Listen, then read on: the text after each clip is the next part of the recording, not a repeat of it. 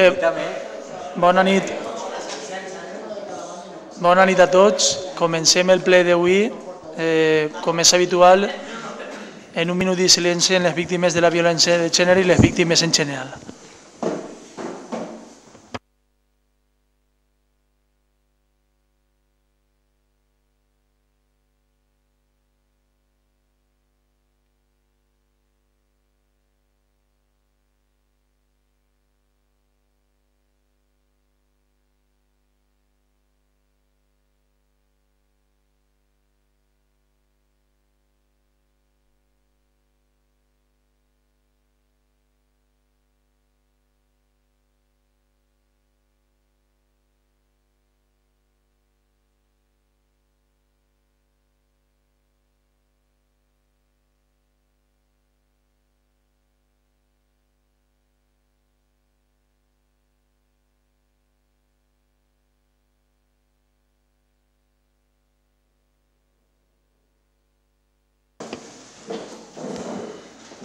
Bé, el primer que portem és les actes de les sessions anteriors. Alguna coseta que dir al respecte? Sí, Antonio?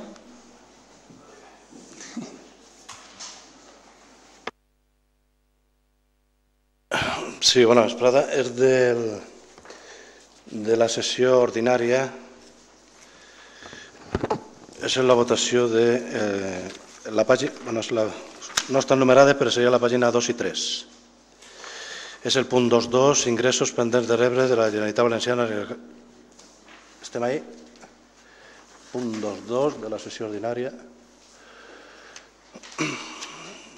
Era allò de lo que el, el milió d'euros que ens devia la conselleria, el que aprovarem així. En la proposta d'aprovació i en la pàgina 2 se diu, en ese punt, en el primer, segon, tercer, en el quart paràgraf, que el debat es formula per interessos. El debat se formula per interessos, però la votació, per els interessos i per el temps, a l'hora de presentar la denúncia o no contra la conselleria.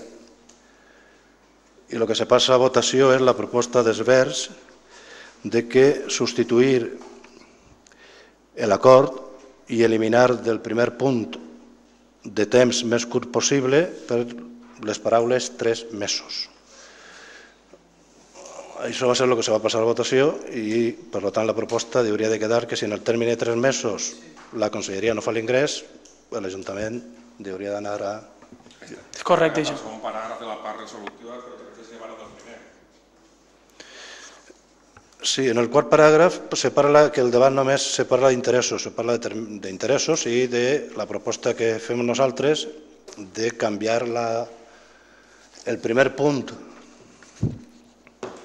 El primer punt d'acord el que és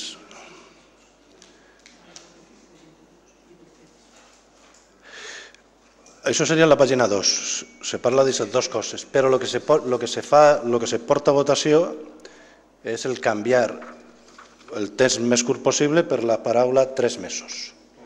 I, per tant, el punt d'acord hauria de quedar com exigir a la Generalitat Valenciana que faci efectiu en el termini de tres mesos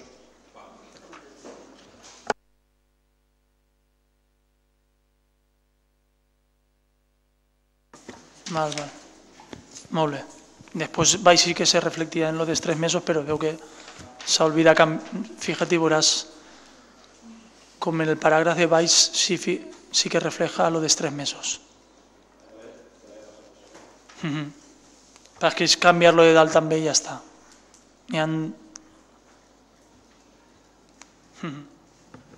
Molt bé. Alguna coseta més o... Bé.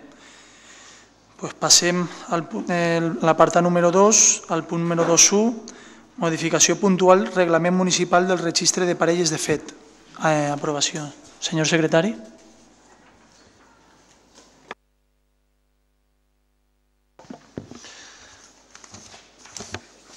Es proposa modificar els articles 2, 3 i 4 del reglament regulador perquè queden redactats en la següent forma. Article 2.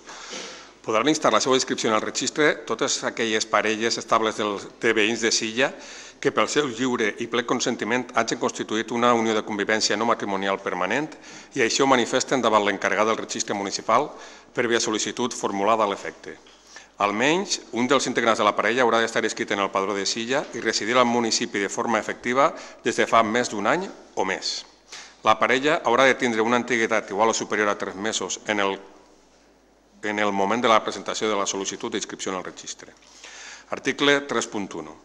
La primera inscripció de cada parella es produirà mitjançant compareixença personal i conjunta de les dues persones davant el funcionari encarregat del registre per a declarar l'existència entre ells d'una unió de convivència no matrimonial.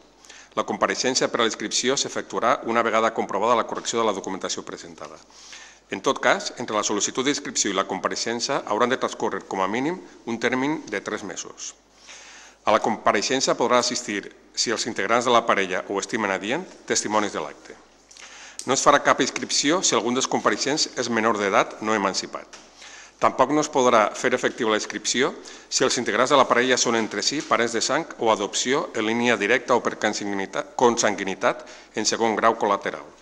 Si algun dels compareixents està casat, inscrit com a membre d'una altra unió, de fet no cancel·lada, no cancel·lada o declarat incapaç per a contraure matrimoni si algú dels compareixents estiguera afectat per deficiències o per anomalies psíquiques. En aquest cas, hauria d'aportar un dictamen mèdic sobre la seva aptitud per a consentir en la constitució d'una unió de convivència no matrimonial.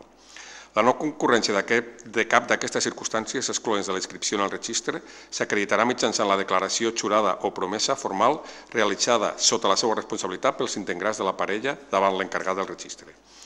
A l'acte de compareixença dels integrants hauran de consentir i afirmar en l'assenyalament com a principis propis de la parella, entre d'altres, dels següents. Amb dos integrants de la parella són iguals en drets i deures. En els integrants, els integrants de la parella han de respectar-se i ajudar-se mútuament.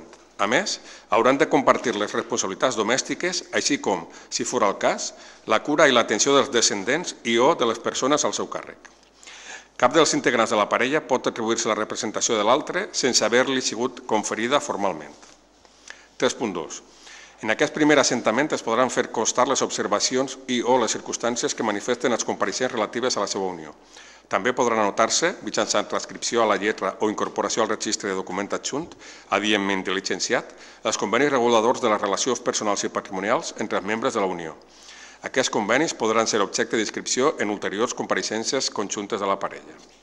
Article 4.1. Les anotacions referents a l'extinció de la Unió podran realitzar-se a instància d'un dels seus membres amb indicació de la data de la finalització de la parella certa o aproximada i de la data de la sol·licitud de la seva inscripció.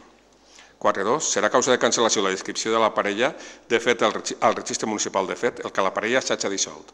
Això s'acreditarà per manifestació d'un dels integrants de la parella mitjançant compareixença o altra forma que permeta tenir constància de la manifestació o per constància fer de la dissolució de la parella.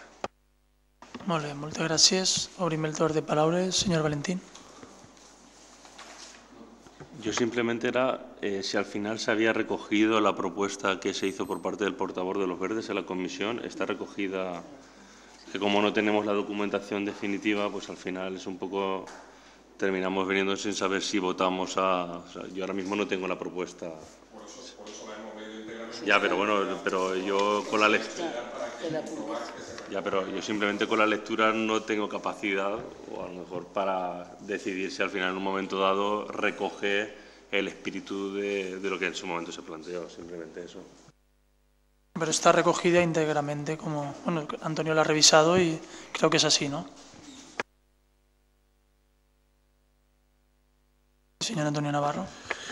Sí, está recogida toda la, información. Hay una a la propuesta, cuando se presenta la modificación del reglamento, lo que nosotros entendíamos era que cuando modificamos un reglamento lo modificamos para beneficiar, mm, digamos, a aquellos a los que va dirigido de alguna manera, para eliminar seguramente trabas absurdas en el momento en el que están o para adaptarlo a la ley que en ese momento, pues lógicamente, esté en vigor.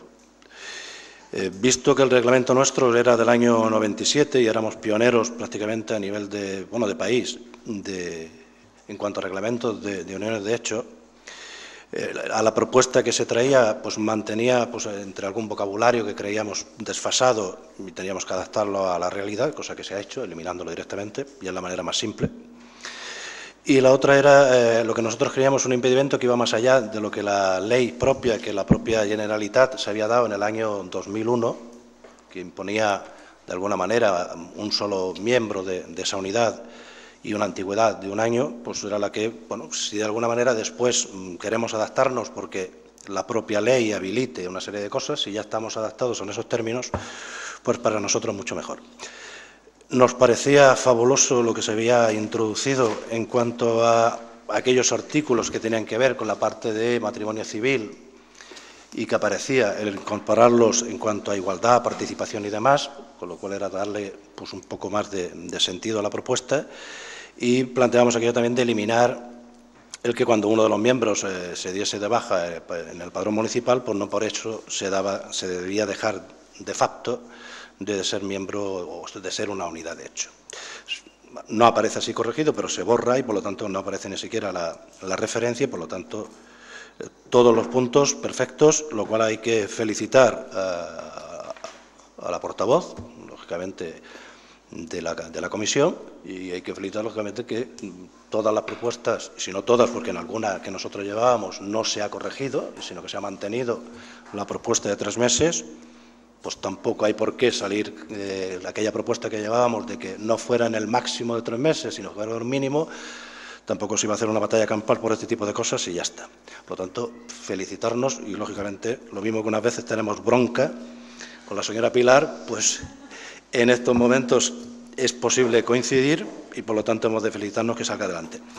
Lo único que nosotros después, en la reflexión y dándole vueltas más a los papeles eh, y en uno de los debates que teníamos allí, sí que queríamos añadir una adicional eh, que no rompe con el espíritu que hay, sino para darle sentido, lógicamente, a la que la propia ley de 2001 establecía, y era eh, hicimos un comentario con el secretario, pero hacemos un comentario público y hacemos la propuesta, que es un matrimonio, es un matrimonio mm, en cuanto se decida por la Iglesia, decida por lo civil, y no tiene que ir en cada pueblo dice, eh, casándose o en cada iglesia casándose.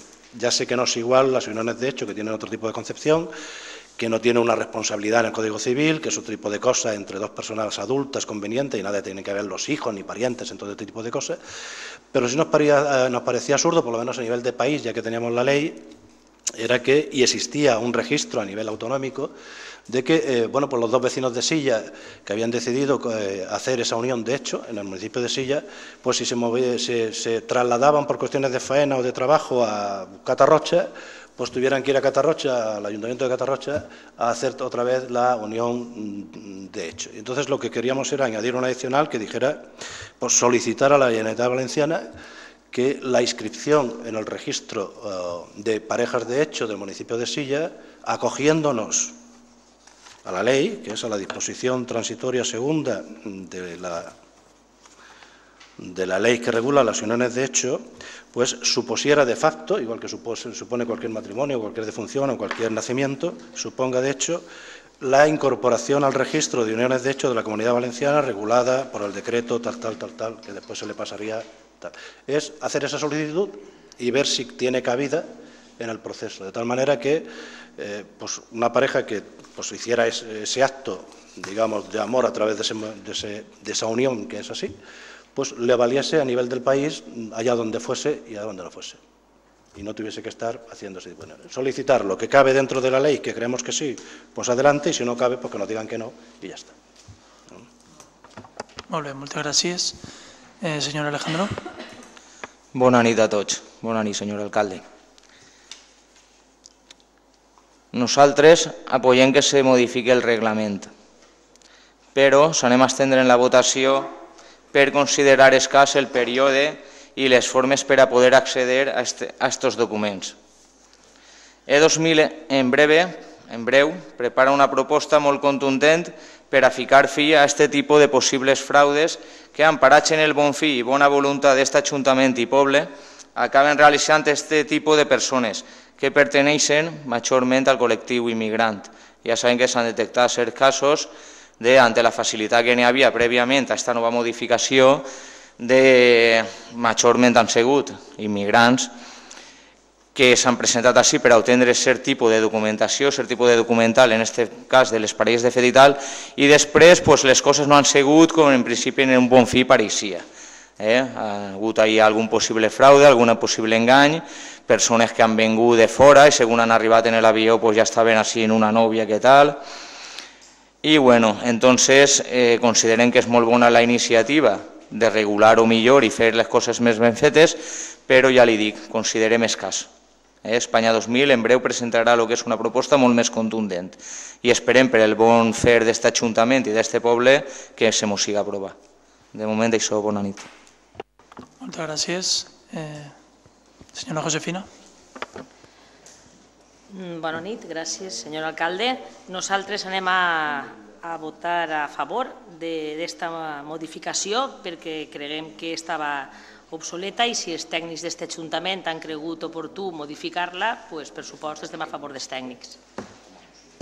Molt bé, moltes gràcies, senyora Pilar.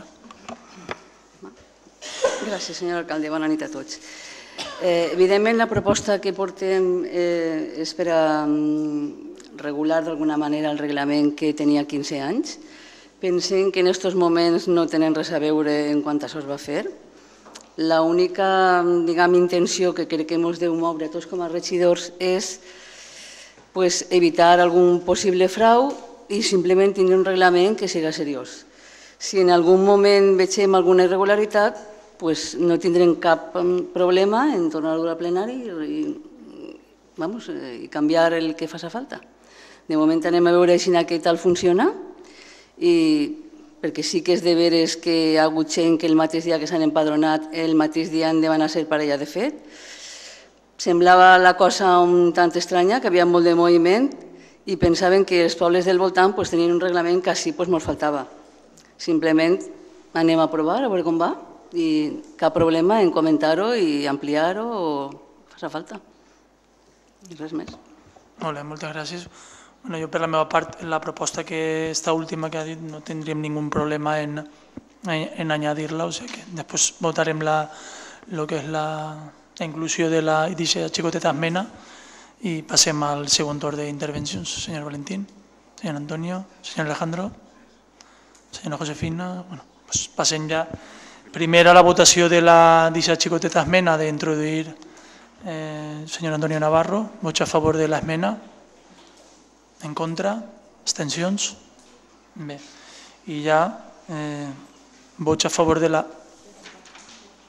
vo- Vots a favor de la d'esta modificació del reglament?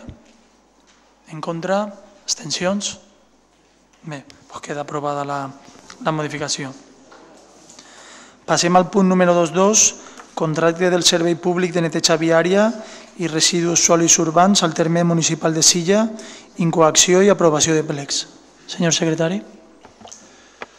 La proposta d'acord diu així. Primer, aprovar l'expedient de contractació per a la gestió indirecta del Servei Públic Integral de Neteja Viària i recollida de residus sòlids urbans per un període de temps de 10 anys, mitjançant concessió, amb tramitació ordinària, procediment obert i diversos criteris d'adjudicació, així com aprovar la despesa màxima de 317.712 euros amb càrrec a l'aplicació pressupostària 227-1620 del pressupost ordinari vigent per l'any 2012 i adquirint el compromís de dotar crèdit adequat i suficient per a la resta d'anys de previsió de vigència del contracte.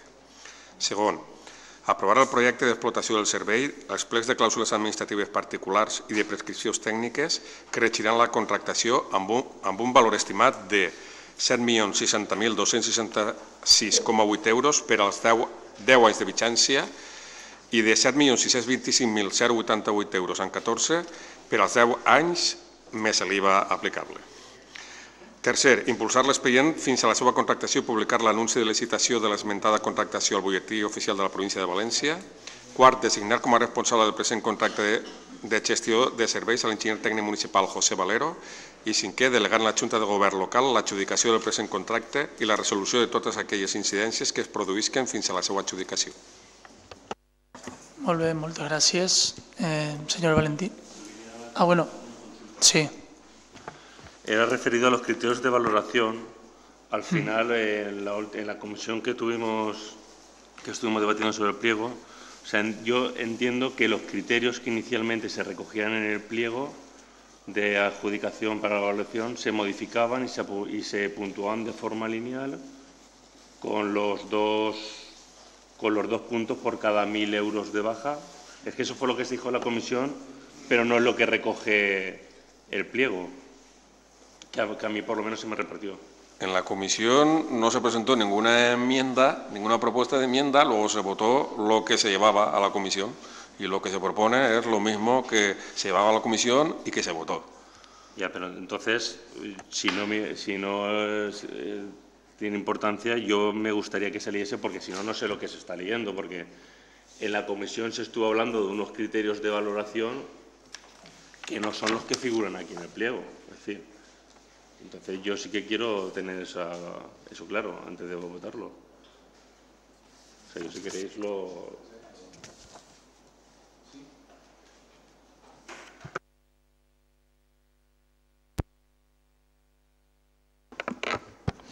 Sí, bona vesprada, senyor alcalde. Moltes gràcies i bona vesprada a tots.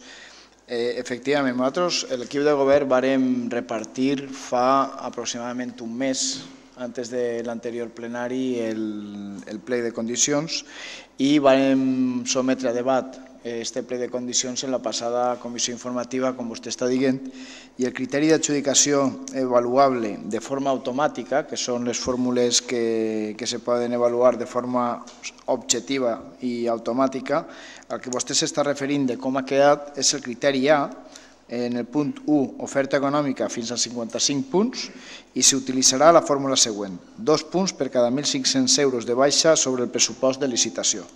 El punt B, criteris d'adjudicació avaluables en base a judicis de valor fins a 45 punts, on el B1, la qualitat i les prestacions tècniques del parc de vehicles i, ma- i maquinària, amb indicació de marques, tipus, potència, capacitats, característiques tècniques i la resta de prestacions, així com la resta d'equips necessari, en un barem del 25%.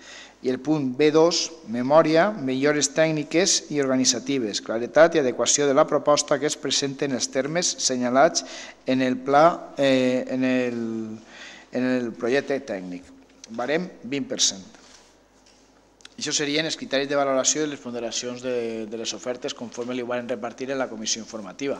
Sí que és cert que van haver diverses eh, propostes eh, de veu, però ninguna materialitzada per escrit i nosaltres també, l'equip de govern, tenim l'obligació de governar i de tirar endavant les nostres propostes i és el que avui portem al plenari.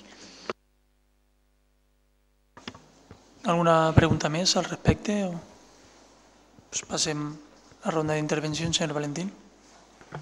Sí, bueno, esta aclaración era para saber que lo que realmente a nosotros se nos repartió a todos los portavoces de todos los grupos políticos, ¿no? Pues en la propia comisión pues se cambió de forma sustancial, que era un poco lo que el debate que se generó en la propia comisión. ¿Qué es lo que Esquerra Unida como tal cuestiona? Pues cuestiona que la parte objetiva de lo que es el pliego de la propia licitación, que son los 55 puntos, realmente desaparece. Y es que ellos mismos reconocen que lo que realmente inicialmente habían propuesto, que lo que claramente establecía la objetividad del pliego, pues no servía, no servía en esa comisión y de repente era simplemente establecer dos puntos por cada 1.500 euros de baja que se podía proporcionar. ¿Eso a qué nos va a llevar? Nos va a llevar a que lo que realmente eh, nosotros no somos los defensores, pero se defiende que es el libre mercado, pues el libre mercado desaparece. ¿Por qué? Porque todas las empresas van a obtener la misma puntuación en el criterio de apartado A de que referida a la oferta económica, es decir, los 55 puntos lo van a tener adjudicado la mayoría de las empresas. Por tanto, no va a haber un criterio objetivo en este pliego que nos sirva para determinar cuál es la empresa que está realizando la mejor oferta. Y además, la ley de contrato lo establece bien claro. Cuando el criterio subjetivo predomina sobre el objetivo, que en este caso el objetivo es cero, automáticamente no será una persona sola la que pueda informar, sino que se deberá constituir un comité de expertos. Y eso no tiene que ser una propuesta que tenga que hacer la oposición. Eso tiene que ser los propios servicios jurídicos quienes establezcan los criterios que se tienen que cumplir en la propia ley de contratos.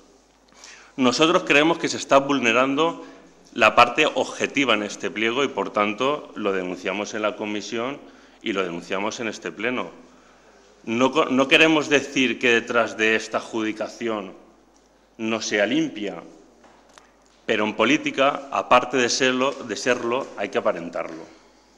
Por tanto, nosotros creemos que este pliego no favorece lo que sería el funcionamiento de este ayuntamiento que durante este año, con nuestras diferencias y con nuestros acercamientos o acuerdos que hemos podido tener, pues en este caso marca una forma de trabajar que nosotros no compartimos. Independientemente de que nosotros podamos o no cuestionar si es la mejor gestión para este ayuntamiento, si nosotros creemos que es la oportunidad para realmente recuperar servicios que están privatizados en empresas que están externalizadas y creemos que existen otras modalidades realmente que pueden beneficiar a este municipio y que pueden generar un empleo de calidad. Pero nosotros aquí estamos realmente cuestionando dos aspectos. Uno, lo que sería el pliego, los criterios de adjudicación, entendemos que se está vulnerando la parte objetiva. Y dos, lo que sería el modelo de gestión, que evidentemente no es de, no es de acorde a lo que Esquerra Unida puede plantear. Por eso nosotros lo que sí que queremos plantear es que se recupere el criterio de adjudicación que inicialmente ustedes propusieron en el mismo pliego, independientemente de que Esquerra Unida esté o no de acuerdo con la gestión. Pero ustedes mismos, en el pliego que repartieron a todos los partidos de la oposición, establecieron un criterio de adjudicación de la parte económica que el día antes de la comisión desaparece de la documentación que nosotros tenemos entregada. Molt bé, moltes gràcies. Senyor Antonio Navarro.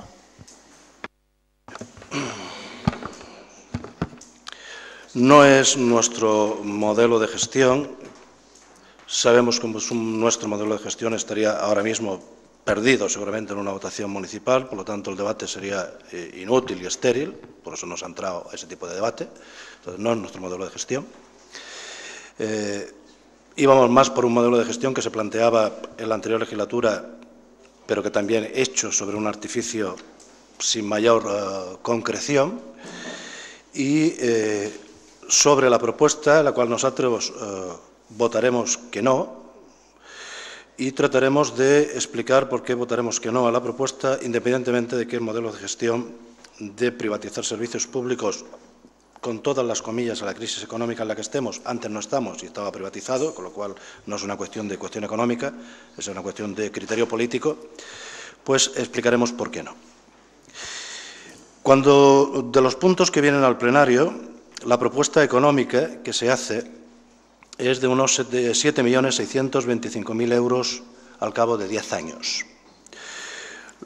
La pregunta que nosotros hacemos en comisión informativa es cómo se pone en manos de un solo técnico, independientemente de la capacidad, que no se discute, pero cómo se pone en manos de una sola persona la capacidad de designación de una empresa que va a gestionar durante diez años este municipio por un valor de siete millones y medio de euros.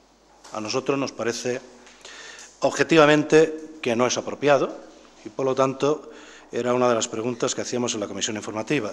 Si para cualquier gestión lo que hacemos es una valoración de uno, dos, tres, cuatro, los técnicos que hagan falta, las personas que hagan falta, en una propuesta que para este ayuntamiento supondrá un desembolso de siete millones y medio y, una, y un servicio para este pueblo de diez años, ¿cómo va a estar en manos exclusivamente de la opinión objetiva o subjetiva de una sola persona? No es nuestro criterio y nosotros lo criticamos. La siguiente pregunta que diremos en el plenario es que se elimine el punto 5, el punto quinto, que habla de eliminar transparencia, participación y decisión política que le corresponde a este pleno, que es la decisión de que sea este pleno el que, en sesión pública, vistas las empresas que lo soliciten y vistas las puntuaciones que salgan de la mesa de contratación, se le quite, se le hurte a este plenario la posibilidad que le compete de decidir, de decidir, a nuestro entender sí, después ustedes me dicen que no tengo ningún criterio, a nuestro entender sí, de la decisión de quién es, de qué es la empresa y por qué motivación pública. En un plenario se explica de las posibles propuestas que haya, ha de ser este plenario el que decida, independientemente de lo que acuerde la, o proponga la mesa de contratación a la Junta a través de este plenario. En el punto quinto se hurta, se hurta esa posibilidad. Nosotros ya le diremos después también que haremos seguramente alguna contrapropuesta eh, por este motivo. ¿Y por qué todo esto? Porque a pesar de no ser nuestro modelo, a pesar de que sobre una sola persona no ha de recaer la posibilidad de la gestión pública de siete millones y medio de euros de este municipio, es porque no entendemos tampoco el criterio sobre el que se basan ustedes, que para nosotros es subjetivo, limitado, la propuesta o el concurso para ver qué empresas participan. No es que solamente varíen la puntuación del 55% en la valoración económica, lo cual eliminan sorpresa ante las propuestas que puedan presentarse a esta oferta, sino que además es que condicionan además los puntos siguientes que también los han cambiado. Eliminan también, y ahora lo leeremos, cómo pasan de 15-15-15 a 25-20.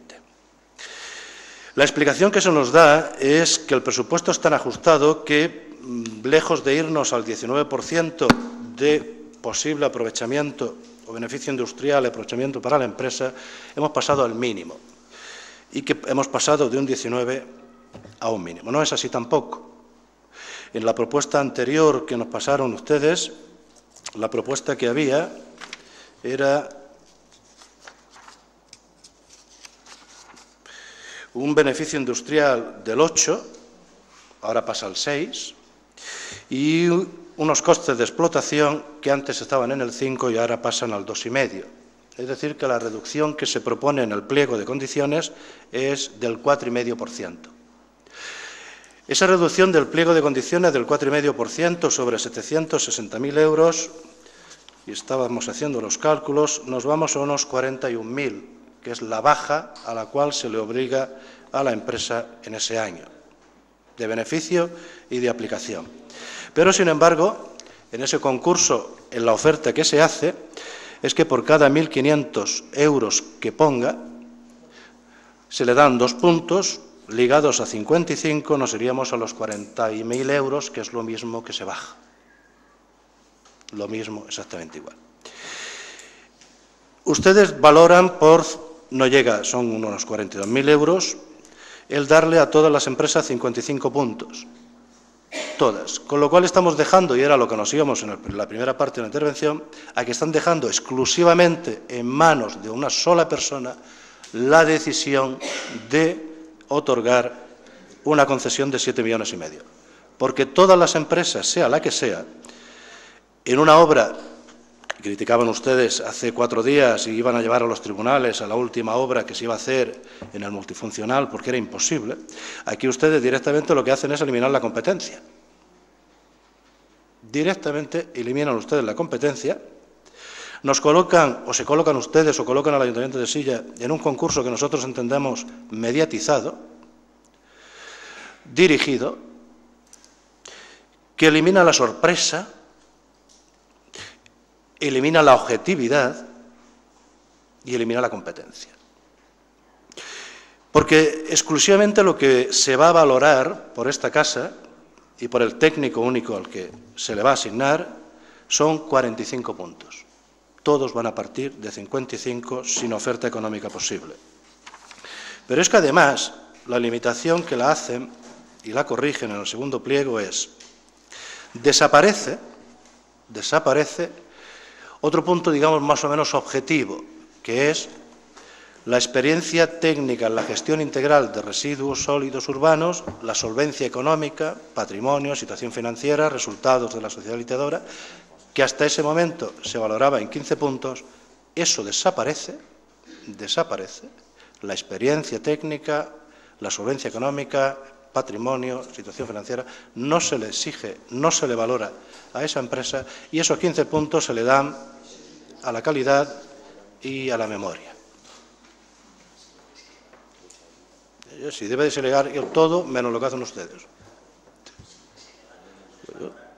Pues, y nos presentan cosas ilegales. no entrem en, no entrem en, de, en debats, per favor. Señor Carlos Primo, no té vostè la paraula. Pues a mí me parece... La intervenció. Pues no me den ustedes ilegalidades y no me den armas para el discurso. ¿Yo qué quiere que le diga? Es decir, yo supongo que el gobierno y, la documentación que se me pasa es legal. Claro, yo no tengo que justificar ahora aquí que es que estoy justificando una ilegalidad. El día 23 de marzo o el día 23 de abril se nos pasa esta documentación, que suponemos legal a fecha de hoy. Si ahora para el discurso y para el debate es ilegal, pues ya me contarán. Ese es el argumento político. Pues. Pues entonces a lo mejor le podían haber pasado los 15 puntos a los 55, ya lo teníamos en 70. Y tenemos nada más que 30 para dividir. Mire, nosotros es, ni es nuestro modelo, ni era lo que se nos había comentado en la comisión informativa, de que se reducía al máximo, se reduce en cuatro puntos y medio. No hay contraprestación económica de ningún otro tipo, cosa que se ocurrió en la anterior propuesta, en la anterior designación. Todas las empresas por 40.000 euros tienen 55 puntos y toda la objetividad, 7 millones y medio de euros, la ponemos en manos de un técnico. Y eliminamos en el punto quinto el que pueda llegar a este plenario a su debate. Transparencia también. Con eso, lógicamente, nosotros votaremos en contra. Molt bé, moltes gràcies. Senyor Andrés. Sí, gràcies, bona nit. Independentment dels tecnicismes que estan utilitzant, sí, a veure qui entén més o a veure qui entén menys, eh, de, res va, de res va valer, de res va valer. Avui el Partit Popular, vulguem o no, tindrà la majoria, falta un consejal de, del bloc, tindran la majoria, aleshores no, no cabria ni el debat, no? no cabria ni el debat. Ja que, ja que en positivitat eh, podem proposar algo a la proposta del Partit Popular, ja varen proposar en, en comissions que es modificara una de les millores que oferia, que oferia el ple de condicions cara a les empreses. Les millores era eh, la reposició de contenedors anualment, crec que eren 15, 20 contenedors en aquesta línia i varen quedar a proposta d'Espanya 2000 i que estàvem tots així d'acord, varen quedar que es faria una mena de, de fraccionament entre papereres i contenedors. Papereres que, com bé sabem, és el gran dèficit avui dia del nostre poble, tant als carrers com als parcs. En fi, una millora que val per dos, ja que no només eh, motiva a que la gent tingui una paperera, tirar-ho dins de la paperera, sinó que podríem mantindre d'una manera més cívica el poble més net. Eh, en aquesta línia, el Partit Popular eh, accepta, veu coherent la proposta, nosaltres també. Després teníem una altra proposta que fer-les, que era elaborar un pla un pla de millora en el problema que estem patint als nostres carrers, als nostres parcs, que són el tema de, de les defecacions i els pipis dels gossos. Eh? És un gran problema el que tenim en això. La gent pues, no, no conscienciem a la gent en que, en que deu de replegar les, les defecacions dels gossos, deu de portar a orinar els gossos a un lloc on, on no puguen córrer perill els menuts, que sempre van tocant tot per terra, van en els parques i van d'alguna manera d'alguna manera eh, poden intoxicar-se en l'àcid que acaba, que acaba consumint-se el que és el, el pipi dels gossos. Entonces, clar, volem un pla, que s'elabore un pla que ara l'empresa que, que s'adjudique la contrata, en el qual pues, bé, eh, puga ser una campanya dissuatòria, eh, una campanya en la qual eh, s'informe millor la ciutadania del càrrec que li pot costar que el seu gos o de fer que en, en, la via, en la via urbana. En fi, aquesta seria la segona proposta que fa Espanya 2000 a este i després sabem que, que no és fàcil dir-ho, no és fàcil dir-ho i que jo pense que a tots ens agradaria, però el que volem, eh, el que demanem d'alguna manera és que vale 10 anys. Eh, sabem que tenim unes avantatges en una contrata de 10 anys, però a la, a la mateixa vegada que tenim aquest avantatge al fer la contrata de 10 anys, eh, veiem carents les garanties dels treballadors del nostre poble, dels que estan d'alguna manera treballant eh, empadronats a Silla i que duen ja molts anys treballant en la neteja viària i que és d'alguna manera un, un, una finalitat d'oxigenament no? per a algunes famílies que no són grans jornals però que, bueno, que oxigenen d'alguna manera i fan, i fan que, que la gent pues, tinga eh, capacitat econòmica per per a, per menjar, no? Per a menjar. Entonces, clar, volien que, voldrien que en esta línia, eh, dins de, del marc legal, dins del marc legal, que s'establirà un pla de garanties per als treballadors empadronats sempre i quan complisquen en la seva productivitat, eh, no, no allarguen i no engrossen eh, les quantitats de baixes a lo llarg de l'any, en algo que nosaltres volem incidir ja no només al funcionariat, sinó també als que siguen treballadors de les empreses de neteja, està clar que eh, n'hi haurà també que marcar uns límits per a que els treballadors no tinguen holgadament eh, poder cobrir les seues baixes i poder eh, no complir les seues productivitats a, a l'hora de, de, rendir, de fer el rendiment de neteja de la nostra localitat. En fi, després voldríem eh, també que l'empresa proposar a aquestes empreses que n'hi haguera una incentivació per part de l'empresa eh, en cas de que es aconseguira, com estan aconseguint en pobles veïns, com és Catarroja, que aconsegueixen la granera d'or, la granera de plata. Expliquem, la granera d'or, la granera de plata significa el poble més net de, de la comarca, el poble segon més net de la comarca o, o, o, o granera de cobre, que seria, eh, de bronze, perdó, que seria eh, el tercer poble més net. No? Voldrien que l'empresa marcara també un preàmbul en el qual pues, motivara i hi haguera una xicoteta incentivació, ja que estem parlant d'una contrata, com ben dit antes els companys, de més de 7 milions d'euros.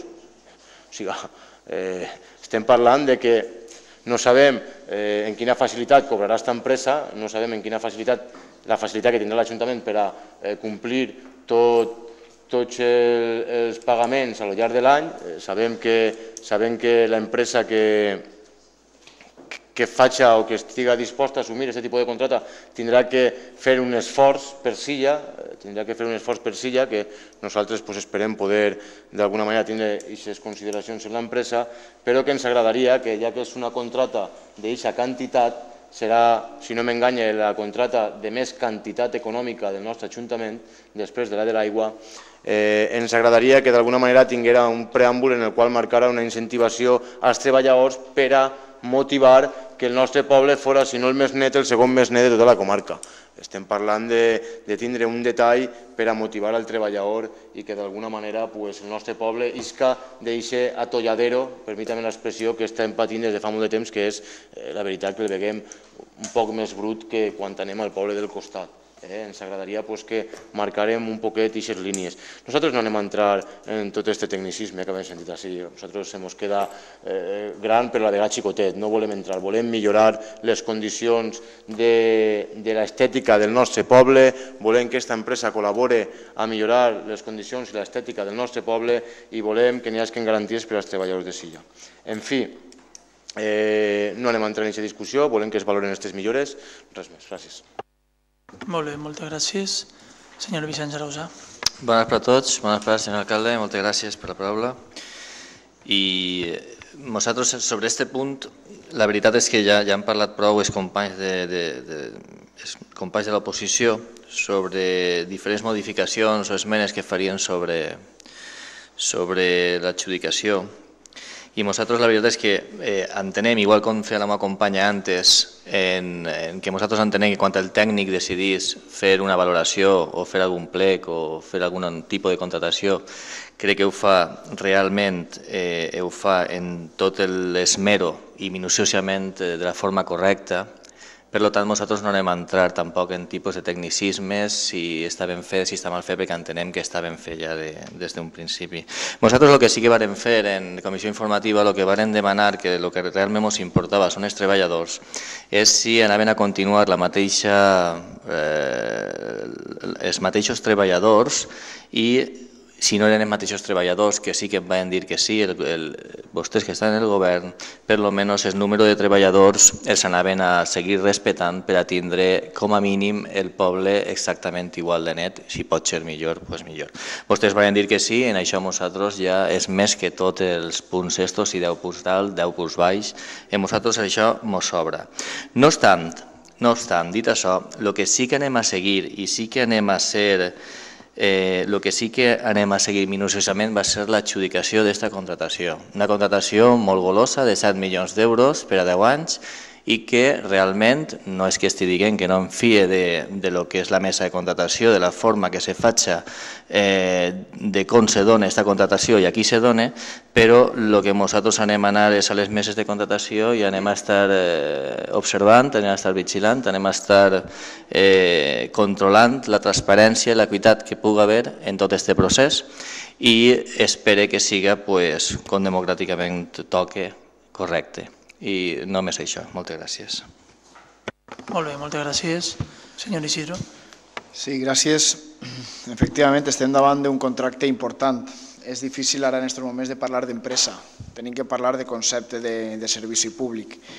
I un concepte de servici públic que des del Partit Popular s'entén que eh, l'externalitzar-lo, el fer-lo eh, en mitjans no propis, no municipals, sinó que contractem el servici a una, a una empresa externa, creguem que és més competitiu i així no és que ho creguem única i exclusivament aquest equip de govern, sinó que ja anem portant endavant l'Ajuntament de Silla, pues, crec recordar que per quatre o cinc legislatures. El primer contracte, la primera privatització, la feu el Partit Socialista, fa aproximadament 16 anys eh, en una empresa que es dia Europea de Servicios, que perteneixia al grup Avis de, de València, i així successivament, ara en aquests moments eh, tornem a traure un plec. Un plec de condicions que el que planteja són dues qüestions. Una qüestió purament eh, social, que és el benestar de les 29 persones, el benestar dels treballadors que tots els dies s'alcen de matí per a mantenir el poble de Sillanet.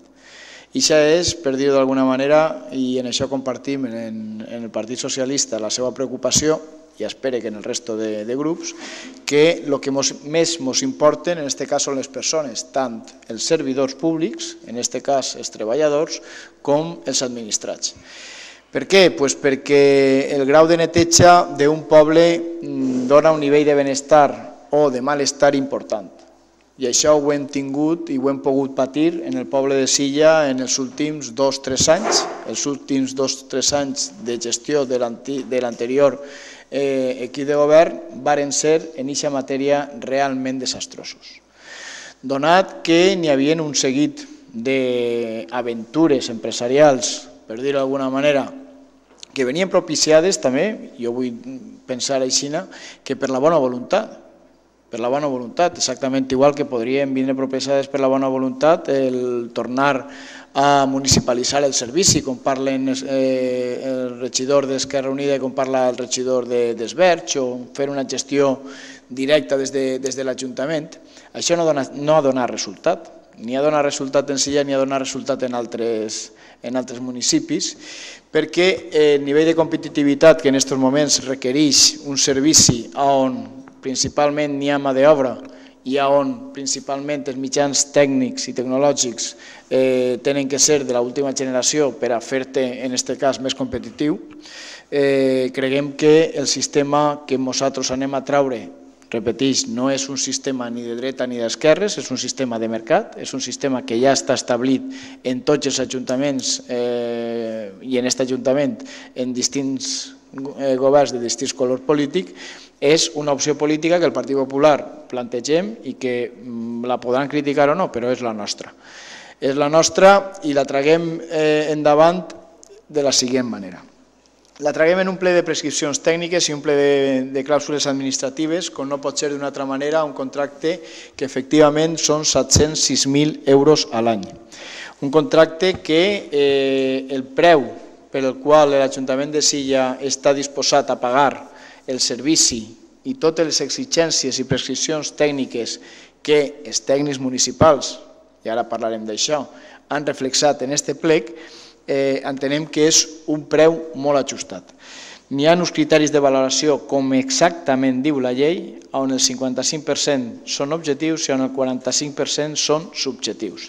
El 55% són objectius i en ells està eh, el criteri principalment del preu, on hi ha una baixa establida de 1.500, eh, cada 1.500 euros un, un import i que vostès ja pressuponen vostès ja pressuponen, es veu que tenen la bola, la bola màgica, que totes les empreses van anar a la baixa màxima. quan nosaltres sabem que el preu del contracte que estem licitant és un preu molt ajustat. I és un preu molt ajustat perquè així ens ho diuen els nostres tècnics. I és un preu molt ajustat, i en aquest cas sí que vull parlar d'una manifestació o afirmació que el regidor dels Verds està dient quan diu que una única persona va decidir sobre un projecte. Mira, aquesta única persona és un enginyer, és l'enginyer municipal, jo crec que porta més de 25 anys de servici en esta casa, jo crec que este serà l'enèsim eh, contracte de FEM i jo crec que no n'hi ha ninguna persona dins de l'organització municipal en més capacitat, en més equilibri i en més, eh, i en més certesa per a poder valorar el millor per al nostre poble. Per tant, això que vostè apunta d'una manera com a una feblesa, com una debilitat, jo li tinc que dir que a mi m'enorgulleix perquè per a l'equip de govern és una fortalesa, viceplec. El que, lo que vostè està dient que és una debilitat, per a nosaltres és una garantia i per al poble de Silla és una garantia. Una garantia perquè les prescripcions tècniques d'aquest plec són bones, perquè el servici en aquest moment, molt, en, un plec molt semblant per als últims 6-7 mesos, però en les, les mateixes prescripcions tècniques, el servici no és roïn i perquè el benestar dels administrats i dels servidors públics, que són els treballadors de, de l'empresa, en aquestes prescripcions tècniques estan funcionant bé i estan contents. Jo li convide a que es pregunten si aquest sistema de funcionament no és empresa. Aquest sistema de funcionament, tant a l'administrat com al servidor públic, li agrada. Jo ho he fet i la valoració és positiva en els dos àmbits. Per tant, com a govern, prenem la decisió de portar este plec en aquestes prescripcions tècniques, en aquests imports, en aquests preus i en aquests sistemes de valoració. Vostè diu que nosaltres hurtem la possibilitat del debat. No, senyor, en absolut. Mire si no l'hurtem, que vostès tenen el plec fa un mes. Mire si no hurtem el debat, que vostès han tingut una comissió informativa per a poder dir exactament el mateix que estan dient ara. Mire si no hurtem el debat en este plenari, que ho portem, perquè la llei, la llei així ho diu, per els imports, ho portem al ple. I mire, si no hurtem el debat, que la llei ens diu que la Junta de Govern local pot adjudicar després, la proposta, de, després de la proposta de la mesa de contratació on espere veure-la vostè treballar, en la mesa de contratació, que serà membre, m'imagino, igual que to, tots els grups polítics, és la mesa general, bueno, pues, té vostè l'oportunitat de davant d'aixòs tècnics, de davant d'aixes persones, dir exactament el mateix que està dient. Ara, no ens lleve a nosaltres la nostra oportunitat i no ens lleve a nosaltres la nostra responsabilitat de govern, que és tirar endavant la cosa que s'interessa als nostres ciutadans, que és mantindre Sillaneta, que és solventar problemes polítics i solventar problemes diaris que poden produir-se per situacions com la d'un plec en prescripcions, en prescripcions tècniques incompletes o una empresa, triar una empresa on després els incompliments són sistemàtics, per falta de capacitat. Nosaltres estem fent el que ens toca i estem fent-ho dins de la legalitat i estem fent-ho dins de la normalitat i estem donant tota la informació possible i estem intentant, intentant millorar, si cap, eh, la, el dia a dia del nostre poble. Quan la basura no és notícia, això és una gran notícia, sobretot perquè hem tingut que patir que en Silla la basura hagi sigut notícia en molts dies. Molt bé, moltes gràcies. Eh, senyor Valentín. Sí. Vamos a ver. Eh, independientemente de, por no reabrir otra vez el debate de qué, qué modelo de gestión es por el que se puede optar en estos momentos, nosotros en este pliego cuestionamos varias cosas. El primero sería entender que es una gestión del servicio público, qué es lo que está motivando que nos vayamos a 10 años. Además, así se eh, manifiesta claramente cuando dicen con la jurisprudencia de la Unión Europea y la propia doctrina que dice que solamente cuando se traspase a través del pliego el riesgo al propio adjudicatario es cuando podremos interpretar que estamos en un modelo de gestión de servicio público, cosa que hasta la fecha en este ayuntamiento nunca se había hecho y siempre este servicio se estaba licitando con un tope de cuatro años más una prórroga de dos, seis. Eso nosotros lo cuestionamos y no lo entendemos y tampoco entendemos que en estos momentos de crisis, en estos momentos donde los medios de comunicación continuamente nos trasladan noticias de posibles o gestiones que no han sido las más correctas, creemos que la parte política, no solamente aquí, sino en todas las administraciones, sean autonómicas, sean estatales, sean locales, debemos de trabajar con la máxima transparencia. ¿Y qué queremos decir con esto? Y, y queremos que la gente lo entienda. Cuando nosotros cuestionamos que la parte objetiva desaparece, lo decimos porque en el proceso de licitación se hace de la siguiente manera. Primero, se informa la parte subjetiva, donde el técnico informa y valora sobre 45 puntos, y a cada una de las ofertas presentadas le otorga la puntuación que considera que es la que mejor corresponde con la oferta presentada. Ya a continuación, una vez esas puntuaciones se han realizado, los otros 55 puntos surgen de forma automática y de forma, como decía el portavoz de los verdes, con una sorpresa que nadie puede predecir cuál es la oferta que mayor puntuación puede tener. Por tanto, cuando se vaya a la mesa de contratación, no sabremos de antemano cuál puede ser la oferta que ya tiene una adjudicación, por decirlo de alguna manera, cuya puntuación eh, ya es la mayor en la parte subjetiva. ¿Por qué? Como decía el concejal Isidro, eh, nos plantea, ¿por qué vosotros entendéis que van a ir todos a la máxima puntuación de la oferta económica? Si nosotros no queremos entender eso, nosotros lo que decimos es que sean ellos los que, con la oferta presentada, determinen cuál es la oferta media y la máxima puntuación. Y si está por debajo del límite establecido, pues no iremos al tope establecido.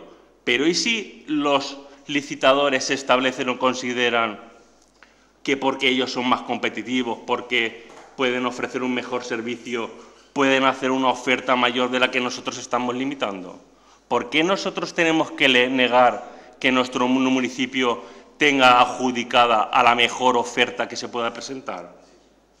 O sea, eso es lo que nosotros nos tenemos que plantear porque realmente yo creo que aquí todos estamos trabajando porque todos los vecinos y todas las vecinas de nuestro municipio tengan el mejor servicio de recogida de basura.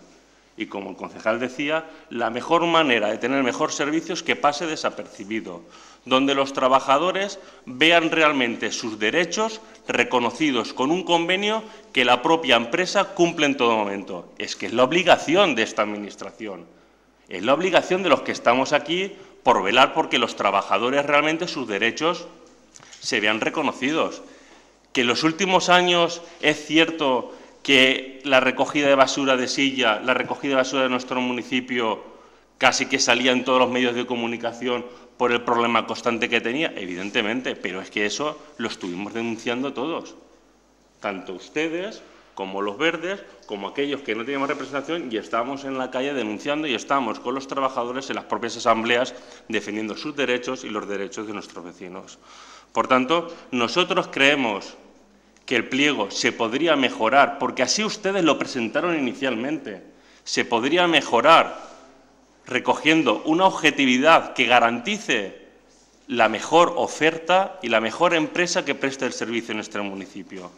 Porque hay cosas que claro, eh, en vez de caminar hacia esa transparencia, lo que a uno le hace un poco como dudar o cuestionarse eh, determinados procesos de licitación. Porque si uno entra en la, en la propia página web del ayuntamiento, se encuentra también un proceso de licitación para el servicio de mantenimiento y limpieza de parques y jardines del no, este es el sí, sí, de parques y jardines del municipio de Silla que pone mediante un procedimiento negociado con publicidad.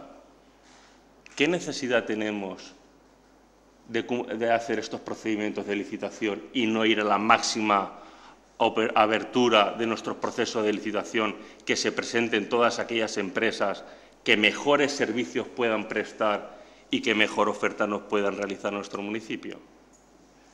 Por tanto, yo creo que estamos en ese momento donde a todas las administraciones locales se nos exige la mayor transparencia y la mayor seguridad en los procesos de adjudicación. Entonces, creo que el equipo de gobierno tiene todavía la oportunidad de recoger su propia propuesta, propuesta que hizo inicialmente, y con esa iniciar el proceso de licitación. Bé, moltes gràcies. Senyor Navarro. El que no sea nuestro modelo no quiere decir que no tratemos de luchar y tratar de modificar las actuaciones que se realicen y de mejorarlas. Cuando se oye de que es que a nosotros no nos interesa lo que ponen los pliegos, este tipo de cosas, que nosotros es, pues mira que en los pliegos están todas las condiciones de lo que se va a hacer en este pueblo durante 10 años. Todo. A nosotros nos interesa son los trabajadores, claro, ya está recogido en los pliegos, si no se lo estaríamos criticando.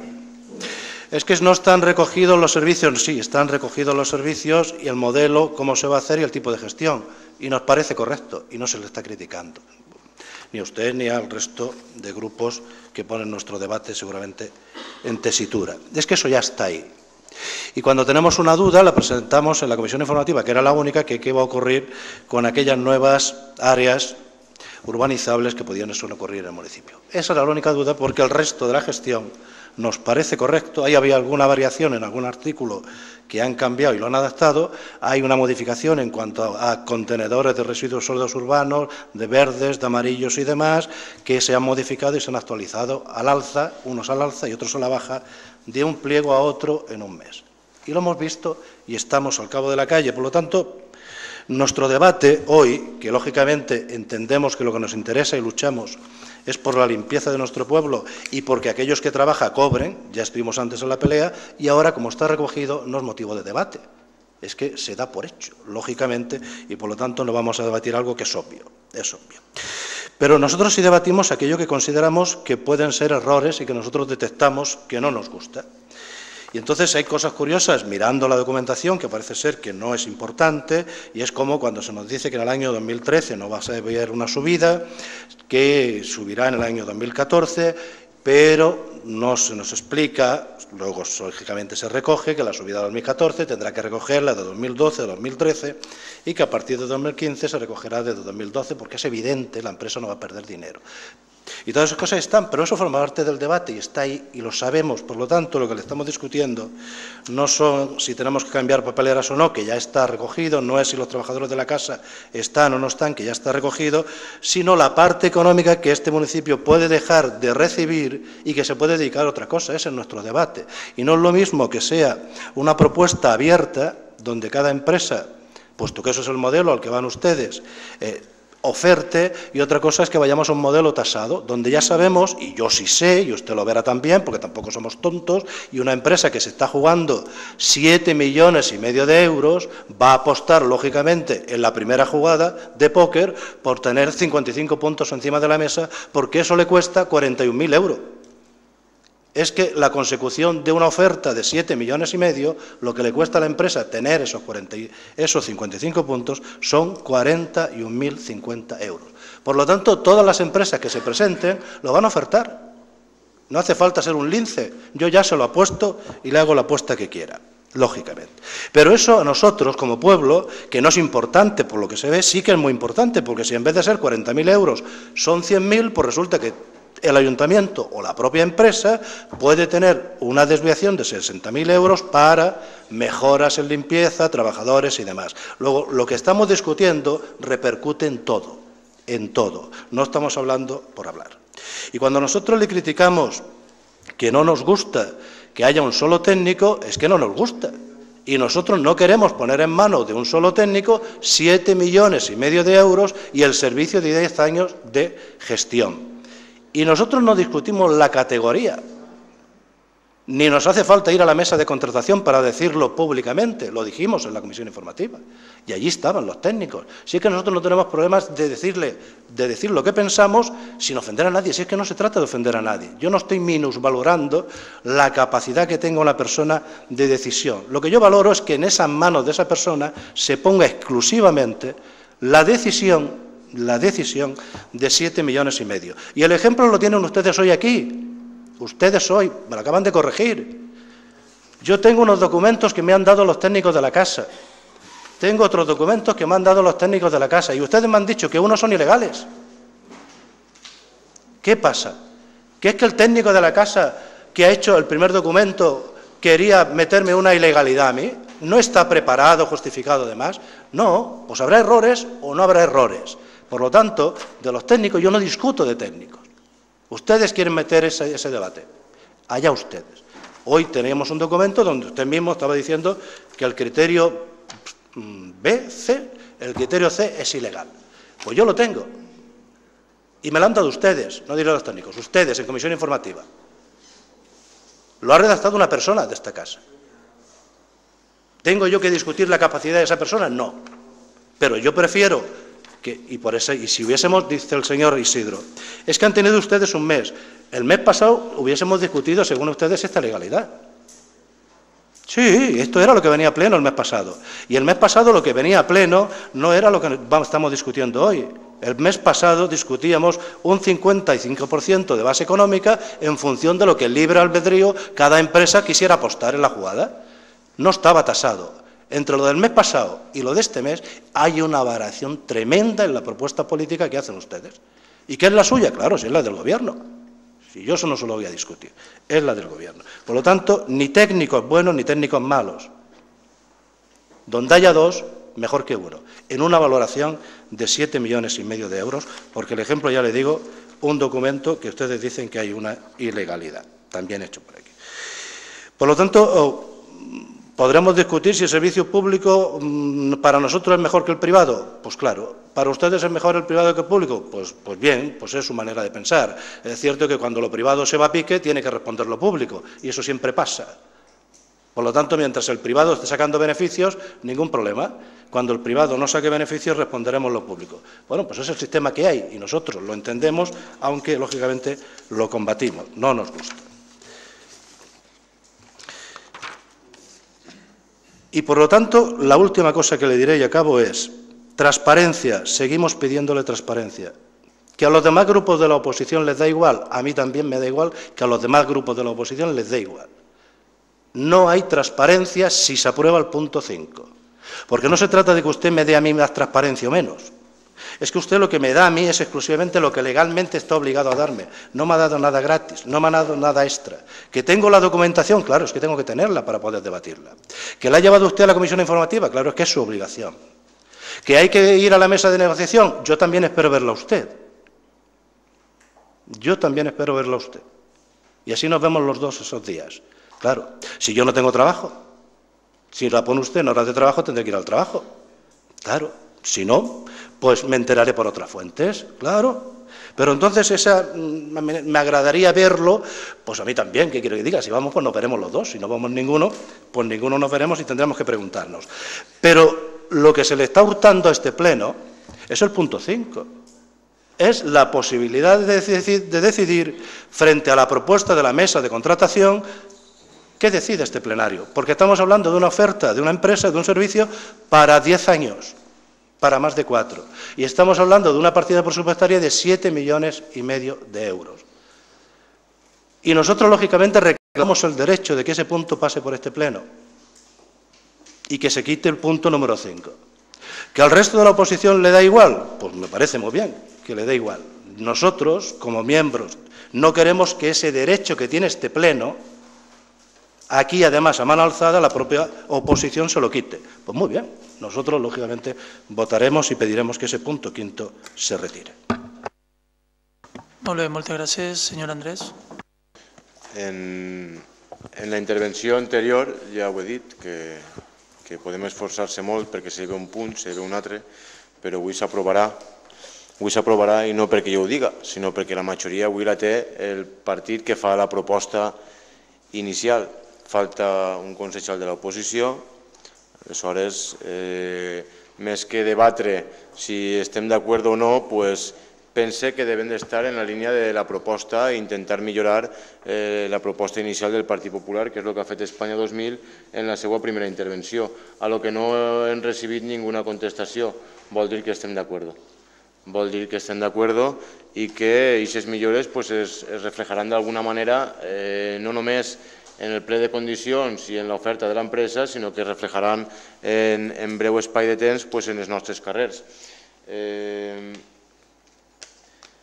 jo calcule, jo calcule que no només un tècnic està revisant eh, si les formes i plets de condicions són legals. Tenim també un secretari, eh, que no és un secretari que vostès han elegit a dit, ni que en el seu dia el senyor Baixau li va elegir a dit, és un secretari enviat per l'Estat eh, i, que, i que en aquest aspecte pues, n'hi ha vegades que podem filar més prim, podem ser més holgats, però jo confie ara mateix plenament en, en els dos tècnics, el senyor secretari i el tècnic, que són els que han llançat d'alguna manera o han col·laborat directament a llançar aquesta proposta. Nosaltres els donem per satisfets en què eh, d'alguna manera es reconeguen aquestes propostes que segur que són eh, beneficioses per a, per a la continuïtat de la neteja del nostre poble L'únic que podem discernir un poquet en la proposta del Partit Popular, com ja hem dit antes, són els 10 anys de contrat. Eh, creguem que, que vulnera i deteriora un poquet les garanties dels treballadors del nostre poble, a, a la neteja del nostre poble també, i no podem fer res, no tenim avui una majoria, ens agradaria que fos un contrat més curt, ens agradaria que per la pròxima legislatura, si estan vostès bé, perquè vostès assumeixen aquesta responsabilitat, però faran assumir una responsabilitat en cas de que vostès no estagueren. En fi, nosaltres es donem per satisfets en que aquestes propostes es reconeguen, no tenim res que dir i vostès són responsables. Molt bé, moltes gràcies. Senyor Luis Rosa. Moltes gràcies, senyor alcalde. Eh, el grup socialista el que vol dir al respecte, perquè ja ho he dit antes, si té poc que dir, sols estarem un minut, és dir que nosaltres pues, som responsables i nosaltres som soberanos per a prendre les decisions. És a dir, nosaltres hem decidit de que creguem que el ple de condicions és totalment correcte, el ple de condicions està confeccionat per un tècnic de l'Ajuntament, estarà segurament assessorat per diferents tècnics de l'Ajuntament també, i nosaltres no anem ficarem en dubte la seva professionalitat ni la transparència d'este. Eh, en el segon punt que nosaltres volíem tindre totalment recolzament del grup de govern actual era de que la gent que anava a seguir treballant era la mateixa plantilla i si no la mateixa plantilla, perquè ahir no tenim competència nosaltres i quan entren tiren a tota la plantilla no poden fer res, sí, per lo menos, eh, respectar el número de treballadors que n'hi ha a, a fetxa d'avui. I en tercer punt, algo que sí que entra nostre, és de nostra competència, de, la, de lo que són els polítics i el que és l'oposició en aquest cas, i el grup socialista, és que estarem en, en la taula de negociació per a que este procés tinga una garantia de transparència i en l'adjudicació d'aquesta contratació. Només repetir, reiterar el que han dit antes i eh, és un contracte molt important, estem parlant de 7 milions d'euros i que estarem eh, darrere perquè isca el millor possible i el millor per a ciutadans d'aquest poble. Molt bé, moltes gràcies. Senyor Isidro. Sí, moltes gràcies. Eh, efectivament, garantissa molt també la gestió d'un equip de govern quan se debaten temes tan importants en el sentit comú i en eh, la serietat que s'està debatint avui un contracte d'esta tipologia. Un contracte de servici públic, perquè el primer que no deguem d'oblidar és que així els que estem som servidors públics. Servidors públics que el que tenim que buscar és la millor qualitat de vida dels nostres veïns i que, per tant, aquests debats són els que poden enriquir i millorar la qualitat de vida de tots els sillers. Eh, garantissa molt i dona molta tranquil·litat al, a l'equip de govern quan se sent per part del grup socialista que van estar damunt de eh, la taula de contratació i que van estar revisant fins a l'últim paper. I ens ho garantissa molt i ens dona molta tranquil·litat perquè el que tenim que fer en aquests moments els polítics i més encara els polítics municipals és recobrar la credibilitat recobrar la credibilitat de lo que estem fent és de la manera més seriosa intentar lograr el, eh, que els nostres veïns visquen millor. I dic aquestes paraules perquè no vaig a perdre ni un minut en entrar en la provocació i en la demagògia que ens té acostumats el senyor Antonio Navarro. Entre altres coses perquè això és el que no millora la qualitat de vida dels nostres veïns. Vostè ha sigut l'única persona que ha sigut copartícip del pitjor govern en eixa matèria, en matèria de residus sòlids i de totes les aventures empresarials agudes i per haver, que és el que va desenrotllar així el senyor Baixauli. I dic clar, el senyor Baixauli, no el Partit Socialista. Eren aventures empresarials personals. I l'únic que està sentat així en aquesta taula que ha sigut capaç de ficar el careto en el mateix cartel electoral que Paco Baixauli ha sigut vostè. Per tant, de vostè, per tant, de vostè no vaig a suportar ni una duda més. Tots els que estem així sentats som exactament igual d'honrats i busquem exactament el mateix, el benestar dels veïns de Silla. Agraeix també, com no pot ser d'una altra manera, les propostes de millores d'Espanya de, eh, 2000, propostes de millores que se varen fer ja en la passada eh, comissió informativa i que, per tant, és important, és important que cada un diga o en el lloc on correspon el que li sent als nostres conciutadans. A vostès moltes vegades li han fet, han manifestat eh, la preocupació sobre el número de papeleres, la falta de papeleres i és per tant algo que vostès ens va proposar en, en la comissió informativa que ja el tècnic va tindre eh, en compte i que per tant tant eh, el número de contenedors com també el parc de, de papeleres serà algo que tindrem, que tindrem en compte. Dit això, dir-li que el pla de millora, l'assumpte de les defecacions, agarrem el compromís, no podem ficar-lo dins d'aquest plec, perquè no és algo que siga eh, objecte d'aquest plec, les condicions tècniques, però que sí que anem a fer-li el seguiment que calga i que vostè eh, perfectament, eh, perfectament eh, coneixerà en el, seu, en el seu moment. Estem davant d'un projecte tècnic, estem davant d'una qüestió administrativa i jurídica. Per tant, no és cert que no una única persona estiga decidint o estiga parlant en l'Ajuntament de Silla un únic tècnic sobre este plec. És absolutament fals. N'hi ha un informe de secretaria, requereix un informe d'intervenció, requereix un informe i, un, i uns treballs de l'àrea de contratació i requereix un informe i un treball de l'àrea de l'oficina tècnica. Estem parlant, per tant, ja de més de quatre persones. Que ningú se deixi enganyar per ningú dient que una única persona va estar eh, informant este, este contracte. No és cert. No és cert. Entonces, con les coses ja que dir-les, i en estos casos més encara, i en estos casos necessitem els polítics municipals tindre la màxima credibilitat i la màxima transparència, qui vulga que vinga a treballar en positiu, i qui no, que continuï instigant d'aquesta manera. El que diu el que vol, se sent el que no vol, senyor Navarro. Gràcies. Bé, doncs, per a finalitzar, jo penso que els tècnics que han preparat este plec és un, tècnic, és un ple tècnic molt creïble. Jo pense, senyor Valentín, que vostè mateix el, el discurs que ha fet no se'l creia ni vostè, Vostè coneix els tècnics de la casa, saben que fan el millor... En la seva expressió de la casa li ho dia tot. El seu discurs...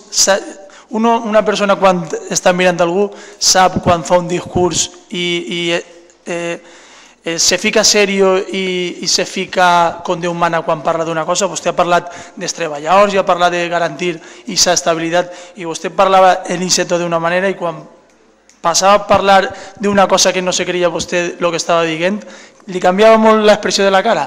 Vostè sap que ise, este ple tècnic que han preparat l'enginyer de l'Ajuntament i els tècnics és un ple que va garantir als treballadors que han estat patint i sofrint eh, problemes en, en el seu treball van a garantir-li una estabilitat, van a garantir una estabilitat als, als vells de Silla perquè van a tindre el poble net i, i, el, i el tècnic principal que ha preparat ple eh, no poden durar la seva transparència perquè és un tècnic que no s'ha casat ningú. Vostè l'ha tingut de company, jo també l'ha tingut de company, tots el coneguem i sabem que la seva experiència jo estic, eh, estic tan tranquil que no és que li donaria un ple de 7 milions, no, li donaria de 1.000 si farà falta, perquè ell va buscar el millor per al poble i no se va casar amb ningú.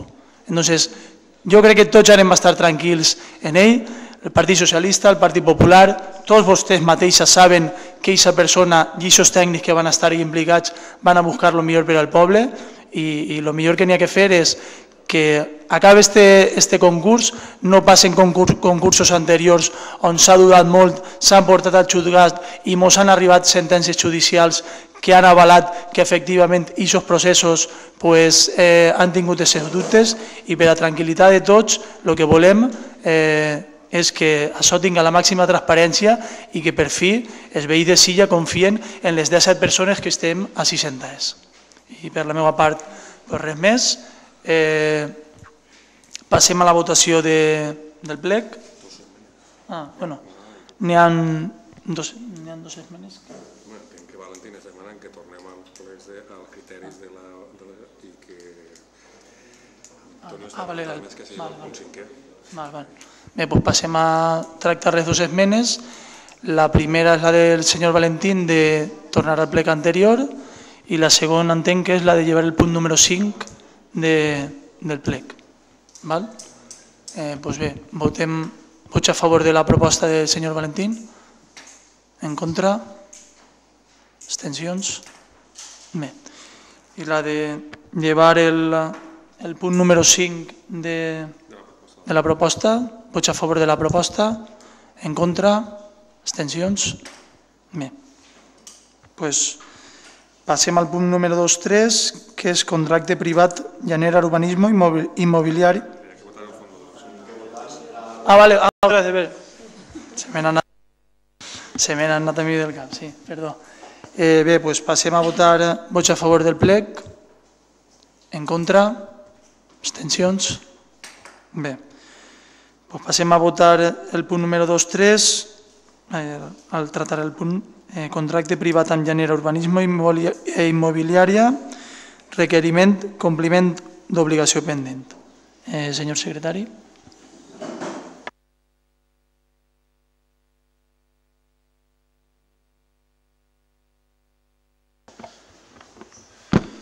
La proposta d'acord és la mateixa que ja es va llegir en la- l'anterior sessió, ho dic perquè, per situar-nos, ¿vale?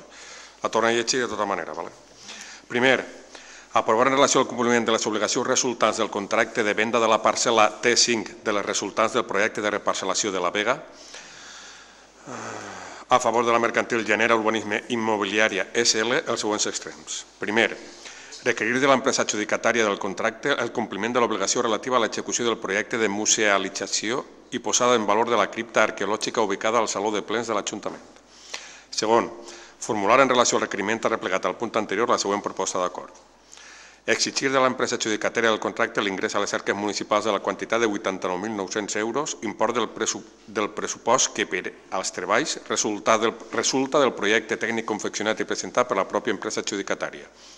L'ingrés s'haurà de fer efectiu mitjançant ingrés bancari a realitzar en el termini previst ordinàriament per als ingressos municipals. Determinar que en cas que l'empresa adjudicatària del contracte no faci efectiu l'ingrés, aquest Ajuntament instarà davant els tribunals de justícia ordinària el procediment oportú tendent a l'efectiu compliment d'aquesta obligació més els corresponents interessos per mora i indemnitzacions. Tercer, assenyalar a l'empresa adjudicatària del contracte que el requeriment del punt primer d'aquest acord és independent del compliment de la resta d'obligacions demanants del contracte pendents, les quals haurà de hauran de fer-se efectives en el futur en el termini temps més curt possible, una vegada les circumstàncies concurrents ho permeteixen. I segon, traslladar aquest acord a la mercantil Genera Urbanisme e Immobiliària SL. Molt bé, moltes gràcies. Senyor Valentín. Sí, nosotros estamos de acuerdo con esta propuesta, pero también nos preocupa eh, la situación del resto de parcelas, donde hay otras adjudicatarias, como creemos que es Alcaide Zaragoza, donde bueno, no nos consta de cuándo o si tiene intención de hacer la promoción o no, o, si el ayuntamiento realmente va a gestionar. Entonces nos gustaría si hay alguna información o algo por parte del equipo de gobierno, pues que también la diese en sentido. Pues, Sí, señor, señor Primo. Bueno, simplemente lo que te estaba comentando Valentín en relación, por ejemplo, con la parcela de Alcaide, ¿vale? Se resolvió en este caso el contrato. Secretari, si ha alguna cosa, però són tantes que se va resoldre el contracte en Alcaide, va interposar en este cas el recurs contenciós administratiu pertinent i li s'ha li se li ha vingut desestimat. ¿eh? Atacó la resolución y hemos ganado el pleito, con lo cual la parcela es del ayuntamiento, efectivamente. Una altra cosa és que la desestimació és el seu recurs que plantejava qüestions administratives. Està, eh, administrativament, el, el,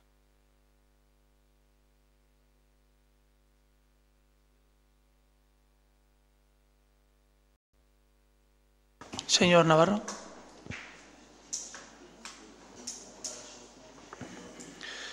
Hombre, que todo el ataque del señor diputado provincial sea en el segundo turno, por la cuestión de una foto atacando la visceralidad, a mí me da pena. Me da pena. Por usted, que me da pena. Por usted. Sí, sí, sí, por usted. Porque a mí se me ocurrían visceralidades seguramente mucho más fuertes. Y me estoy mordiendo la lengua, por no entrar en ese tipo de historias. Eh, fotos y este tipo de... A mí me hubiese interesado el debate político, que es el que yo entro. Yo no entro en debate personal ni de fotos con usted. Yo entro en debate político, de los puntos que van en el orden del día. Pero si toda la defensa es que uno se hizo la foto con Baisauli, yo tengo fotos de usted con Baisauli, y acuerdos de usted con Baisauli, y acuerdos de usted con tránsfugas, y votos de usted con tránsfugas. Pero si ese es el debate, pues lo podemos tirar por ahí. Y es verdad, podemos montarnos una fiestecita. O lo podemos llevar a niveles personales, o lo que usted quiera, ningún problema. Pero yo le quería más inteligente, ya que vive de este rollo, vive de este cuento, a usted se le queda todos los meses el parné por este tipo de cosas, que el debate con los concejales de su pueblo debería de ser más serio, de debate real, de debate real. Y no ni meter a las personas que ya no están, cosa que este concejal no ha utilizado, pero que a usted se ve que le gusta, y podemos entrar, no hay ningún problema en el segundo turno. Si es que le gusta el tema, entraremos. Si no el debate de los puntos que toca. No voy a ruir ningún debate y pondré el listón donde usted lo ponga y un poquito más cada vez. Ningún problema. Yo no vivo de esto. No vivo de esto. Trabajo, me encanta y represento a 937 ciudadanos que vengo a representar dignamente aquí. No a la charanga de una foto. Este concejal estuvo en un gobierno gobernando con el Partido Socialista siete meses. De eso es responsable este concejal. De eso. De todas las fotos que hay en ese momento y las anteriores y las posteriores, las que usted quiera añadir. Pero bobadas y mentiras para discursos podemos entrar, podemos entrar. Pero bueno, cada ya cada uno con la ingenuidad. Yo también me reservaré para el segundo turno, si es preciso. En cuanto a la propuesta, lógicamente esta, que pasamos lógicamente a recogerla, sí que está de acuerdo con la que llevábamos a la comisión informativa y la que se debatió en la comisión informativa. Pues lógicamente la apoyaremos y adelante. Molt bé, moltes gràcies, senyor Andrés. Sí, en la línea, en la línea del requeriment, ya era hora que, que tota esta parafernalia eh, immobiliària i, i de reparcel·lacions i de més que eh, en tots aquests anys, per lo que coneguem de la legislatura anterior, que ja venia arrastrada de altres legislatures, sempre d'alguna manera pareix que és que ha sigut l'Ajuntament, en aquest cas el poble, el que ha esqueixit pues, eh, part mal parat, part mal parat, ja era hora que ens vingués algun avantatge per esta part. Eh, per esta part. No n'hi ha res que debatre, estem a, a favor i res més. Molt bé, moltes gràcies. Eh, senyor Isidro.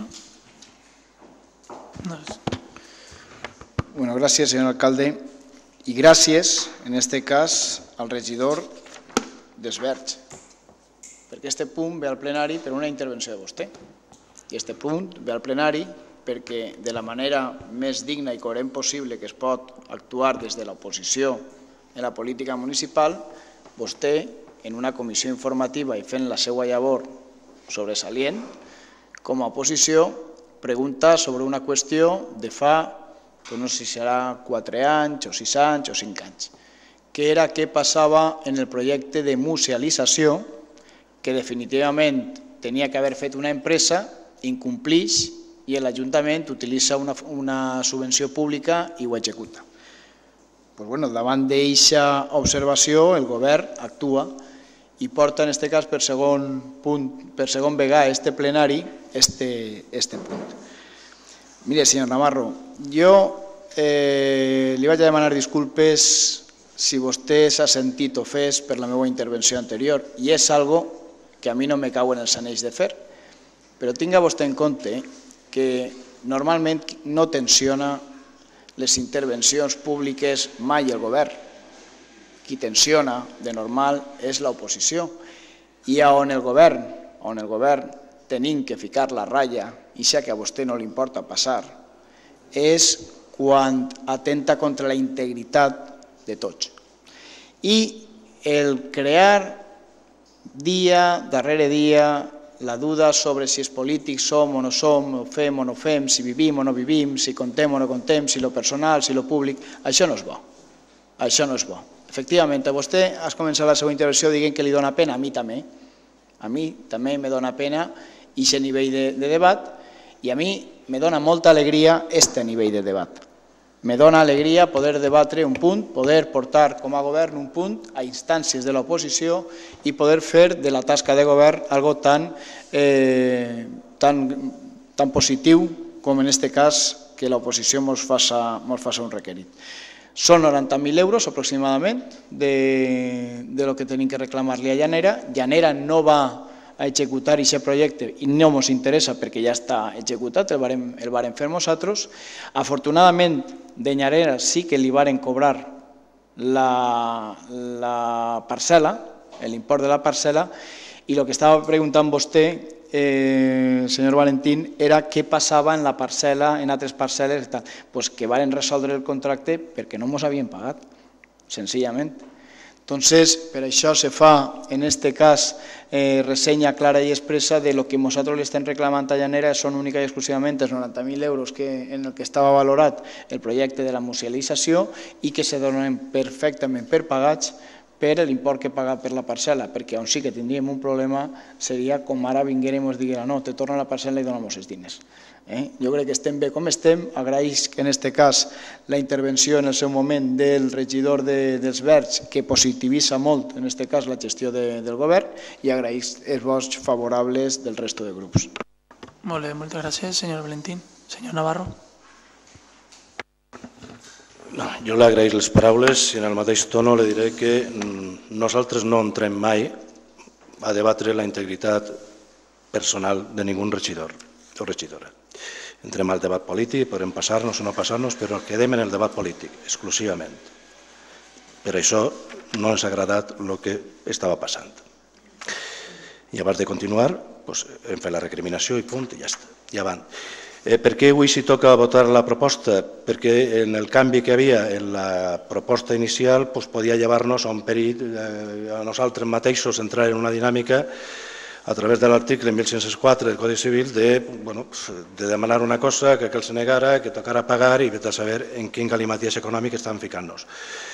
La proposta era bàsicament esta, corregir-lo, demanar lo que és nostre, pues, perfecte i endavant. Molt bé, moltes gràcies, senyor Andrés. Bueno, entenc que el Partit Socialista tampoc. Bé, doncs eh, passem a la votació. Ah, bueno. Senyor Isidro. Bueno, esperem un poquet que se senten els regidors i fem la, la votació. Bé, doncs, vots a favor... Bueno, falta el senyor Alejandro. Vots a favor de la proposta? Entenc que per unanimitat. Bé. Passem al punt número 2.4, proposta d'acord retirada de la reforma laboral i demanda de projecte alternatiu. Senyor secretari. Bueno, és una moció conjunta del, del bloc i del Partit Socialista. Eh, la defendran vostès, parlaran els últims. I, bueno, senyor secretari. Senyor secretari. La proposta d'acord diu així.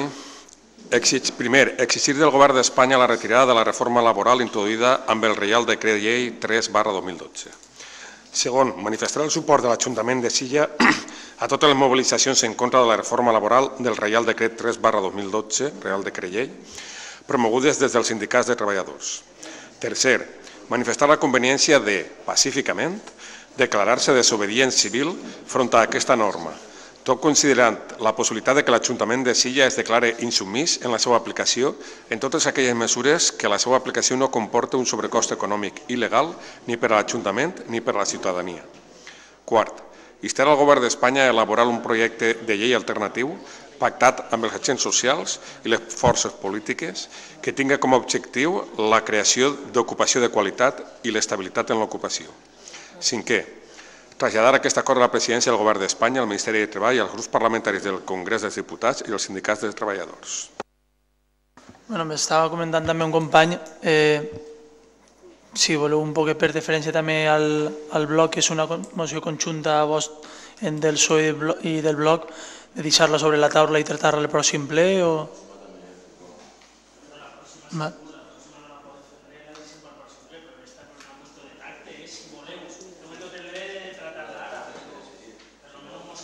Va. Bueno,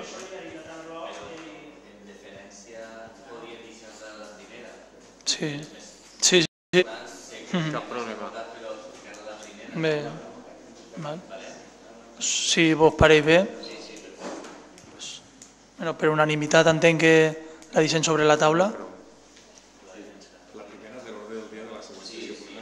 Sí. Mhm, sí. I entenc que la de l'amnistia fiscal també la, és... la mateixa substància va tindre avui que el proper dia, o sigui que ninguna, per lo tant, que hemos Ya, ya, per això. No, però per lo menos, ja que també l'han presentat en conjunta amb vosaltres, pues, la de l'amnistia fiscal també és del bloc. Si vos pareix bé, també deixem la de l'amnistia, perquè és també una moció també per part de, del bloc. El punt número 25, proposta d'amnistia fiscal. Com?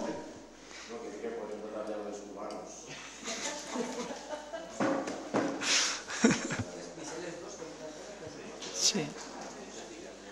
Sí. Mhm. Val? Bé, doncs passem al punt número 3, assumptes no inclosos de l'ordre del dia. En el 3.1 tenim una proposta d'esbert que no se donarà en compte i no la... Ai, perdó, d'Esquerra Unida, que no l'havien ficat en l'ordre del dia, que és proposta d'acord de solidaritat amb cinc cubans empresonats en els Estats Units d'Amèrica. Eh, bueno, eh, tratem la urgència primer, tots sabem de què parlem perquè la tratarem en la, la comissió informativa, però és un error que no, que no ha anat en l'ordre del dia.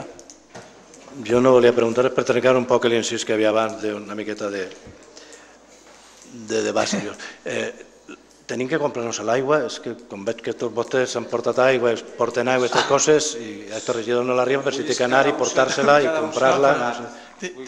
Ah, però ara, ara li en dono jo una, no És n'hi ha una problema. pregunta, és una pregunta. Li en dono- Si hem de comprar-nos l'aigua i estem tan mal que ja han de... Perquè, clar, jo estic esperant així, per... i si me'n vaig aprovaran totes les coses sense mi, pues no puc anar-me. Entonces... No, a, a interventora i a secretari. Bueno. Uri l'ha pagat jo, no es preocupe. Hasta ahí m'aplica. Bé, bé eh, bueno, eh, passem a votació la l'urgència. Vots a favor de, de l'urgència? Contra? Abstencions? Bé, pues, senyor secretari, eh, disca la proposta, d'acord? La proposta d'acord diu així, primer, instar al Govern central i a les Corts Valencianes a que intercedeixen davant els organismes internacionals de la seva competència i davant el Govern dels Estats Units d'Amèrica i la seva representació consular a València en defensa dels cinc ciutadans cubans injustament empresonats en els Estats Units d'Amèrica des de setembre de 1998 per lluitar contra el terrorisme. Gerardo Hernández, René González, Ramon Labañino, Antonio Guerrero i Fernando González i de les seues famílies.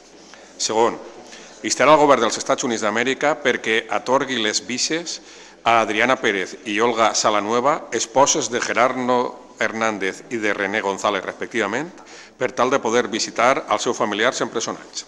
Tercer, instar al govern dels Estats Units d'Amèrica perquè la presidència, en ús de les seues facultats constitucionals, atorgui la llibertat a aquestes cinc persones injustament empresonades una vegada esgotades pràcticament totes les vies jurídiques.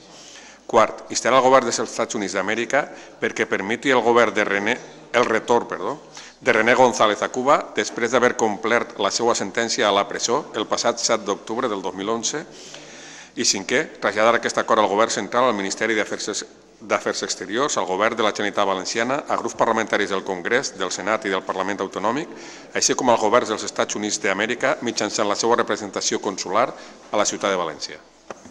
Molt bé, moltes gràcies. Bueno, vostè serà l'últim en defensar-la. Sí, si vol preguntar alguna cosa. Sí, si, si permet el, el regidor que, que és l'encarregat d'impulsar aquesta moció, podrem fer-li preguntes als dos regidors d'Espanya 2000. Gràcies. Bueno, en principi eh, és que no, no parla aquesta moció en, en la claritat que ens agradaria conèixer per a saber si tenim o deguem d'apoyar aquesta moció o no. Entonces, clar, eh, ens diu aquesta moció sobre cinc ciutadans cubans que estos senyors anaren, estos senyors i senyores, no? anaren a lluitar contra el terrorisme als Estats Units. Eh, ens agradaria saber quin tipus de terrorisme. Estem parlant d'Al-Qaeda, estem parlant... És que no entenem molt bé quan anaren de, de, no sé, de missió especial, seria, a lluitar contra el terrorisme als Estats Units. Eh, ens agradaria saber també eh, qui els insta o qui sol·licita l'ajuda de Cuba per a que cinc cubans anaren als Estats Units a ajudar als serveis d'intel·ligència, imagine, a que pelearen contra el terrorisme als Estats Units. Qui els quedarà anar als Estats Units? Eh, quina, sèrie, quina classe de terrorisme van ser el que, el que varen defensar o varen afrontar? Eh, imagine que conjuntament en les forces i cossos de seguretat dels Estats Units, no crec que anaren per, seu, eh, per seva iniciativa pròpia, i, i bueno, quina sèrie de tasques realitzaren aquestes persones allí que finalment, si anaren a lluitar contra el terrorisme als Estats Units, acabaren empresonats per els mateixos americans. Entonces, clar, en aquest aspecte no és massa clar eh, la moció i ens agradaria pues, conèixer un poc més de prop eh, l'argument i, i, i el de què va. Que ho explicara, vamos. Sí, completant també un poc la pregunta al meu company, eh, i sabem com se les gasta als Estats Units, sabem que els Estats Units també va de policia del món i fa el que li pareix, on se li antoissa, es vota les drets internacionals a la torera, en fi, té com diguem un poc de carta blanca. Aquestes persones, quan són empresonats, estan en territori americà o són sequestrats d'un tercer país i duts als Estats Units per, aplicar-los allí la llei que a ells li convinga i tal. I bueno, això més el que ha preguntat Andrés, més o menys si m'ho ho explica senyor Valentín estaríem agraïts. Molt bé, moltes gràcies. Pues, si vol fer una xicoteta explicació. Sí, realmente son cinco cubanos donde dos o tres de ellos nacieron en Estados Unidos, vivían en Estados Unidos y estaban infiltrados en la propia red, ellos vivían en Miami. Desde Miami hay toda una estructura sobre todo de cubanos que salieron de la isla en el 59 con el triunfo de la revolución, donde pues hay un grupo eh, realmente organizado, y así lo reconocen, que son responsables de actos terroristas en Cuba. Tenemos a Posada Carriles, que ha reconocido medios de comunicación, pero grabado en televisión, que él fue el ideólogo y el responsable de volar un avión cubano donde además iba justamente todo el equipo de voleibol que venía de recoger una medalla de oro de haber ganado, creo que eran unas Olimpiadas. Entonces, evidentemente, como todo país tiene derecho a protegerse de actos desde, de terceros, eran cinco cubanos que estaban infiltrados en Estados Unidos, sobre todo en la red que se encuentra articulada en Miami. Y lo que hacía era filtrar toda la información que obtenían al objeto de evitar actos terroristas. No es el único acto terrorista el del vuelo que se que, que, al final pues, supuso la muerte aproximadamente de unas 60 personas, sino incluso de propios extranjeros que han estado en la isla de viaje turístico y han recibido pues, algún tipo de acto terrorista de alguna, alguna mochila bomba o algo que habían, habían colocado. Entonces, creemos que todo país tiene derecho a defenderse de las injerencias de terceros. Es más, en todo momento ellos nunca han atacado ni han atentado contra información secreta de los Estados Unidos. Eso incluso los propios jueces de la sentencia lo reconocen. Y es por eso que Amnistía Internacional y la propia Comisión de Trabajo de Derechos Humanos de Naciones Unidas denuncian la arbitrariedad con la que estas personas han sido detenidas y sobre todo y están privadas de libertad. Además, se está denunciando el que existen unos derechos reconocidos a nivel internacional de que todo familiar pueda visitar a sus, a, sus familiares. Y en este caso tenemos que se les deniega la visa a Adriana Pérez y a Olga Salanueva. Entonces, resumidamente, es una cuestión de derechos que la propia Amnistía Internacional y la propia Comisión de Derechos Humanos de Naciones Unidas ha denunciado públicamente. ¿En qué base en que son detenidos? Eh, vamos a ver, a ellos se les detiene porque la seguridad de los Estados Unidos lo que los trata como si fuesen espías. Ellos les hacen el tratamiento de ser espías cuando incluso en el propio juicio se reconoce que ellos en ningún momento han obtenido información secreta de los Estados Unidos. ¿Qué es lo que se denuncia? Que es la no objetividad en el sitio donde él se le juzga, que justamente en uno de los estados donde más poder tiene eh, la población cubana que no participe de la revolución cubana. Molt muchas gracias. Sí, sí, torno a preguntar. Eh, señor Valentín, no le vamos a poder apoyar en este, en este tema. Le explico yo por qué. Estos cinco cubanos, a lo que usted da a entender... Eh, perdone que el talle Això, o sea, una cosa és fer-li una pregunta i altra cosa és intervindre en el ah, seu vale, sentit vale. de vot. Vostè perdone. Vale, no, dic no. jo perquè primer va el senyor Antonio Navarro. Vale, m'espera el torn, perdó. Val, val. Bé, pues, entenc que no n'hi ha cap pregunta més, no? Pues, senyor Antonio Navarro. Sí, nosaltres recolzem la proposta. Molt bé, moltes gràcies. Bé, pues, senyor Alejandro ja pot, ja pot intervindre. Muchas gracias. Señor Valentín, lo que le comentaba es que en esta, en esta propuesta no lo podemos apoyar por el tema de que estos cinco cubans viajaren a Miami, por lo que usted dona a entendre, a infiltrarse en lo que eren els dissidents que lluiten de, contra lo que és el govern comunista de, de Cuba. Eh, corregiscan vostès si jo m'equivocara. Entonces, nosaltres sí que tenim simpatia hacia lo que és els que lluiten contra el govern comunista de Cuba. No tenim simpatia ninguna contra les accions terroristes o accions il·legals que poden esta gent emprendre, però sí el que és contra el moviment en si.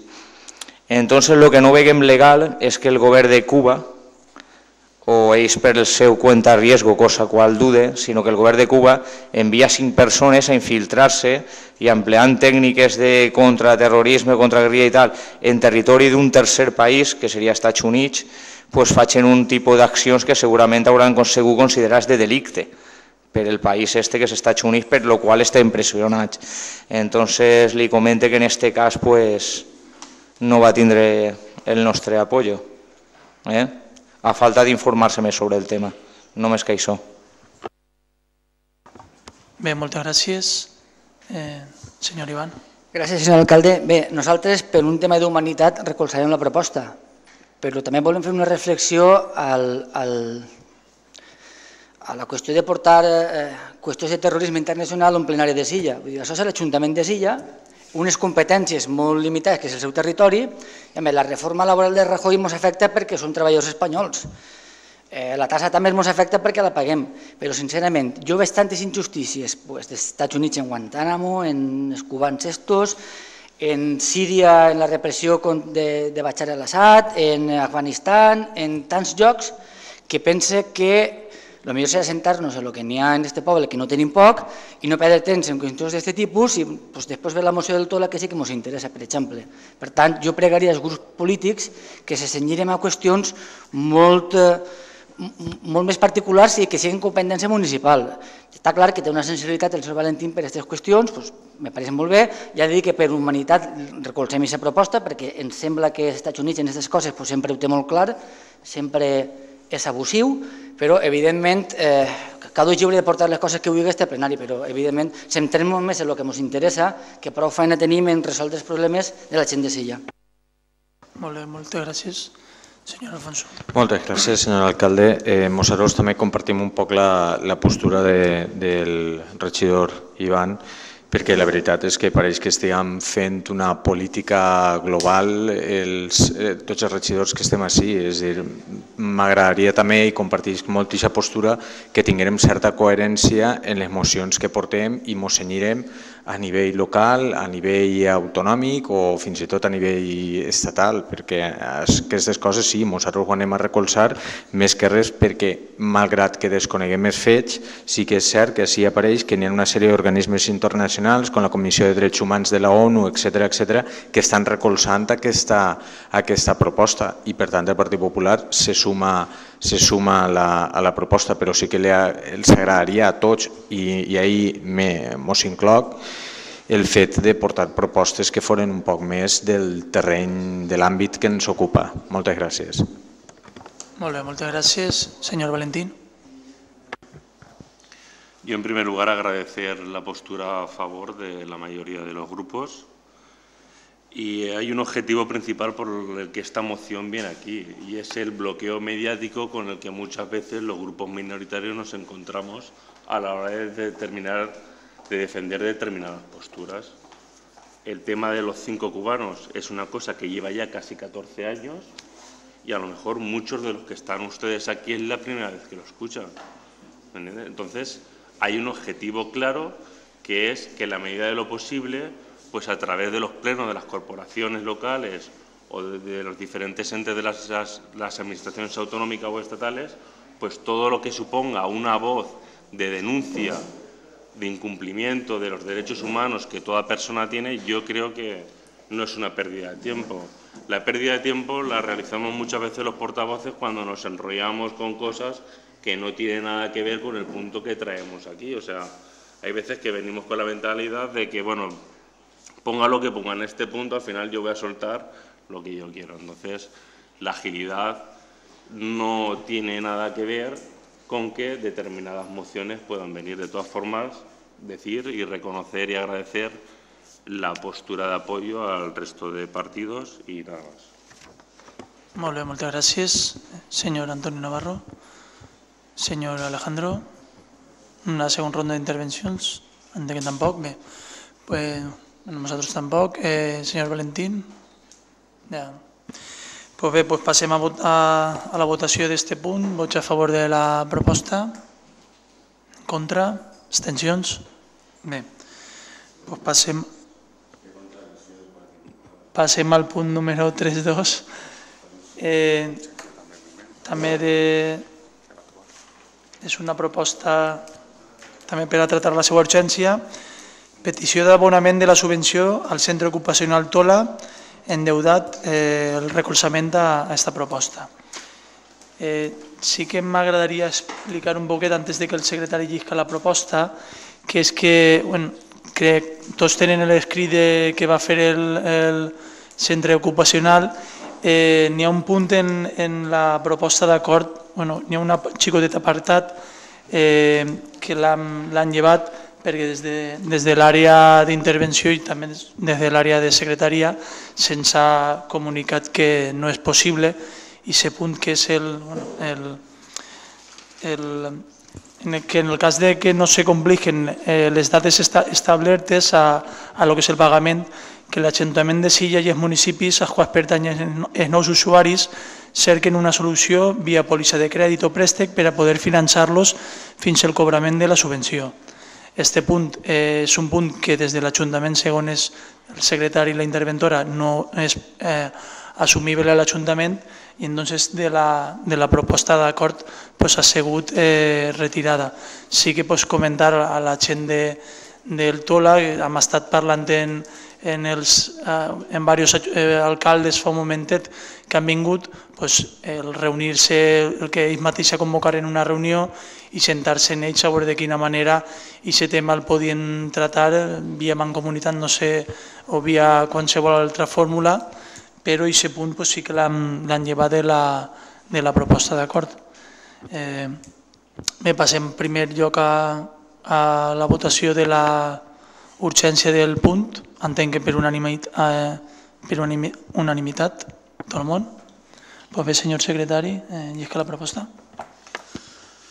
La proposta d'acord diu així. Primer, manifestar el recolzament d'aquest Ajuntament al Centre Ocupacional Tola en la demanda a la Conselleria de Justícia i de Benestar Social de la Generalitat Valenciana de que faci efectiu el pagament de la subvenció que endeuta al centre, la qual en aquests moments munta la quantitat de 337.626 euros corresponents al 60% del total de la subvenció reconeguda, el qual s'havia d'haver fet efectiu el passat mes de març així com que el 40% restant de la subvenció aprovada es faci efectiu en el proper mes de setembre conformement estava previst i aprovat.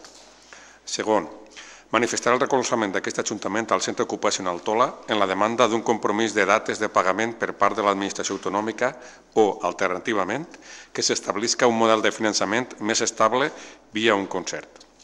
Tercer, traslladar aquesta cosa al conseller de Justícia i de Benestar Social i al d'Hisenda i d'Administracions Públiques de la Generalitat Valenciana, així com als ajuntaments d'Alcàcer, Alfafar, Albal, Benetússer, Catarroja, Massanassa, Paiporta, Picanya, Picassent, Daví i Torrent. Molt bé, moltes gràcies. Eh, passem a ronda d'intervencions. Senyor Valentín. Sí, la verdad que eh, en la situación que estamos viviendo, no solamente en la Generalitat Valenciana, sino también en el resto de, entes autonómicos, yo creo que hay determinadas líneas, como comentaba antes eh, Paco, el profesor del instituto y creo que el actual director del Sánchez Guarner, hay determinadas líneas que no se tienen que sobrepasar y creo que con el centro ocupacional del Tola, pues por desgracia, se están, se están, se están cruzando y tiene... Eh, una situación que, yo creo que ya de sostenible tiene bien poco. Y si hay que reconocerles a un determinado grupo de personas que hoy el Centro Ocupacional Tola sigue abierto, es principalmente a esos profesionales de la educación, de esa educación especial, que día tras día pues, han, han seguido yendo a su trabajo, cumplir con sus obligaciones y que ha permitido que siga, siga estando abierto ¿no? después de seis meses pendientes de unas subvenciones que todavía no llegan. A mí me consta que también es cierto que por parte de la corporación se están haciendo las gestiones necesarias para cumplir con la subvención, pero yo quiero que ese compromiso vaya más allá, no se quede simplemente en que ahora paguen un 50% o un porcentaje de lo que realmente debían de haber pagado, sino que realmente tengan claro que centros ocupacionales como el TOLA, y no solamente este centro, sino hay muchos más que se encuentran en esta situación en la propia, en la propia comunidad valenciana, eh, nos lleva a que realmente hay un grupo de personas que están realmente están sufriendo con más con más gravedad la crisis que hoy en día nos está, nos está tocando vivir.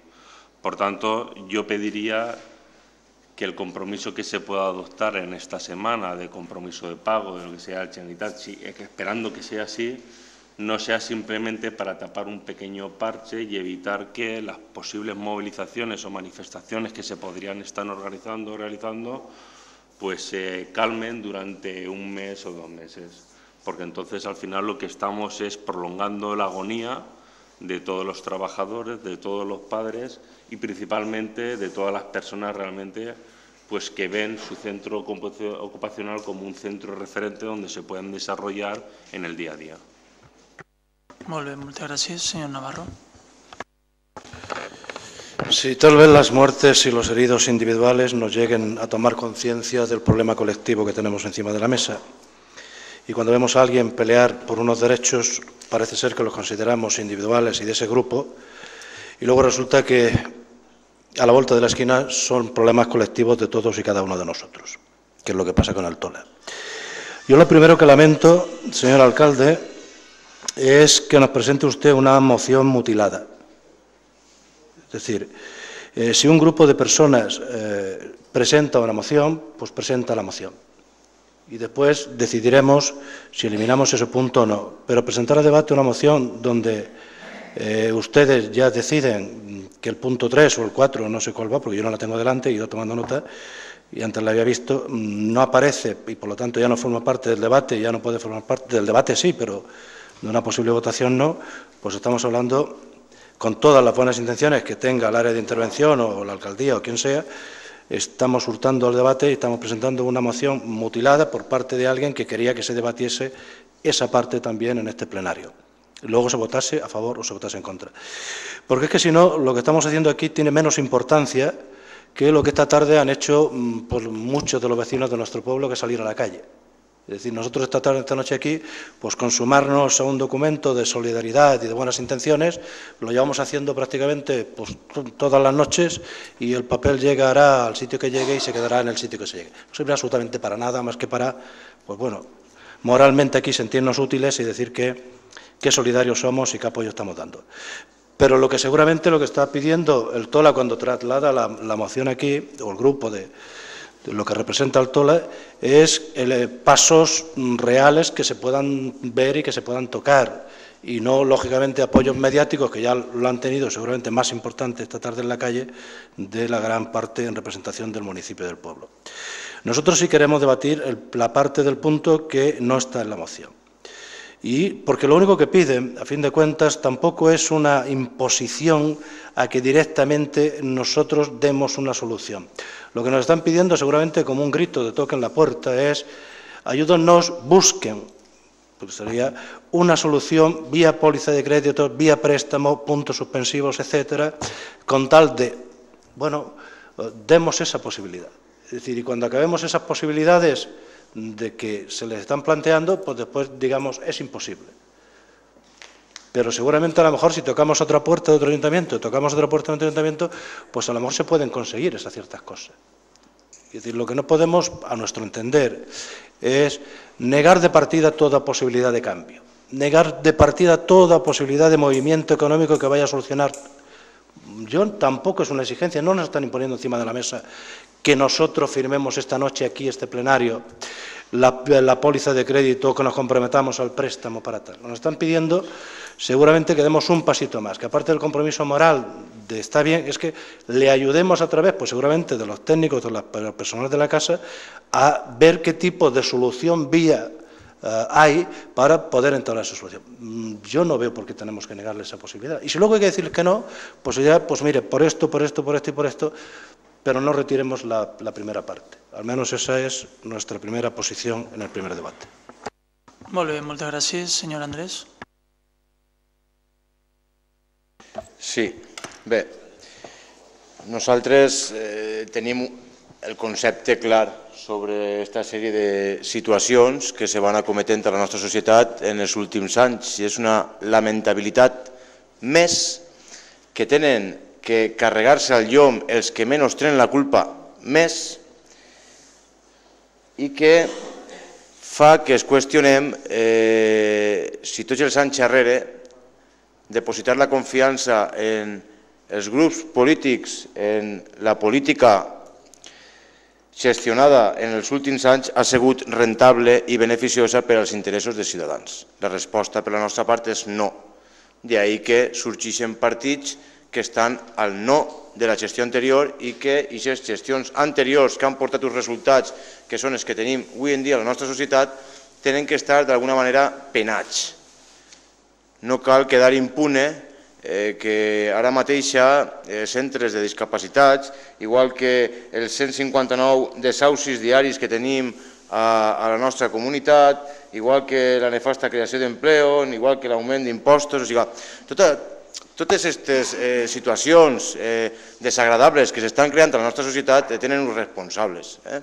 tenen responsables i, i, i de fer-se càrrec la gent de que han estat eh, depositant la confiança a lo llarg dels anys, de les legislatures dels governs, depositant la confiança a els gestors que han portat al nostre país, a la nostra comunitat, al nostre poble, a la situació que tenim avui en dia. I, i nosaltres pues, demanem demanem que en aquest cas, principalment, independentment de que estem a favor de que s'ajude i s'anem a sumar a la proposta de Tola dins de lo que marca la legalitat, crec que abans eh, eh, s'han reunit els portaveus dient que sí que n'hi havia un, un preàmbul, un concepte en aquesta proposta en la que sí que no podíem assumir, eh? pues, tot el que estigui dins del marc de la legalitat nosaltres ho apoyarem. Però volem fer aquesta reflexió. La reflexió és que tot el que està passant en la societat té uns responsables que estos responsables, en la majoria dels casos, queden indemnitzats, queden en jornals vitalicis i queden impunes de tot tipus de responsabilitats sobre les situacions que ells han creat, que ells directament han creat i que eh, han elegit a dit a unes persones que també les han creat perquè ells s'han ficat a dit, perquè eren ex del seu moviment, en fi, tots coneguem molt bé la faràndula, la faràndula esta que s'ha anat creant al nostre país i, i que d'alguna manera està molt bé anar ficant parxes, perquè ara aprovem aquesta moció i, i, i ajudem a la gent del Tola, que, collins, n'hi ha que ajudar a la gent del Tola, n'hi ha que ajudar a totes les administracions possibles, que es mantinga tot el possible que es pugui mantenir, vale. Però tindrem que anar, com bé diu Espanya 2000, tindrem que anar a l'arrel dels problemes perquè, a fin de comptes, els problemes, avui en dia, el desencadenament de la situació que tenim avui en dia en la societat, estem pagant-lo els ciutadans que són els que menys culpa tenim. Som els que menys culpa tenim. I tindrem que anar a l'arrel del problema i tindrem que demanar responsabilitats. I demanem l'enduriment de les penes ja. El que vulgui fer política té que assumir que té una responsabilitat. Com qualsevol treballador en la seva feina, que estic cansat de repetir-ho així, com qualsevol treballador en la seva feina, falles en la cadena de producció, te suspenen d'empleo i sueldo. Falles altra vegada, te'n vas al carrer. I si te carregues la maquinària, la pagues. I si no tens per pagar, te'n vas a la càrcel. I ja està. I així és com li paguen a un treballador els anys d'esforç que té en la seva empresa o en la seva cadena de producció. I així els gestors del nostre país, de la nostra comunitat, eh, queden impunes davant de tot aquest tipus de gestions, que per supost que multipliquen no per mil, per milions eh, el mal que pugui fer un treballador en una cadena de producció. Multipliquen per milions. En fi, després de dir això, per a que la gent vagi agarrant consciència de que N'hi ha persones en la societat que estan dispostes a actuar fins a les últimes conseqüències davant d'aquestes situacions creades per els que les han creat, que tots sabem bé qui són. Dit això, apoyarem, apoyarem a imposar este parche per a que es puga salvar el Tola, per a que el Tola puga seguir rendint, rendint ixa faena, ixa faena reconeguda, que és la que està fent durant molts anys al poble de Silla i que eh, reconeguda, reconeguda faena d'alegria per a moltes famílies i per a moltes persones que realment, si no fora per aquest centre, pues no podrien veure eh, xicotetes llums d'alegria en, el seu, en el seu camí. En fi, apoyar, menys això que hem raonat abans, que no cal ni tratar-ho, i agarrar consciència a la ciutadania. Gràcies. Molt bé, moltes gràcies. Senyor Vicent Zaragoza. Moltes gràcies, senyor alcalde. Així podríem estar parlant tota la nit, tots els regidors que estan així, tota la nit podríem estar parlant de, de com ha arribat a, aquesta situació.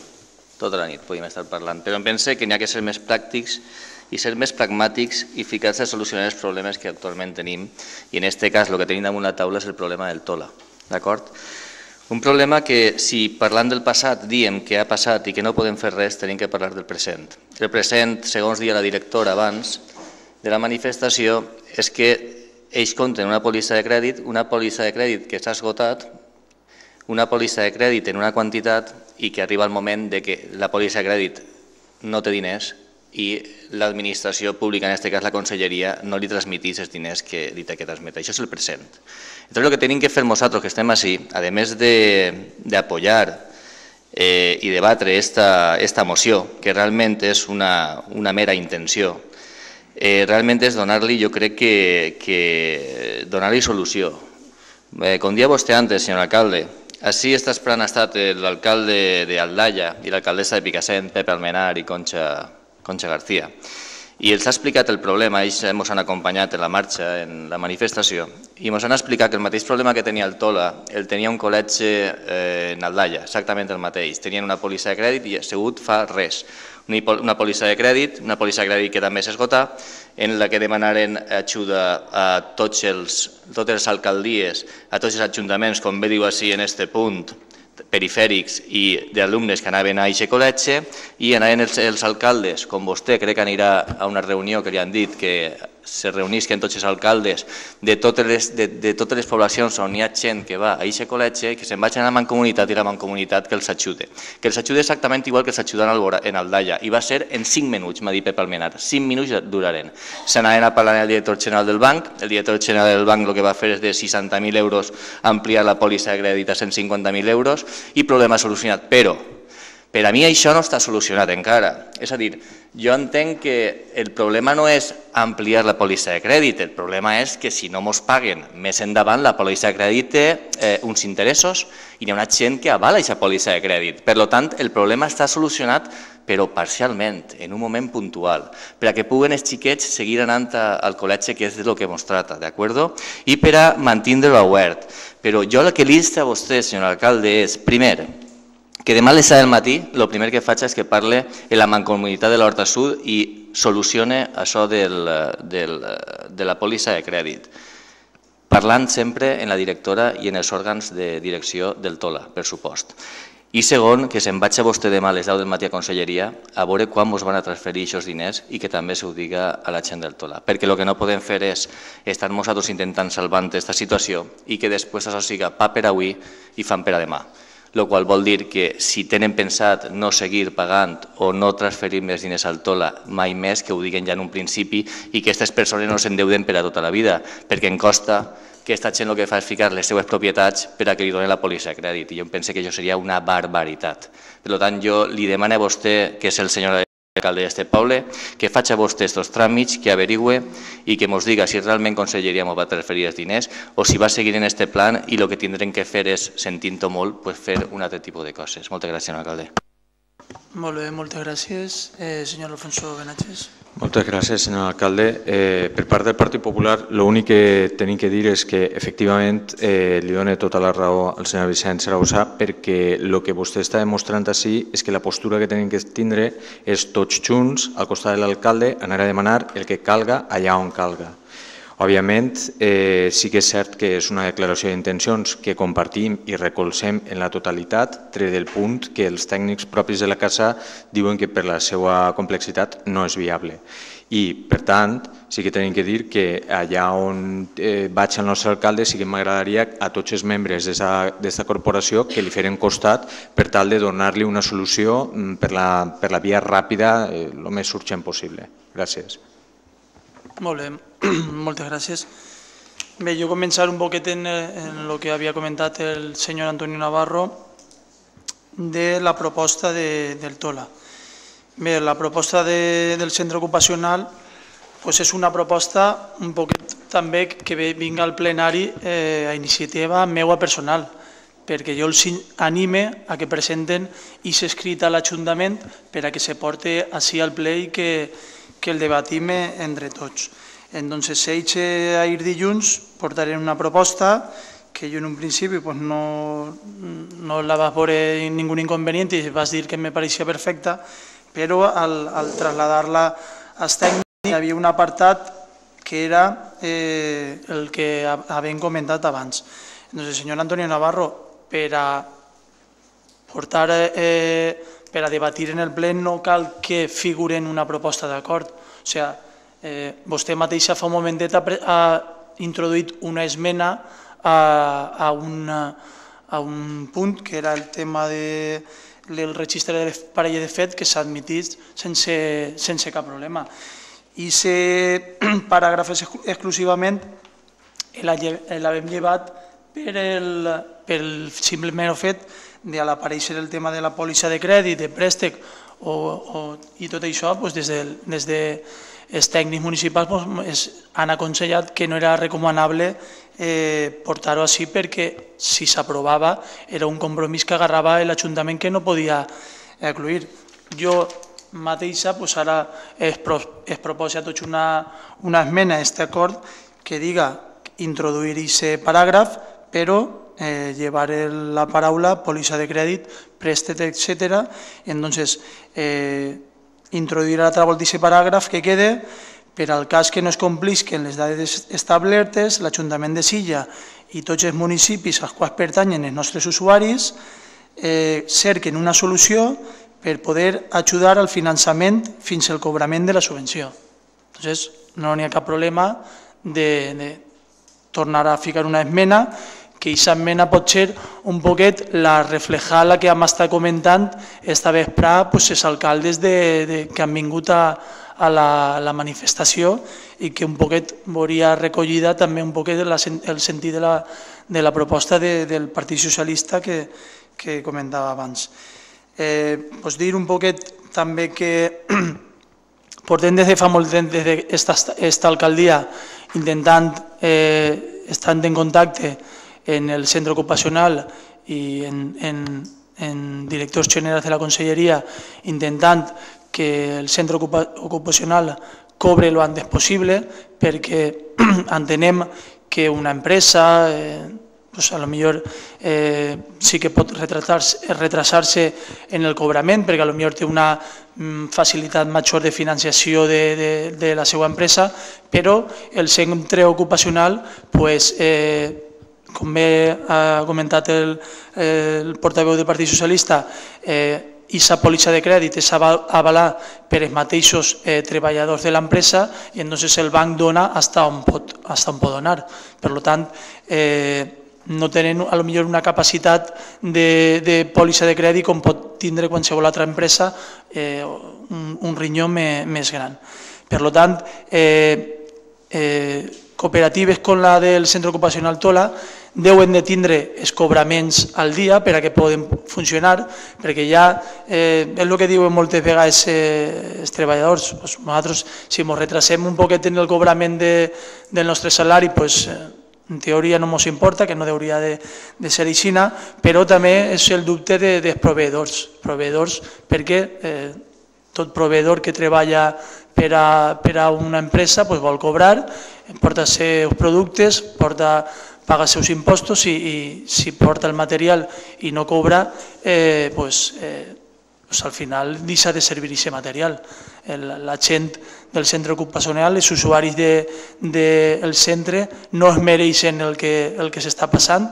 Eh, des de la conselleria deu de portar-se els pagaments i complir-se-los, en altres coses se podran retrasar, però en este no, i per això portem aquesta proposta sí per exigir tant així per escrit com en, en moltes vegades, l'altre dia vinc el delegat de Consell i li transmitiren la nostra queixa, en, quan hem anat a altres organismes també l'hem traslladat, entonces eh, no és que hem esperat hasta que vinga este, ple, este escrit així per a, per a manejar-se, sinó que portem molt de temps actuant, entenem que, que la tesoreria de la Generalitat pues, avui en dia eh, està passant per moments crítics, però deu de, de, eh, de prioritzar i aquestes coses és una de les prioritàries que deu de, de tindre per a, per garantir el bon funcionament de, de serveis bàsics de, la, de, de, de, dels nostres veïns. Per tant, eh, estem al, al, al 100% al costat del Tola, farem tot el que faci falta des de l'alcaldia i també des de, eh, entenc des de la, dels companys de l'oposició per a garantir el, la continuació del, del centre ocupacional i ens tindran per sempre per lo que faci falta.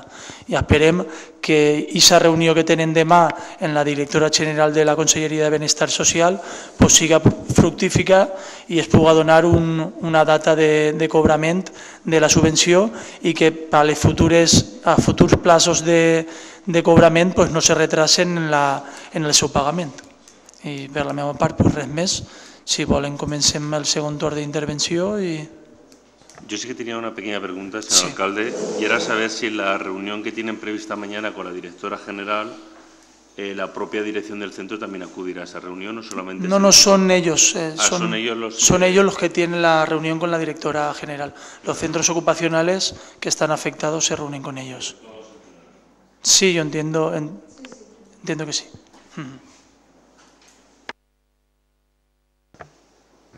Bien, vamos a ver. Yo matizar varias cosas. Creo que es importante que la movilización tanto de los ciudadanos como del propio centro sea activa, pero también esa movilización tiene que ser por parte del consistorio. Es decir, al final muchas veces, y lo hemos visto con las farmacias, cuando realmente hay una amenaza encima de la mesa de cierre, de no dar servicio de productos básicos y esenciales, es cuando realmente le, le aparece el problema encima de la mesa al director general correspondiente que tiene que firmar la transferencia para que el pago se produzca y mientras eso no se vaya realizando, pues bueno, como son tantos los que están esperando en la puerta que tienen que estar cobrando, pues al final, en función de aquel que más ruido me genera o más problema me está dando, pues yo voy a ir pagando. Y esa es la realidad en la que nos encontramos.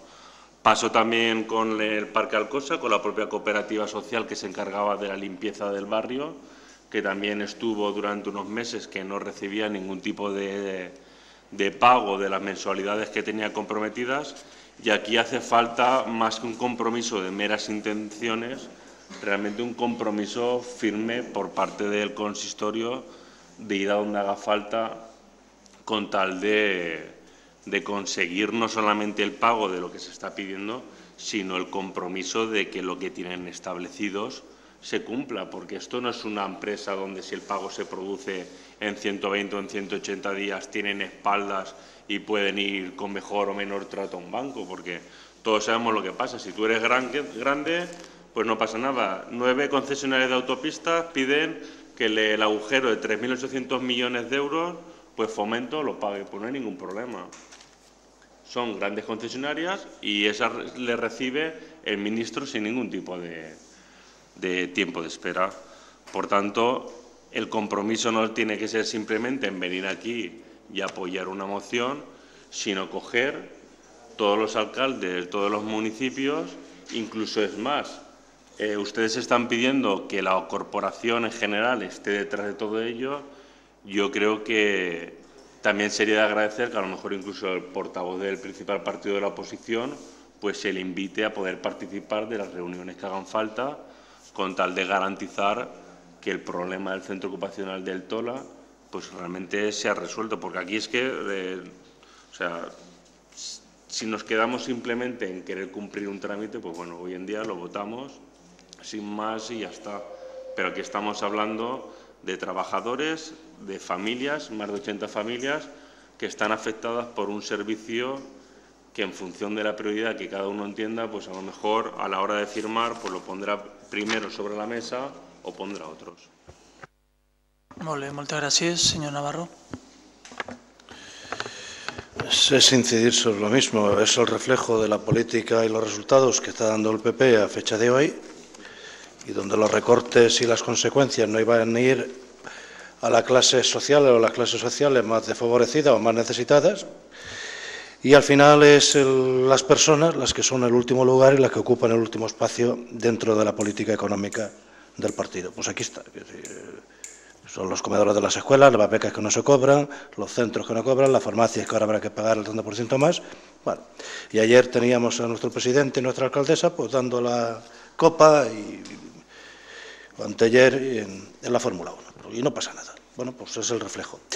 Y manifestaciones y levantamientos de brazo con solidaridad, pues si es que ya no sirve para nada y eso no sirve para nada. Si hay manifestaciones en la calle de cientos de miles de personas y da exactamente o les da exactamente igual bajo una teoría mayoría absoluta y a partir de ahí funcionan y ya está. Cuando me imagino que las asociaciones llegan a esta casa, esa parte de que la de solidaridad lo que piden son cosas concretas, eh, apoyo real físico, claro, y no, pues, pues vale, levantamos la mano y le mandamos al señor consejero de Justicia y Bienestar Social que estamos muy enfadados porque el tola en nuestro pueblo no, y le llegará la carta del otro municipio, del otro, pues, Y, y el hombre pues estará muy enfadado también porque le están llegando cartas. ¿Y con eso qué hacemos? Seguramente cuando llegan aquí es lo más importante seguramente el punto tercero el punto segundo, que es el que se quita. O la propuesta seguramente personal o al equipo de gobierno, porque la oposición poca faena tiene ahí, además ustedes gobiernan aquí y están gobernando en este país y por lo tanto las puertas son las mismas. Es decir, eh, y entonces lo que se les estará pidiendo es mm, pasitos concretos de aportación física y de ver dentro de la legalidad qué se puede hacer o qué salidas hay, aunque sea momentáneamente durante tres, cuatro, cinco meses y a ver si toca la lotería a este gobierno en alguna, algún sábado y pueden empezar a repartir, a dar las subvenciones que le tocan. Y entonces, si eliminamos el punto tercero, la moción queda descafeinada. Es una moción más de, pues de flash, de que está muy bien y nos hemos sumado y a dónde vamos. Pues seguramente démosle contenido. Usted mismo ya estaba diciendo que podemos remodelar el punto que hemos quitado, porque la palabra que no le gustaba era eh, póliza de crédito. Bueno, pues, pues quite usted póliza de crédito. Lo que se le está pidiendo seguramente de cualquier asociación es a este plenario, no es el compromiso de levantar la mano, es el compromiso político efectivo de moverse como gobierno para tratar de ver qué puertas o qué no puertas tocar y apretar desde la unidad que pueda tener detrás del consistorio, detrás de las asociaciones, detrás de la manifestación de esta, de esta tarde. Y entonces que usted se sienta acompañado de eso, pero con movimiento real, con movimiento real, porque si no ellos vendrán a pedirle y usted tendrá que dar ese movimiento político. Nosotros se lo, se lo pedimos y se lo apoyaremos. Molt moltes gràcies. Senyor Andrés. Pues, eh, si parlem de motor real, eh, serien medides molt dràstiques, senyor Antoni Navarro, perquè hauríem de començar per no deixar entrar eh, ningú producte més que no fora d'ací i crear un motor econòmic industrial dins del nostre país, que és el que no tenim ara mateixa i que a la nostra manera de veure la situació actual és el gran fallo que han cometut, un, dels grans fallos que han cometut els gestors del nostre país. Eh? Dependre, dependre de fora, depender, depender de los de fuera y realmente no producir. Si nosotros los españoles ahora, valencianos, españoles, eh, quisiéramos autoabastecernos, cerráramos ahora fronteras y vamos todo para lo de aquí, no somos capaces ni de autoabastecernos ahora mismo a nosotros mismos. Podríamos decir que somos un país tercermundista en industrialización ahora mismo en España. No tenemos realmente capacidad de producir ni los artículos de primera necesidad. ¿eh? Si hablamos de, de tomar decisiones y hablamos, pues es esto. Es empezando por ahí. Es empezando por ahí. Hemos querido quedar también con todo el mundo han querido quedar también con todo el mundo y crear a nuestra manera de entender tantos intereses que al final los perjudicados pues son los que los que che, los que vamos a dejar que estas personas que son las que saben pues nos dirijan nos dirijan el país y velen por nuestros intereses. O sea, es un camino muy largo y se necesitan de cambios muy drásticos. Por eso digo que que estoy muy de acuerdo en lo que has dicho, que sí, vamos a apoyar, vamos a ver qué parche podemos poner en una colchoneta que no para de crearse agujeros y de perder aire, vamos a intentar estar al lado de esta gente. No sé hasta qué medida va a servir, va a servir el impulso eh, colectivo de todos estos municipios, no sé hasta qué punto. A mí me gustaría que, que ayudara, que sirviera para algo, pero si queremos realmente cambiar la situación de nuestro país, lo primero que deben de hacer es todo lo que se ha hecho hasta el momento, que está mal hecho en nuestro país a nivel de gestiones prácticamente todas, eh, pues hay que eliminarlo ¿eh? y hay que cambiar la perspectiva, hay que reconvertir eh, la industria, la industrialización de nuestro país, hay que reconvertir los intereses creados en el extranjero, o sea, tenemos que reconvertir tantas cosas que ahora desde aquí pues se nos queda muy lejos, pero la línea es esa a seguir, la línea es esa a seguir. Y, y desde aquí decirles a la gente del Tola que solidarios no podemos ser más, porque ser más solidarios ya sería como decir vamos a crear un bote común en el ayuntamiento y que la gente de a pie se solidarice y vamos a ver si podemos inventar algo en ese aspecto. Sería lo más solidario, aparte de votar a favor para que se inste a la Generalitat, para que se inste al Gobierno central, lo más solidario que podríamos sería hacer eso. Eh, no, realmente en nuestras manos eh, no está todo lo que nos gustaría hacer. ¿eh? un camino muy difícil y al igual que el Tola pues no tiene ahora mismo recursos económicos para seguir adelante, pues ¿cuántas empresas están cerrando porque el Estado no les ha pagado o porque la Generalitat no les ha pagado? Mi compañero de consistorio y yo de partido hemos estado a punto de perder el trabajo porque nuestra empresa ha estado a punto de cerrar porque la Generalitat le ha dejado 3 millones de euros a deber y estamos viviendo de pólizas de seguros. Vamos, más claro, el agua. Pero así, así tenemos un sinfín de administraciones, de empresas, pues ya está. Pues ¿quién lo ha hecho? Pues hay que quitarlos, ¿eh? hay que hacer lo que realmente es el interés necesario para España y para nuestra comunidad, nuestro pueblo, y de ahí en adelante.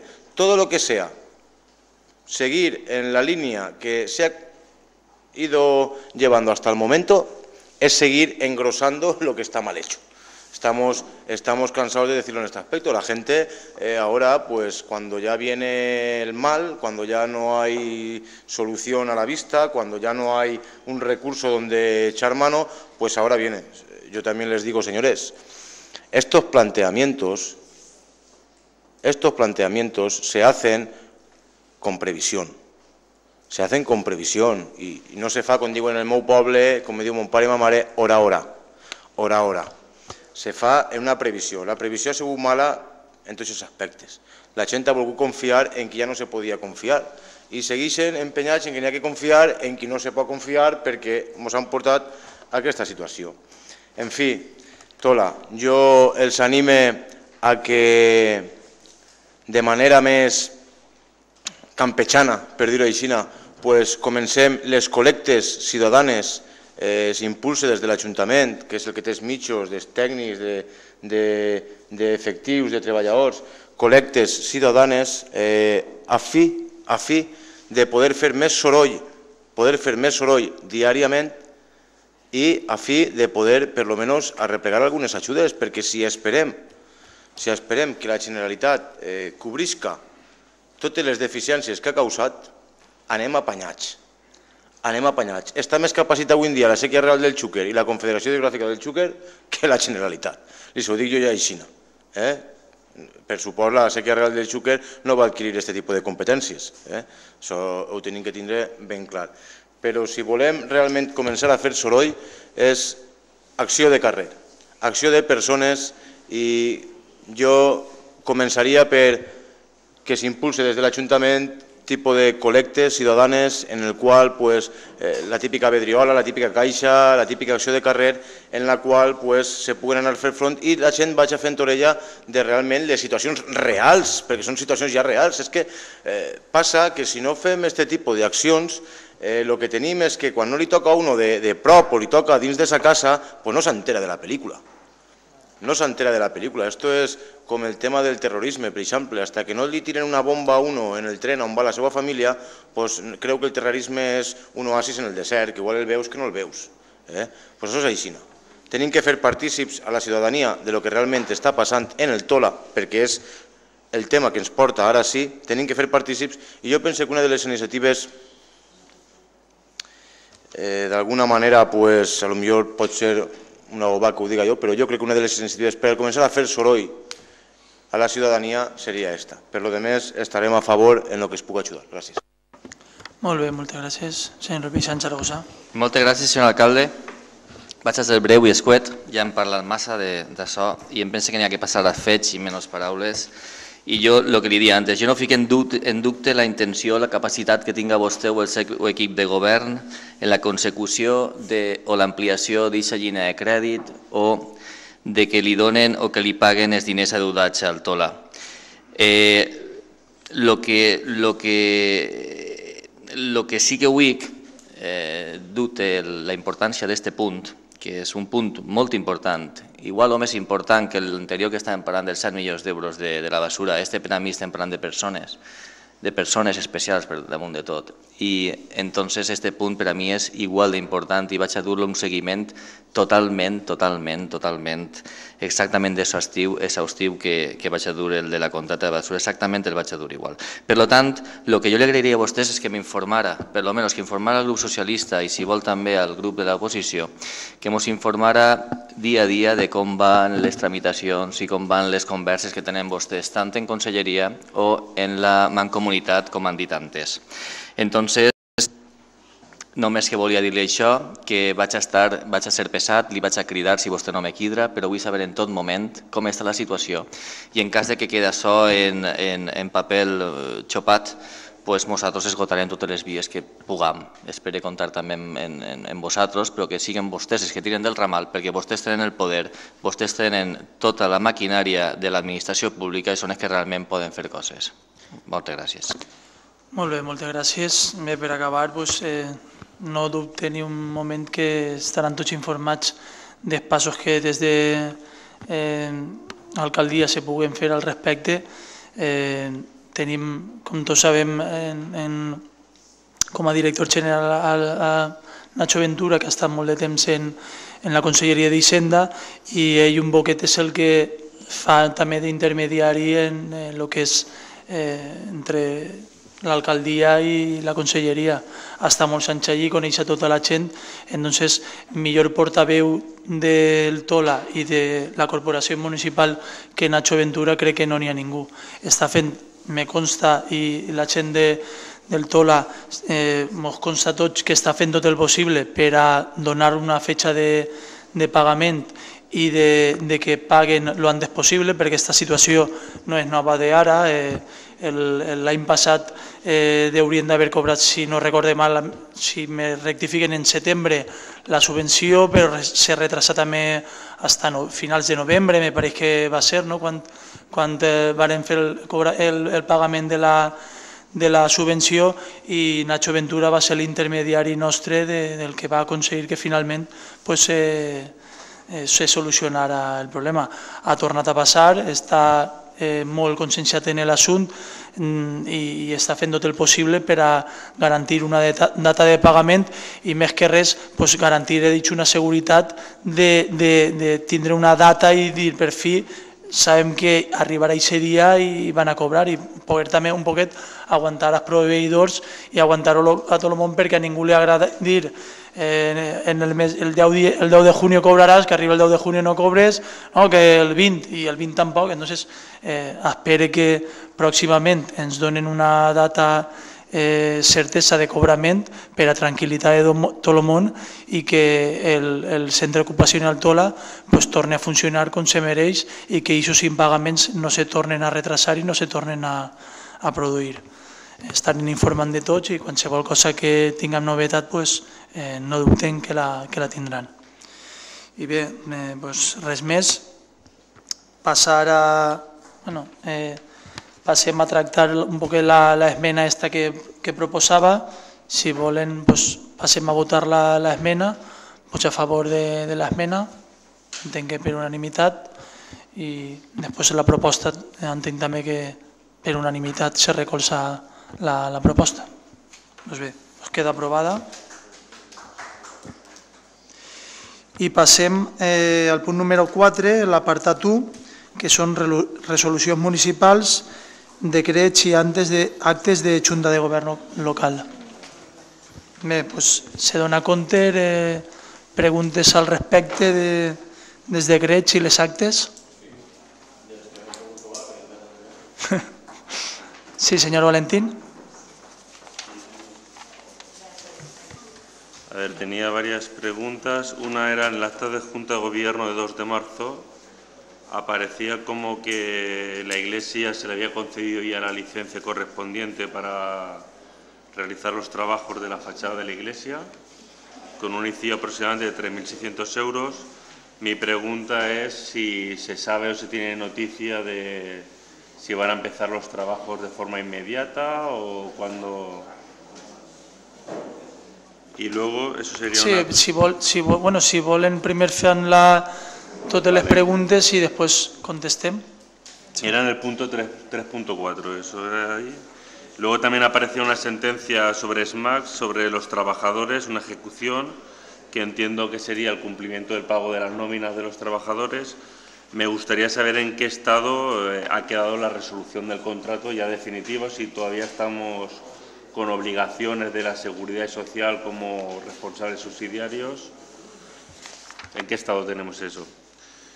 Luego, en la, en la acta de Junta de Gobierno Local de 23 de marzo, aparecía sobre la venta de San Roque que se aparecía una nueva denominación como Centro Municipal San Roque. ¿Era si había cambiado el uso que se pretendía dar de la venta o cómo estaba? Si había algo. Perdona, ¿dónde en la está Junta eso? de Gobierno Local de 23 de marzo. Aparecía el cambio de... Pues no. Sé. No, me había llamado la atención, por eso hice esa pregunta. Y ya está. Luego ya en...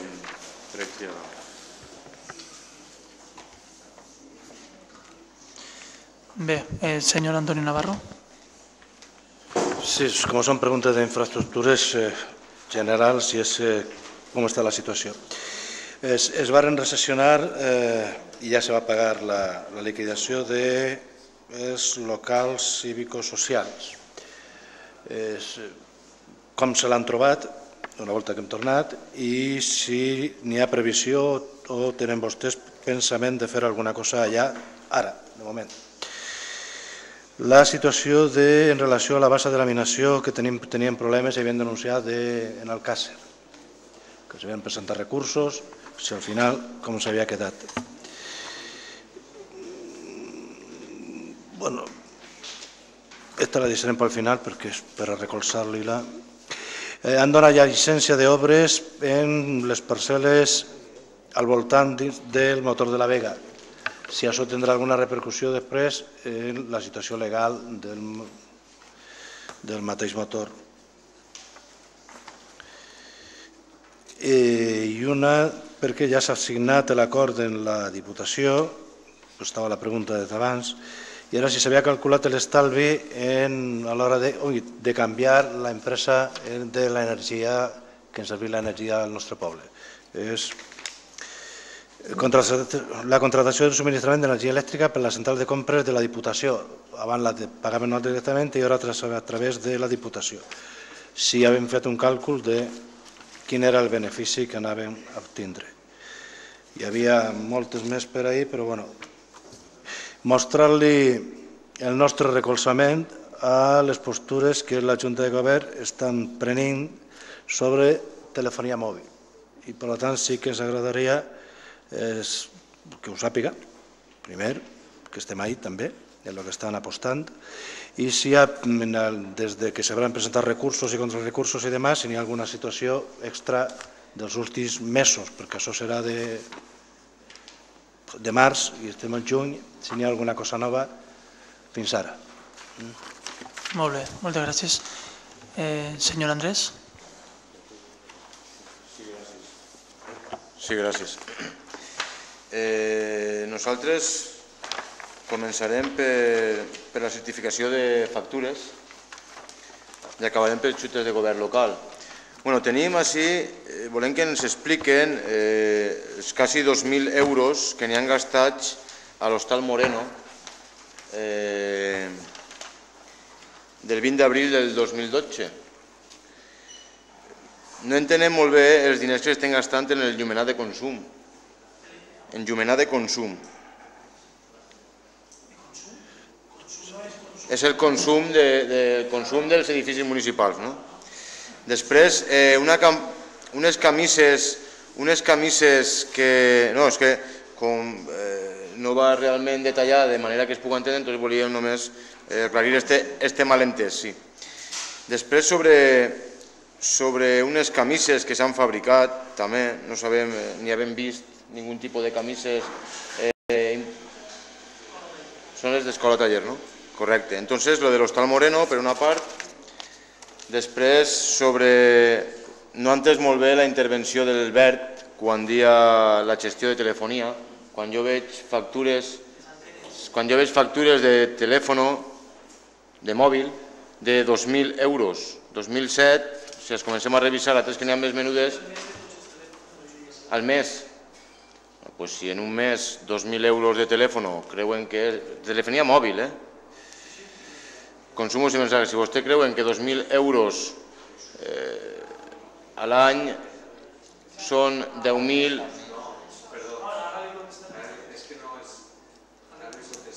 Pues vale, me ho, me ho explique, per favor. Per una part. Eh... Després ens agradaria saber, eh, per no buscar més papers, perquè sabem que s'està finalitzant eh, l'obra o la casa, el que és la Casa de la Cultura, se diu Nau de la Cultura, però és que no té ningú trellat, creguem, que es diga Nau de la Cultura, hauria de ser la Casa de la Cultura, no? Eh, sabem que s'estan finalitzant les obres, s'estan adequant eh, la climatització, l'enllumenat, que sabem que han sorgit uns problemes en el tema de l'enllumenat, no hi havia, eh, no hi havia pràcticament pas per a que pogués arribar la suficient, la suficient energia a, al centre este. I voldríem saber en quina situació està, que així s'anomena, en quina situació està i els diners, com bé sabem, tots els diners que venien del Pla Zapatero, este és un projecte que s'impulsa des del Pla Zapatero, ara ja no arriben del Pla Zapatero. Entonces ens agradaria saber si s'està disposant d'alguna subvenció, si són de recursos propis o d'on estan eixint els diners per a aquests projectes. Després, eh, sobre l'aparcament que està ja finalitzant-se en la rotonda Sanchís Guarner, Sanchís Guarner i Xarrotona, no? però no està a Correus. Eh? S'està finalitzant ahir un aparcament. Quines seran les característiques d'aquest aparcament? eh, serà gratuït, serà zona blava, eh, ens agradaria saber quines seran les, les característiques. I després eh, sabem que s'ha reforestat o s'ha repoblat el que és l'antic pati de les Monges, sabem que s'ha fet ahir una xicoteta d'actuació per part de l'escola taller, en la qual eh, s'han ficat plantetes, s'han ficat arbres, s'han ficat tal, però ahir el, el gran problema que té que té este pati de les Monges és que està obert a tots els públics.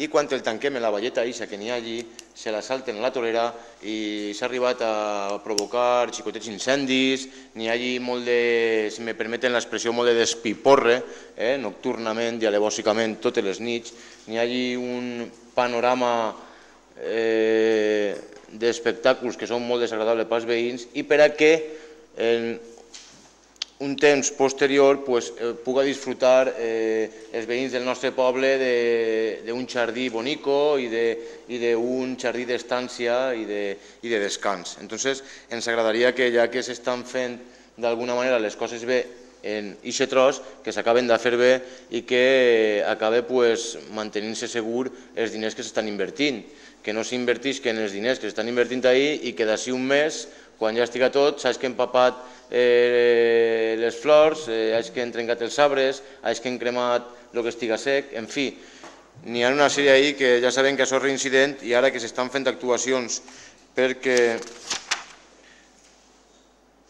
perquè és un tema que tenim així també en, en la Junta local, ens agradaria pues, que prengueren, prengueren algun tipus d'iniciativa. En definitiva, també al Consellal d'Urbanisme sobre, sobre un informe que n'hi ha així, un decret que n'hi ha així, en el qual parla de la plaça d'Espanya, la situació que té la plaça d'Espanya, eh, la situació tan... Eh, no sabria com expressar eh, l'estat que té ara mateix el que és Avinguda Reis Catòlics en plaça d'Espanya, té un, un índice de perillositat eh, considerable, té una estètica lletjíssima, sabem que això depèn d'uns recursos que estem esperant de la Generalitat i vostè segurament es pugui informar molt millor sobre això. Eh? Mm, I ja tindria algunes més, però per a finalitzar i ja no fer d'un ple que pot acabar, no recorde, no recorde un ple que hagi acabat tan pronte com el d'avui, en cinc anys, no recorde, no s'ha acabat, però s'acabarà més pronte. Per, I acabar, quan dic acabar és que acabarem a l'hora que toca i haurem acabat tot el temari de l'ordre del dia. Vamos, eh, no deixarem ningú punt. Ens agradaria saber conveni entre l'Ajuntament de Silla i FEBECTA, aprovació, assessorament gratuït de tots els emprendedors. Voldríem saber si este canal, este ent, eh, quedaria inclòs dins de promoció de l'àrea de promoció econòmica, Si és algo nou que arriba, és una modalitat nova que s'activa dins d'aquesta àrea de promoció econòmica, si anem a recibir alguna subvenció per a este fet concret, si se dotarà d'algun treballador més, si este treballador més vindrà a càrrec de recursos propis de l'Ajuntament o vindrà mitjançant alguna subvenció. Pues ens informen de FEBECTA i les pròximes pues, ja les deixarem per a un altre dia. Gràcies. Molt bé, moltes gràcies. Eh, bé, doncs comencem. Molt. Comencem. Eh, bé, el primer, el tema de la llicència de l'Església. Eh, si vol contestar, senyor Isidro. Sí, efectivament. Finalment, després d'haver presentat per tercera vegada la seva proposta d'obres, eh, l'Ajuntament cada vegada hi demanava una sèrie de modificacions i de, i de condicionants per a, per a executar aquesta obra. Eh, se li ha liquidat un ICIO de, de 3.500 euros, el qual jo no sé si eh, han passat i han autoliquidat. Normalment això s'autoliquiden ells i després mos, mos se ho justifiquen. No sé si se ho han autoliquidat o no se ho han autoliquidat. És de veres que hi ha una sentència on l'Ajuntament ens tocarà pagar el que no va pagar en el seu moment els MACs de, manera subsidiària i això és algo que sabíem que ens anava a passar i després de la sentència la, la voluntat de l'Ajuntament és fer efectiu aquest pagament als dos treballadors afectats. Eh, si es pareix, si li pareix, senyor, senyor alcalde, jo contestaria totes les, Sí, les preguntes que tinc. El tema de la plaça d'Espanya, si vol contestar també. El del pati de les Monges de la No, Tanca. No? Està primer la recepció de locals cívics Ah, bueno, socials. sí. S'han rebut els locals cívics socials, s'han trobat de tot. Eh, N'hi havia alguns que estaven afectats ja per actes vandàlics, n'hi havia altres que no, eh, a pesar d'haver estat tapiat. I bueno, s'estan fent actuacions eh, per part de l'escola taller de tal manera que els eh, serveis de pràctica als nanos s'estan fent xicotés projectes a, a arreglo les seues capacitats pues, tant a nivell d'obra, a nivell d'electricitat, de pintura, etc. Eh, en quant a lo de la base de laminació del Càcer, continua el litigi. Eh, han hagut reunions entre els equips tècnics nostres i l'equip tècnic de, del Càcer i finalment el que pareix ser que va haver una eh, solució negociada és que ells assumisquen la responsabilitat, l'Ajuntament d'Alcàsser, de l'incompliment de, de la, del funcionament eh, no òptim d'eixa base de laminació, perquè tècnicament solució no n'hi ha. En quant a les llicències d'obra del motor de la Vega, és cert, s'han donat les dues llicències perquè no n'hi havia ningú motiu per a no donar-les. De fet, eh, són dos processos totalment distints, l'endorracament fora de, de lloc del motor per part de la propietat, això portava un litigi en l'àmbit penal i un altre en l'àmbit civil, però se donaven tots els condicionants per a donar la llicència. I entonces en base als informes tècnics de l'Ajuntament i en base a l'informe de, de secretaria aquesta llicència no n'hi havia ningú, perquè la llicència és, és un acte jurídic eh, reglat, normat i reglat i per tant teníem, teníem que donar-la. En quant a l'estalvi de canvi d'Iberdrola a Ibercantàbric, no l'han, així en l'Ajuntament de Silla no l'han valorat. El valorarem i, i en fetges breves podrem donar-li al, podrem donar-li informació al respecte. A les preguntes d'Espanya 2000, Climatització.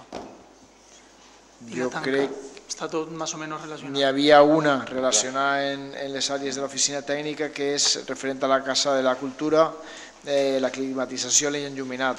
Efectivament, hi havia un problema de, de deficiència eh, d'energia i per tant tenia que arribar l'energia suficient i ficar allí un, un, un centre de transformació i això s'està fent en, un, en una subvenció del PEPOS.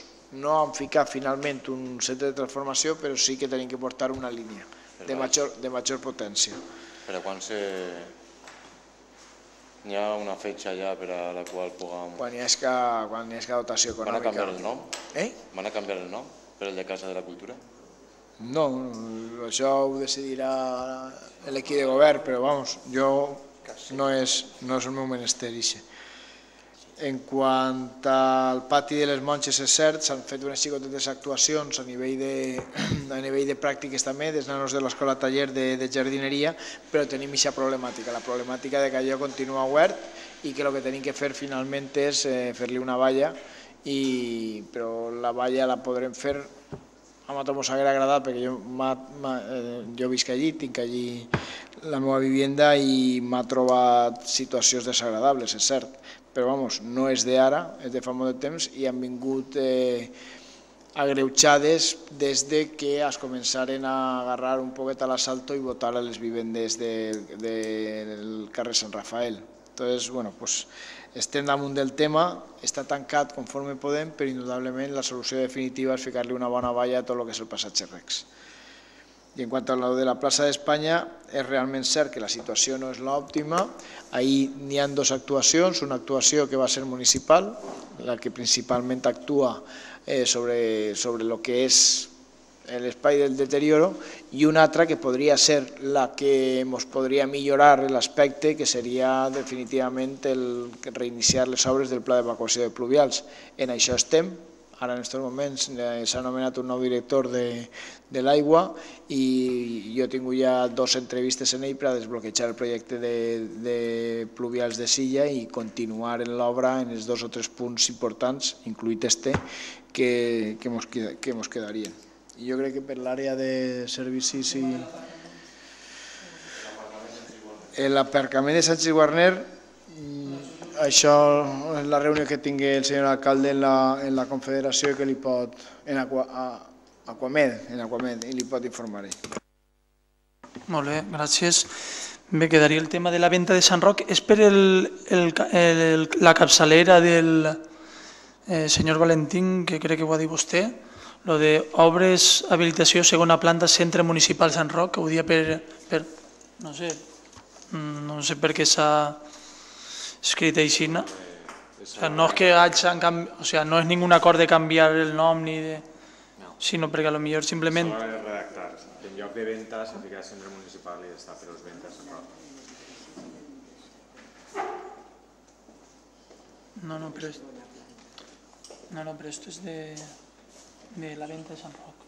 No sé, simplement haurà sigut la redacció, però no han canviat res ni, ni res al, al respecte. Después, el tema de, eh, señor Navarro, usted se referirá al, al, al, tema de la telefonía móvil de las antenas, ¿no? Bueno, ahí sí le podrá contestar Carlos Primo de litichis tengamos del tema de las antenas. De...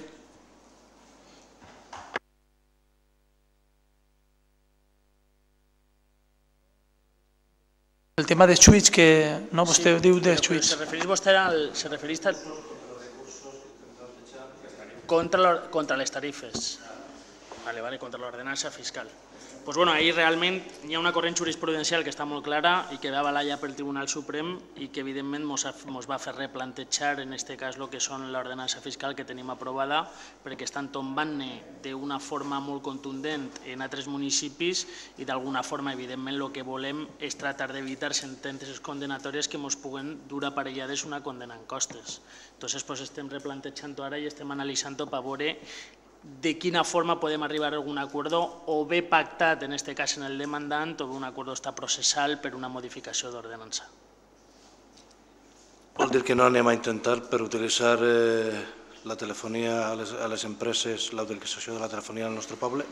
No, modificar, el que anem a modificar en aquest cas és l'ordenança fiscal reguladora que en aquests moments tenim perquè d'alguna forma ve avalat ja pel Tribunal Supremo que la forma que estàvem la forma que estava establida la comptabilització, o en aquest cas com estàvem, com estàvem definint i l'ordenança fiscal des del punt de vista tècnic és incorrecta.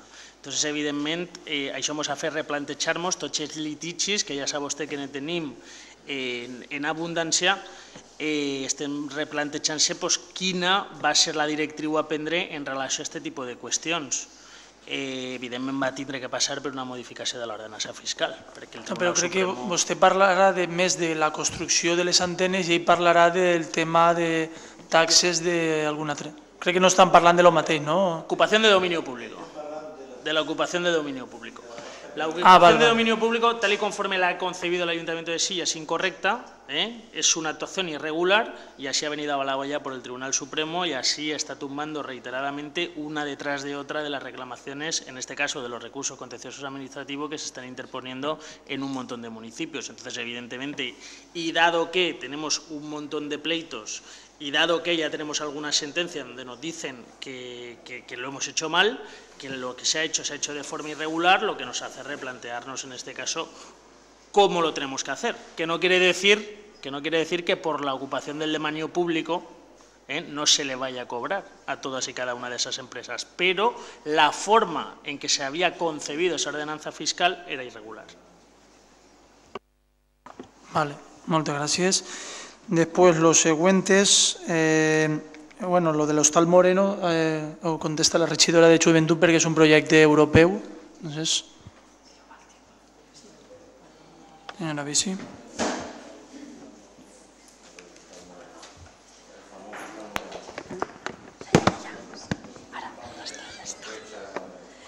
Moltes gràcies, senyor alcalde. Pues bé, respecte a la despesa de l'Hostal Moreno, concretament, eh, se refereix, això és un, suposo que és el gasto que ha vist vostè en el decret 58, que són concretament 1.800 euros, que fa referència a despeses corrents del projecte europeu Media Lab. És un projecte que tenim en companyia de països com Grècia, Bulgària, República Txeca, Estònia, França, en el que el pioner és el, el municipi de Silla, seguim nosaltres els promotors i els organitzadors del, del projecte, i el, el gasto és simplement pues, de, de l'estància que es tingueren els corresponsals dels diferents països.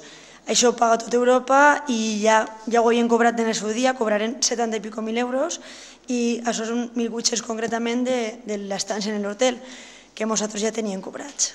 D'acord? Gràcies. Molt bé. Lo següent és la facturació del mòbil. Senyor Sí, Alfonso. eh, a veure, m'agradaria explicar-li-ho perquè la primera vegada que ho vas veure jo també me va sorprendre. Vas, tingui que anar-me'n al tècnic a, a demanar-li explicacions perquè això no, no ho entenia. I bueno, en principi funciona que totes les transmissions de l'Ajuntament ¿vale? ixen per una centraleta. Entonces la centraleta quan, quan despenja llitja el número i discrimina. Si el que va a cridar és un telèfon fijo, estem fent una crida de fijo a fijo, però si el que té que cridar és des d'un fijo a un telèfon mòbil, ell ho canvia i trau l'eixida per un telèfon mòbil. És a dir, el que vostè està veient ahir és el número mòbil de la centraleta per abaratar el cost quan la crida és de mòbil a mòbil. Queda, li queda clar? Això és el preu de la centraleta. O sigui, de, lo que, de les eixides de telèfon quan s'està cridant des d'un terminal fijo vale, a un terminal mòbil. Ella mateixa ho passa per abaratar. No, no, eixa centraleta ja és nostra i l'estem amortitzant. O sigui, eixa centraleta s'ha comprat... No, no, no, no, això és el cost de les cridades que ixen per eixa centraleta, no és el preu de la centraleta, el preu de la centraleta és a banda. Sí, no, no, de, no, s'ha cridat, a veure, quan, quan un tècnic, quan un tècnic, o dic un tècnic, o, un empleat municipal té que fer una notificació, té que cridar algú de, la, de fora de l'Ajuntament, vale? ell despenja el telèfon i la pròpia central tradueix si a lo que se li va a cridar és un telèfon fijo, va de fijo a fijo i és un cost. Però si el que se li va a cridar és un telèfon mòbil, de fijo a mòbil és molt més car que si estem establint una crida de, de mòbil a mòbil. Entonces la pròpia centraleta ho deriva a un número mòbil val? i d'aquest mòbil a mòbil és el que vostè està, està veient, el cost d'aquestes cridades.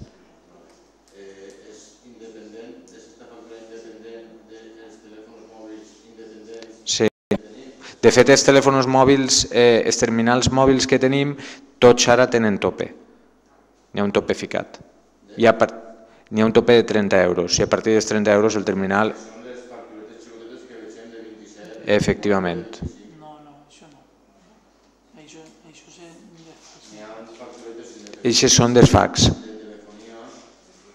Que n'hi ha.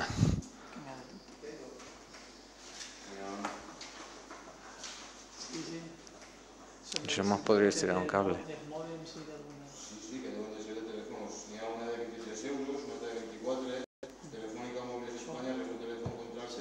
S'arrima un dia allí a l'àrea econòmica i que li ho ensenyen i li ho expliquen que no Sí, n'hi ha perquè- ningú problema. O sigui que, sí, sí. Que correspondre. Correcte. Molt bé. Molt bé. Mhm. Bé, eh, bueno, per acabar, bueno, el conveni Infebecta eh, a l'Ajuntament no li costa ni un duro, ni té que ficar un personal eh, més, ni té que fer res. Simplement és un, un conveni de col·laboració en aquesta associació que el que fa és que quan va una persona a la promoció econòmica per a voler, eh, per a voler obrir una empresa, pues, eh, Febecta, el que... Ai, bueno, Ana, bueno, sí, m'ha colat jo, però bé, bueno, ho anava a passar a la regidora, però bueno, li acabe jo la, la contestació.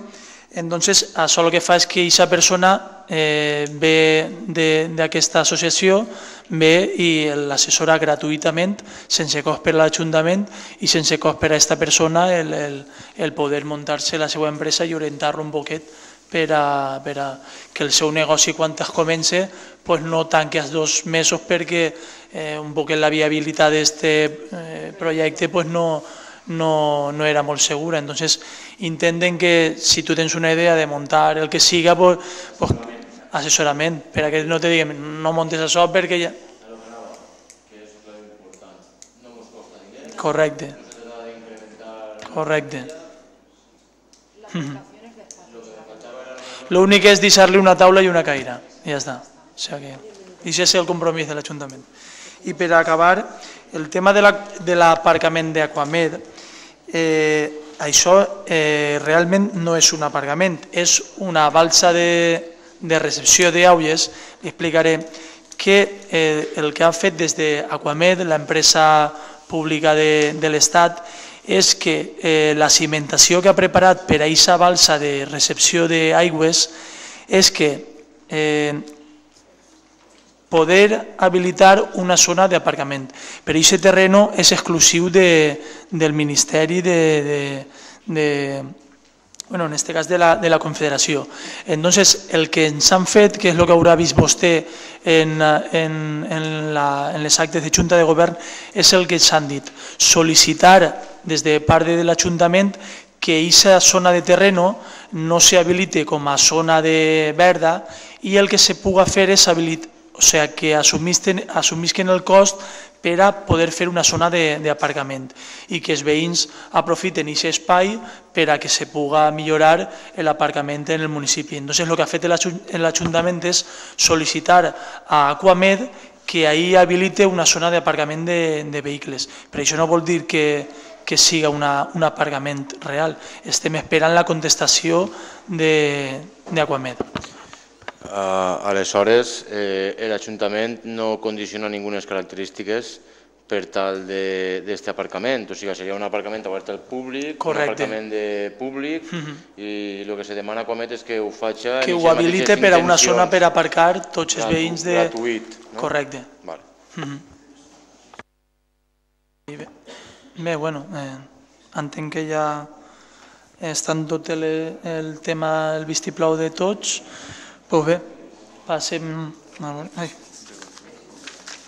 passem ja al, a pregs preguntes, intervencions del públic, sí?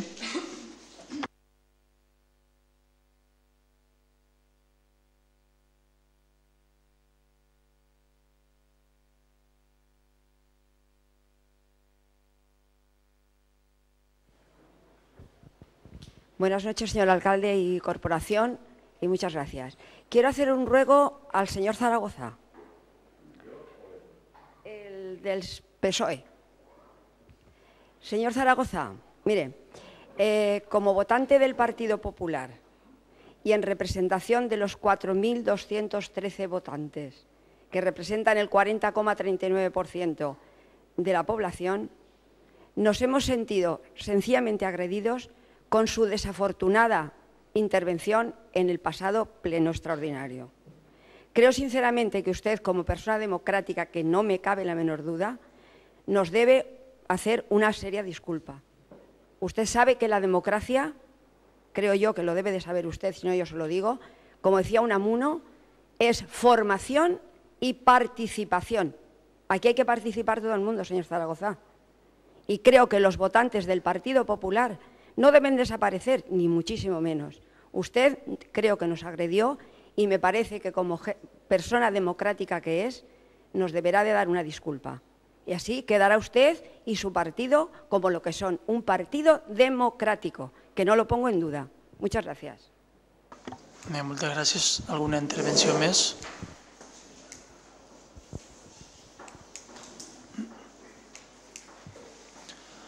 Bueno, yo, solamente venía pues a hacer una, una sugerencia o una pregunta, según como vosotros queráis entenderla.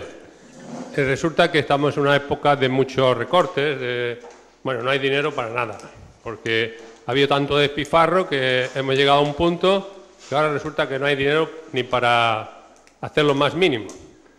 Eh, y sin embargo, pues eh, se mantienen servicios que que en principio pues, no tienen explicación. En cuanto a caminos, eh, se ha gastado un montón de, millones en hacer una rotonda y allí se mantienen los semáforos de siempre. Con lo cual, eh, supongo que los semáforos tienen un consumo y si hay una rotonda, eh, los semáforos realmente no son necesarios, si hay una debida señalización. Con lo cual, yo pienso que eso tendríais que revisarlo y si pensáis que, por ahí podíamos recortar, pues también se podría recortar por ahí y menos por otras cosas. ¿eh? Eh, luego, por otra parte, eh, bueno, he observado que en, las aceras del pueblo, en los parques y todo eso, pues está, o sea, vas caminando y ves como todo está lleno de chicles pegados a tierra.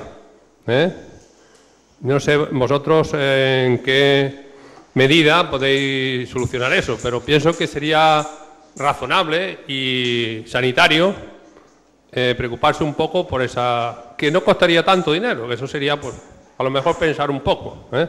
Nada más. Molt moltes gràcies. Alguna intervenció més?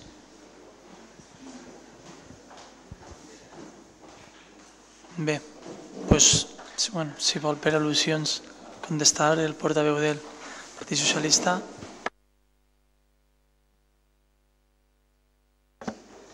Eh, li agraïsc a la, a la veïna de Silla, que no se n'ha anat com l'última vegada que va vindre així, que va soltar el seu discurs i se n'anà, un acte de covardia. Li agraïsc que esta vegada s'ha quedat. Entonces, l'altra vegada, quan vostè va dir que érem uns rojos i que el meu secretari general era un sinvergüenza, jo això li ho perdone també, però que vingui vostè a dir-me que li ha faltat el respecte a 4.000 persones, a 4.000 eh, votants del PP, 4.000 veïns meus, en ningú moment he faltat el respecte. Vostè el que vol filar gràcia és tirar un poc de llenya al foc i, i no, no ho va fer.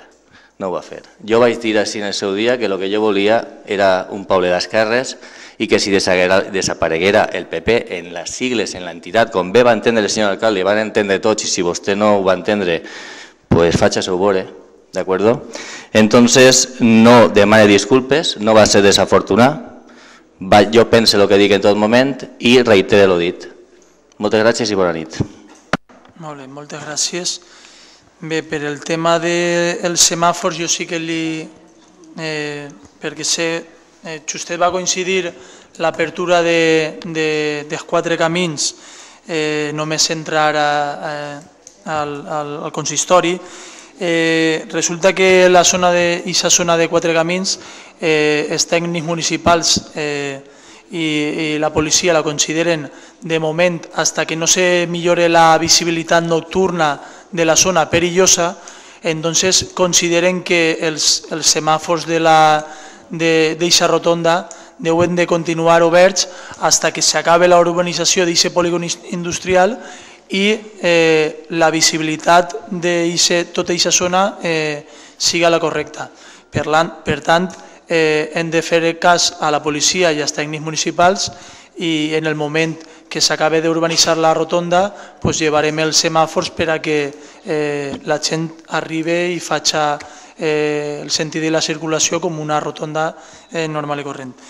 Però el tema de xicles és un poquet complicat eh, llevar tots els xicles que n'hi ha en la cera és complicat, més que res és educació de la gent. Ja no són en els xicles, sinó moltes vegades el que parlem dels excrements de gossos, que la gent que és propietària de, de, dels animals, pues, en vez de portar la bolseta com porta tot el món, o gran part de, de veïns del nostre poble pues, dicen que els seus animals pues, defequen en, en la cera i, i se'n van tranquil·lament. Entonces es més educació que les persones i és una cosa pues, difícil de, de, de solucionar, el tema de llevar el, els xicles. I res més, eh, comencem la ronda d'intervencions de... No, no, no pot contestar. No pot contestar. Així cada un té el seu torn d'intervencions.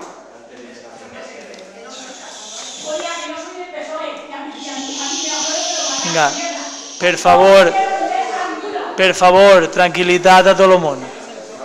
Per favor, tranquil·litat. Jo crec que el tono de, de les conservacions tant de, de, d'una persona del públic com la del portaveu no mereix el tono que ha fet vostè de, en la seva intervenció.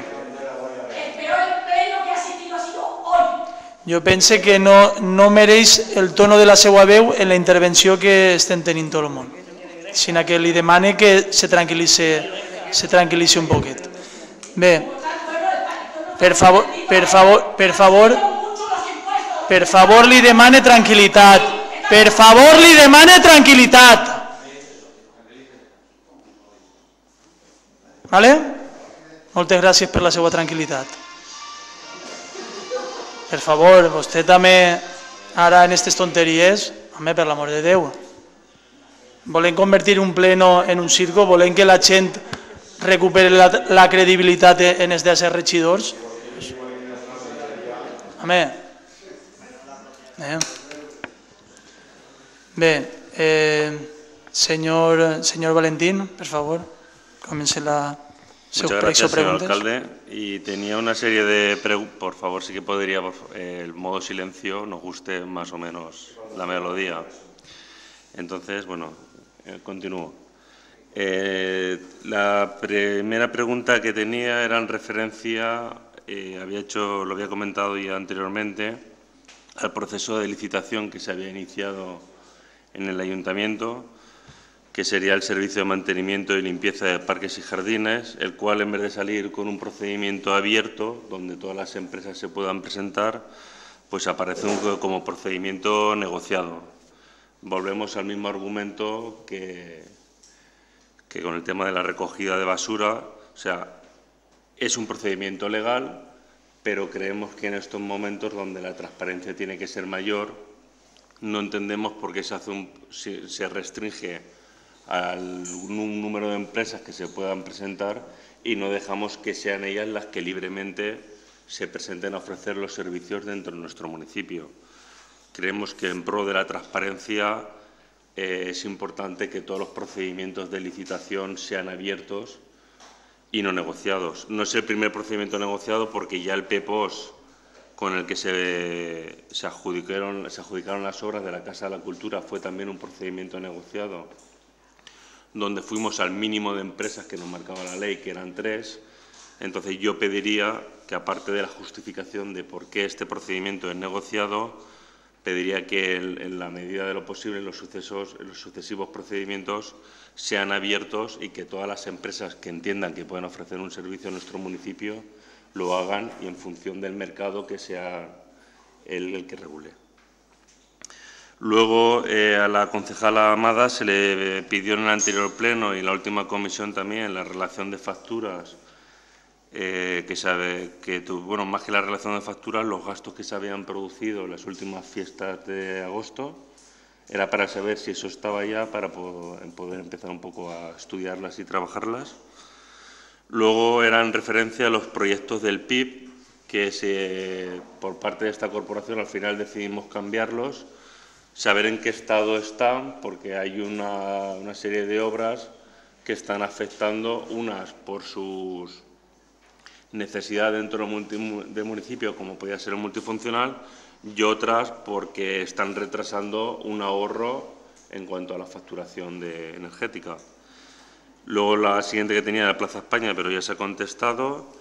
Y luego en la Asociación del Molino de Magalló tiene una serie de peticiones continuas que vienen haciendo, como es que se, se, se lleva a cabo lo que es el vallado del parque, porque entienden que de alguna manera se encuentra mermada lo que sería la seguridad de todos aquellos padres que llevan sus hijos al parque, porque bueno, muchas veces el propio padre se puede distraer y se produce un acceso directo entre un crío de 4 o 5 años que cruza directamente por la calzada y es una avenida importante.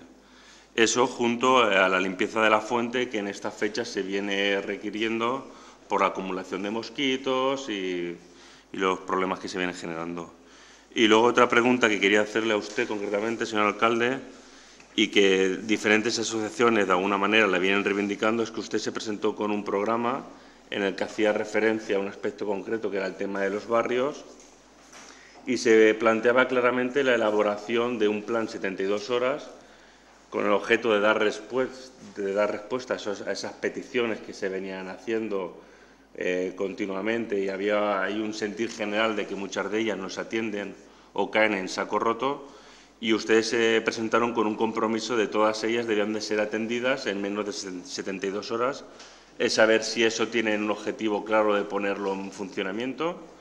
Y la otra sería las juntas de barrio, que como ustedes mismos hablaban, las querían utilizar como instrumento de participación. Nosotros las apoyamos, pero creemos que ya ha pasado un año y es importante empezar a ponerlas en funcionamiento. Molt bé, moltes gràcies. Senyor Antonio Navarro. Andrés anava a començar l'himne i nosaltres a silbar i així ne repetim lo del camp de futbol i era una cosa... I és... Ara ja no ho pots saber. Bé, eh, tenim unas cuantas preguntas. Era broma. Eh, la primera es si ustedes han cambiado en el modelo de eh, subvención a las asociaciones, porque hasta ahora a las asociaciones culturales no les habían dado nada y, sin embargo, pues eh, la última propuesta que había por ahí aparecía la asociación de Vera Latina con 1.500 euros más unos gastos y tal de unos 450. Es, mm, ¿Por qué se incorpora esta asociación, que nos parece perfecto que se incorpore al recibimiento de subvenciones y mantienen ustedes al resto de las asociaciones culturales sin recibir ninguna? ¿Por qué se diferencia de criterio y salvan a una sí y a otra no? ¿Y con cargo a qué partida? Puesto que la partida, en teoría, estaba cero, en consecuencia, ¿de dónde han sacado esos 2.000 euros? La siguiente es para cuando oh, habíamos tenido una reunión en la que estuvimos usted, el arquitecto, el técnico de medio ambiente y yo comentando bueno, cómo estaba la situación de lo que era el muro. Eh, el muro del Racholar. Entonces, eh, sí, para cuando oh, ha quedado, va a quedar mm, con los vecinos alrededor del Racholar para comentarles la situación, o si han quedado.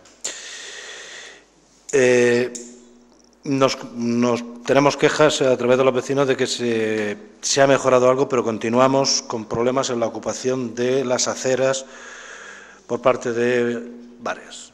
Entonces, continuamos con el problema de ocupación de las aceras y algunas volvemos a tener que bajar coches a la calzada para pasar con chiquillos y demás. Entonces, bueno, ahora que vamos todavía más, pues peor. Le comentábamos en la comisión informativa la queja y, lógicamente, el, no entender desde nuestro partido por qué ustedes eh, hacen competición desleal con empresas del municipio. Se lo decíamos a través de la eh, dejada de la utilización de las infraestructuras municipales a profesionales de nuestro municipio que compiten con otras empresas que en nuestro municipio están realizando esas mismas funciones. Entonces, le poníamos el último ejemplo, como podía ser el curso de inglés, pero podíamos irnos a, mm, fisioterapeuta, nos podíamos ir, o incluso, porque en el anterior plenario pues, les presentábamos nuestra disconformidad, lógicamente, con la privatización de los pocos servicios públicos que iban quedando, como la escuela de estío y demás, y bueno, nuestra sorpresa es que ustedes van, y lo cual lo entendemos políticamente, como ustedes hacen ese tipo de cosas. Y es la, de dejar infraestructuras públicas pagadas por todos los vecinos a profesionales para que compitan con otros profesionales que han de pagarse sus infraestructuras en este mercado. Y la denuncia se la hacíamos en la comisión informativa porque nosotros entendemos que eso lo puede hacer el ayuntamiento. Lo puede hacer el ayuntamiento y ofrecer ese servicio desde sus infraestructuras con su dinero, porque son suyas públicamente, y entra en competición, si quiere, en el mercado desde una postura pública de servicio público. Pero claro, entrar desde servicio privado para competir con otro servicio privado utilizando las infraestructuras públicas, por muy barato que dé el precio, está compitiendo. Desde aquí les recuerdo que ustedes, junto con nosotros, pero nosotros fuimos los proponentes, ustedes se sumaron, lo cual es correcto, criticábamos a la antigua escoleta o propuesta de escoleta municipal porque se iba a subvencionar además a los alumnos que no iban con 3.000 euros, a la empresa, por los alumnos que no iban de competencia desleal. Claro que era una barbaridad porque eran 3.000 euros por tal, pero ustedes están haciendo lo mismo, que es quitando servicios hasta ahora públicos o gestionados públicamente que pasan a manos privadas utilizando infraestructura pública en competencia con otro sector privado que está también en nuestro pueblo, que tiene su academia, que tiene su despacho, que tiene lo que sea. Entonces, no lo entendemos y, lógicamente, lo criticamos. Eh, le pasamos eh, o le decimos lo mal que se encuentran las escaleras que están bajo del puente del pasaje más, sobre todo las de en medio, es decir, no las que están, si nos ponemos a andar de aquí hacia allá, pues esas primeras hay tres o cuatro peldaños complicados, pero las que están en el centro son un peligro total, total, total, porque es un espectáculo ver cómo quedan sobre todo los cantos de aquellas escaleras y parece ser que algunas ya habido más de una caída y lo raro es que no haya muchas más porque aquello está muy peligroso. ¿eh? Entonces, eso sí que sería, y yo les ruego que pasen, lo vean y, se actúe. Eh, nosotros llevamos la pena que usted nos mm, infringió diciendo que éramos un poco los responsables de eh, que no hubiese habido vacas en, o toros en San Sebastián. Pena que de verdad mm, llevamos, no con gusto, pero que asumimos y no tenemos ningún problema eh, en llevar esa frente a otros que parece que en cuanto le queda una pena de estas, pues eh, inmediatamente quita pulgas y, este tipo de cosas. Nosotros llevábamos la pena de los centros cívicos y no nos pasa nada, y llevamos esta pena y tampoco nos pasa nada. Y seguiremos defendiéndola. Eh, le comentábamos en el anterior pleno que nos parecería inverosímil, increíble, y le pondremos adjetivos así fáciles ahora, de que nos gastásemos, eh, puesto que su lenguaje y el mío es diferente a nivel seguramente ideológico, pero a nivel de pelas o dinero sí que coincidimos, eh, a nivel seguramente de animales no, pero a nivel económico sí, que nos parecía mm, una barbaridad que este municipio se gastase 41.000 euros o 40.000 euros en vacas, dada la situación que estaba. Que nosotros no tenemos problemas en apechugar con esa pena, no, no pasa nada y que eh, en pueblos se estaban haciendo incluso consultas y demás y referéndum.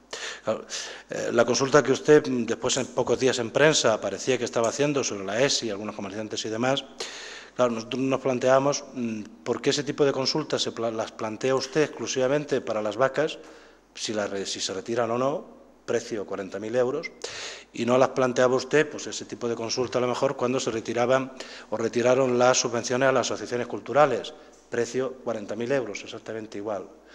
O la consulta de si se hay que hacer teatro o no hacer que hacer teatro, es decir, ¿por qué eh, molestamos o, pierde usted su tiempo para nosotros haciendo esa consulta cuando no sirve realmente para nada? Y nos, nos preocupamos de hacer la consulta por qué no el teatro, por qué no la deposición de cultura, por qué no sé qué, y saber también el sentimiento. Preguntábamos en la comisión informativa por la moción que el blog tenía que presentar aquí, que nos venía también anunciando a bombo y platillo durante este último mes. No estaba la moción, no, hubo la moción y bueno, no podemos discutir esa moción. La pregunta es, eh, a fecha de hoy, dado que ya el próximo pleno estamos prácticamente encima de la fiesta y el pregón ya se habrá realizado y todo y el libro estará en marcha, ¿cuál es la situación? Y si nos saca usted de, esa pregunta que para nosotros es artificial, ya se lo digo, no hemos entrado al debate, porque nos ha parecido una discusión artificial que no conducía a ningún lado, porque la respuesta está ahí, en ningún otro sitio, y por lo tanto todo lo demás era un artificio eh, que no llevaba a ningún sitio ni servía absolutamente para nada. Por lo tanto, sí nos interesa la respuesta y a partir de ahí pues ya está. Eh, llevamos eh, sobre la actuación del ayuntamiento en la, en la tanca del port, si hay alguna perspectiva, alguna medida, o como ahora va el verano, pues esperamos o lo que sea, es decir, cómo está la situación. De cara a la próxima temporada, al concejal de deportes, eh, si ya todos los equipos, la petición que había de la temporada anterior, que usted contestaba o que nos contestaron, de que como no estaba prevista, solamente iban a participar unos clubes, sí, otros no, y que por lo tanto el campo lo podían utilizar unos clubes de la Esperanza y otros no, sí ya todos los equipos de fútbol de nuestro municipio van a utilizar en la próxima temporada eh, el polideportivo o no, porque es una pregunta que también se están haciendo los clubes y en función de eso también se están haciendo la pregunta de más equipos, menos equipos y este tipo de cosas y está ahí en el, en el candelero, ¿vale? Y se va a ver también, me imagino, la, situación si entonces habrá más inversión a la otra zona, no habrá menos inversión, porque a raíz de ahí movemos a muchas personas y muchas familias. Y eh, sumarnos a la propuesta que se hacía de que nos comenten cómo se encuentra el plan confianza, el PIB, si se sabe algo. Molt bé, moltes gràcies. Senyor Andrés. Sí, gràcies. A veure, eh, insistir, insistir en el tema del carrer Sant Roc, Rambla de la Independència, a l'altura de la xicoteta replaceta que n'hi ha on està la tenda de màquines de cosir, la immobiliària, Eh, no, és que havent tingut ja, eh, forem molt, molt ràpids en, en acudir no? a que se tenien que ficar medides preventives en el que passa en l'Avinguda d'Alacant, que està just al costat, i és que tenim la mateixa situació. Tenim la mateixa situació, i clar, és que no és que estigui dient tota la legislatura que ja ha passat un any, és que vinc dient-ho des de la legislatura passada, quan encara estàvem a meitat de la legislatura. És que pareix que estem esperant. Ara mateix allí s'ha posat un gimnasio, per allí és molta gent, entra molta gent, és un gimnàs de dones, i aquestes aceres estan habilitades per a minusvàlids en les rebaixadetes i en passos de peatons senyalitzats i no estan protegits de manera, ja diguem, legal, perquè això legalment està, és obligatori que se fiquen ells pilons. Facin el favor ja d'actuar ahí, que és, és que no és res això és que no és res, és que això anava ahir, facin el favor ja d'alguna manera, perquè si estem esperant que passi algun accident, és que després se lamentarem i no tenim que esperar quan és una cosa tan insignificant. En fi, eh, jo, si no passa res demà, li faré arribar al senyor alcalde dos peticions respaldades de firmes. Una és sobre el tema de les plagues de mosquits i insectes que estan produint en una zona concreta, sé que són més zones, però una zona concreta de Silla, eh, les pixarraes i les defecacions dels gossos a la nostra localitat i que ja han produït, com vaig dir en la comissió, dos, eh, dos ingressos en hospital per part de dos xiquets que han patit al tocar les mans i després portar-se a la boca salmonerosis. Eh? Ja, això és eh, fidedigne, vamos, està ja patent, els xiquets han estat ingressats i li vaig aportar les firmes que han reunit un veïnat, una replaceta en si, li les vaig aportar per a que vostè pues, sigui capaç de veure que ja no és que nosaltres ho diguem perquè poden tenir un capritxo, és que ja és una comunitat de veïns que ja ha replegat unes firmes en, en, en unes peticions formals que fan, que nosaltres pues, les ajudarem a fer. No va registrar baix ninguna sigla de partit ni res, sinó a nom dels veïns i en, en la direcció que correspon. La faré arribar, al igual que li faré arribar una petició en la que jo ja vaig raonar en el consejal de l'àrea econòmica d'Hacienda sobre el tema de, de la inversió que es va portar a terme en el poliesportiu municipal eh, sobre una eh, valoració o, o no valoració que s'ha fet a les hores de parlar del rocòdrom, eh, a la que també perteneixen un gran número de socis, a la que tenim que tenir en compte que aquests socis han creat unes millores dins del seu xicotet espai molt important i que d'alguna manera s'ha de reconèixer en el poc que demanen cara, cara a les inversions que se van a produir al polideportiu, que el que demanen ja les dic jo que és insignificant. insignificant. Li faré arribar aquesta petició, si vostè m'ho permet, per a que ho reconsidere. I, i després volia fer-li una pregunta sobre un tema que, que està deixant prou molesta a, a un sector també important de la nostra població, que és sobre un problema que està havent en el Col·legi de les Monges, sobre el tema de les uniformitats, sobre, sobre el tema el tema de certes quotes que s'estan improvisant ahir, eh, no sé, estan imposant, no? estan imposant certs canvis i, i no estan afavorint que les famílies puguen afrontar les situacions econòmiques que estan vivint avui dia. No sé si realment encara va avant totes aquestes propostes. Jo tinc així eh, l'informe de l'AMPA, en el qual ja s'insten a replegar firmes. Crec que n'hi ha hagut una altra conversació després de, de la imposició que se feu per part de la Iglesia i de més, i que, bueno, que, que estem sabedors i que d'alguna manera pues, eh, volem enterar-se clarament i veure quin compromís està adquirint l'alcaldia la, en, en l'associació de pares.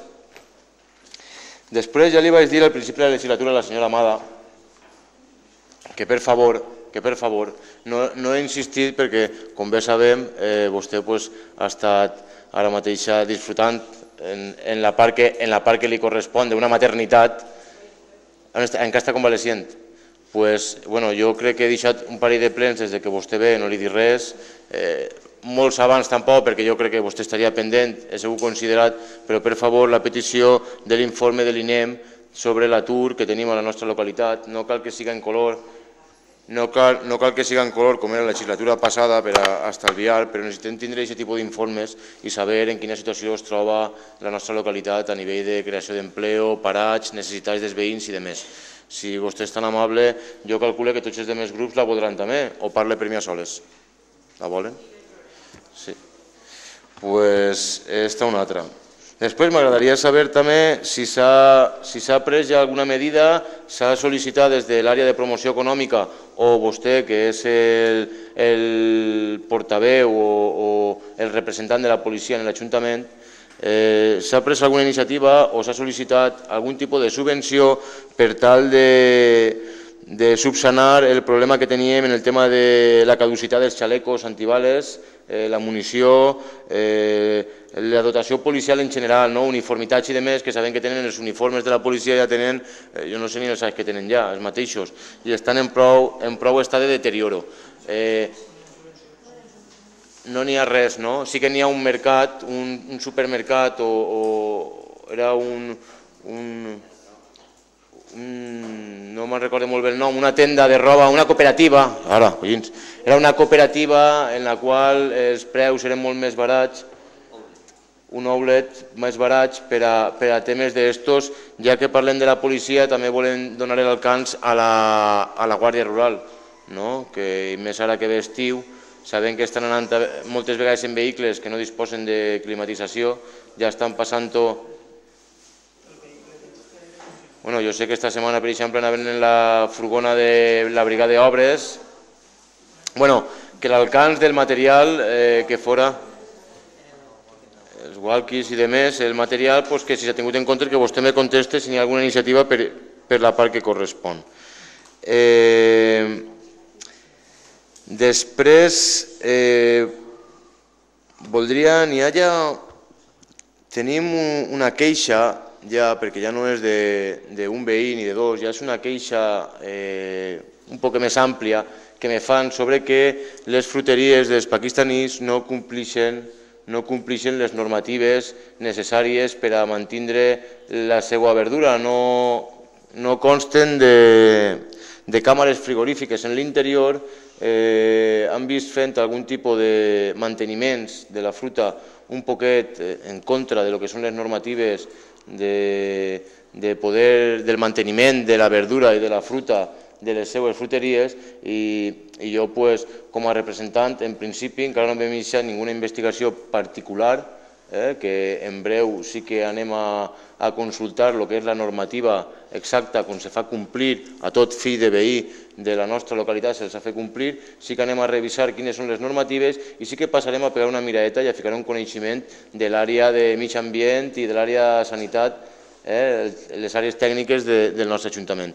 Però sí que m'agradaria que ho tingueren en compte i que, i que tingueren en compte que ja n'hi ha una queixa generalitzada. No vaig a parlar de ninguna indigestió encara, no vaig a parlar de, de, ningú, fet, de ningú fet concret, però sí d'una queixa que ja me ven repetides ocasions per part dels veïns. bueno, eh, parlaria a, a les dues dones que s'han enfrontat abans, les, les faria un comentari sobre, sobre els jovens que no han conegut aquesta part de la història d'Espanya, que podem estar més o menys decantat per una part o per altra, però que no la coneguem. Li faria alguna reflexió, però vaig a estalviar-me-la perquè no, vull, no volem tirar més ni al foc. En tot això, gràcies. Molt bé, moltes gràcies. Eh, bé, doncs passem, comencem a contestar el tema del de ple dels jardins. Eh, Carlos Primo, si vol parlar un poc. Molt breument, eh, relación, Valentín, por lo que comentabas del pliego de la jardinería, pues son los pliegos que vienen establecidos dentro de las modalidades contractuales y los técnicos en este caso realizan la publicidad que se requiere. Yo sí que quiero apuntarte una cosa importante y eso lo puedes constatar. Por ejemplo, los contratos menores, como por ejemplo el flujo de reductores de estos flujos reductores de, energía y tal y cual, pues, eran, eran contratos menores y se han hecho todos por procedimientos negociados sin publicidad. Con lo cual, pues bueno, ya sabes que la ley lo que te exige es una invitación por lo menos a tres empresas, con lo cual siempre hay competencia y total transparencia. Y ya está, lo que no vamos tampoco es a enquilosar la Administración más de lo que le está. Eso por, por, un lado. Y luego, eh, Antonio, vamos a ver, en relación con lo que comentabas de, de la competencia desleal o el uso del demanio público.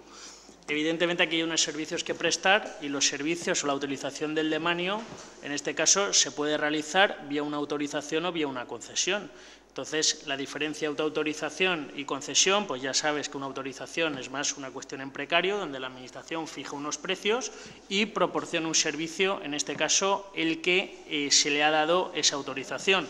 Cosa distinta es una concesión que sí que implica, para caso de cualquier tipo de resolución o rescate de la misma, un derecho indemnizatorio para el concesionario. Entonces, es una figura que viene regulada en la ley de patrimonio y que, evidentemente, y dada la necesidad de prestar ese servicio, pues me consultan los concejales y, evidentemente, como sabes que lo implemento en otra serie de administraciones, pues aquí en Silla estoy haciendo lo mismo. La Administración proporciona ese servicio, fijándosele unos precios por parte, en este caso, de, de, de, del Ayuntamiento y en estos momentos, con la situación en la que tenemos, es una medida perfectamente legal, es una, es una medida que se utiliza en muchísimos ayuntamientos y que evidentemente en Silla o prestamos el servicio de esa forma o no se presta. Moltes gràcies. Bueno, el tem Pilar, el tema de les fruteries per el tema de sanitat. Moltes gràcies. Mm, bona nit. Mira, jo mm, en el que pertany a la meva àrea sí que m'agradaria dir-te, Andrés, que el cap d'àrea que tenim me consta que és superestricte, tot el contrari. La gent es queixa de lo que exigeix. Entonces me extraña molt que has que consentir que s'obrin fruteries sense càmera. Desconec si n'hi càmera, mm, però suposa que té que haver càmera. És que, vamos, això pense que és hasta impensable. De totes formes, no te preocupes que vaig averiguar-ho, si n'hi ha càmera. Però costant-me lo estricte que si el que demana i el que exigeix i, els expedients que torna darrere, me costaria molt pensar que, que, està fent, vamos, que està fent així. Jo ho averiguaré i t'ho diré en, en més coneixement de causa, però mm, jo apostaria perquè no, de veres. Tens alguna altra pregunta? No, no, ja està. Ja. Bé, gràcies. Eh, Marcos, tema del futbol. Bueno, pues comentar-li que en esta setmana que veu l'altra tenim previst reunir-se tant en un club com l'altre i veure de quina manera que es passen també quina és la, la previsió que tenen de, de matrícula de xiquets, de clubs que, que esperen per a aquesta temporada i en funció de com siga pues, anirem intentant ficar-los cap així. Bé, pel tema de... Mm, a veure, de, del tema de les festes vull contestar-lo jo perquè com has, estat, sí, per tot això, eh, hi havia alguna coseta, a veure, eh, per Alfonso tampoc. Bé, bueno, el tema del PIB sí que dir-vos que de moment per escrit sols han tingut l'aprovació de, de lo que és la urbanització de l'entorn de la, del multifuncional i eh, inicialment ens havien concedit també el tema d'eficiència energètica, l'entorn, eh, és l'únic projecte que ens han aprovat, i el tema de eh, l'eficiència energètica, però per l'acord eh, inicial de 200.000 euros. Entonces, estem intentant que aquest acord se revoque i que se passe als 400.000 euros de, de què és el que aprovarem així en el plenari. De, de les, els altres projectes encara no, encara no han dit res. Bueno, pel tema de eh, les propostes d'aceres, de, de, de tot, pues, tindreu en compte. Eh, després, i més centrant-nos en el tema de les festes, quan eh, s'iniciant en el tema de les consultes, eh, pues no s'inicia solament en el tema de si en el poble fem baus o no fem baus, s'iniciava si fem festes en general, perquè eh, abans d'aprovar este pla de, de viabilitat que hem aprovat, eh, tenim la carta de que l'Estat ens anava a reduir el 50% dels ingressos, entonces per al mes de, juny, de, de juliol no sabíem com anàvem a tindre la tesoreria de l'Ajuntament, no sabíem de quins fons anàvem a disposar, entonces per la meva part no veia ètic que si per alguna d'aquelles el mes de juliol haguera arribat i no haguérem agarrat i fet, eh, eh, o sigui, no haguérem pogut pagar part de la nòmina o, o a lo millor en el mes de juliol sí i en el mes d'agost haguérem deixat eh, eh, alguna cosa per pagar, pues no haguera vist ètic que deixar de pagar tots els serveis municipals i arrear-se eh, en l'Ajuntament pues 20 o, o 21 dies de festa, no sols de, ja dic, no sols de, de festes taurines, sinó de festes de variateig en general. Entonces, davant d'això en el mes de maig pues, comenci a fer aquesta ronda de, de contactes en tot el món. Clar, eh, la cosa canvia en el moment que l'Estat ens ha donat aquesta segona oportunitat per a, per a provar el pla de viabilitat.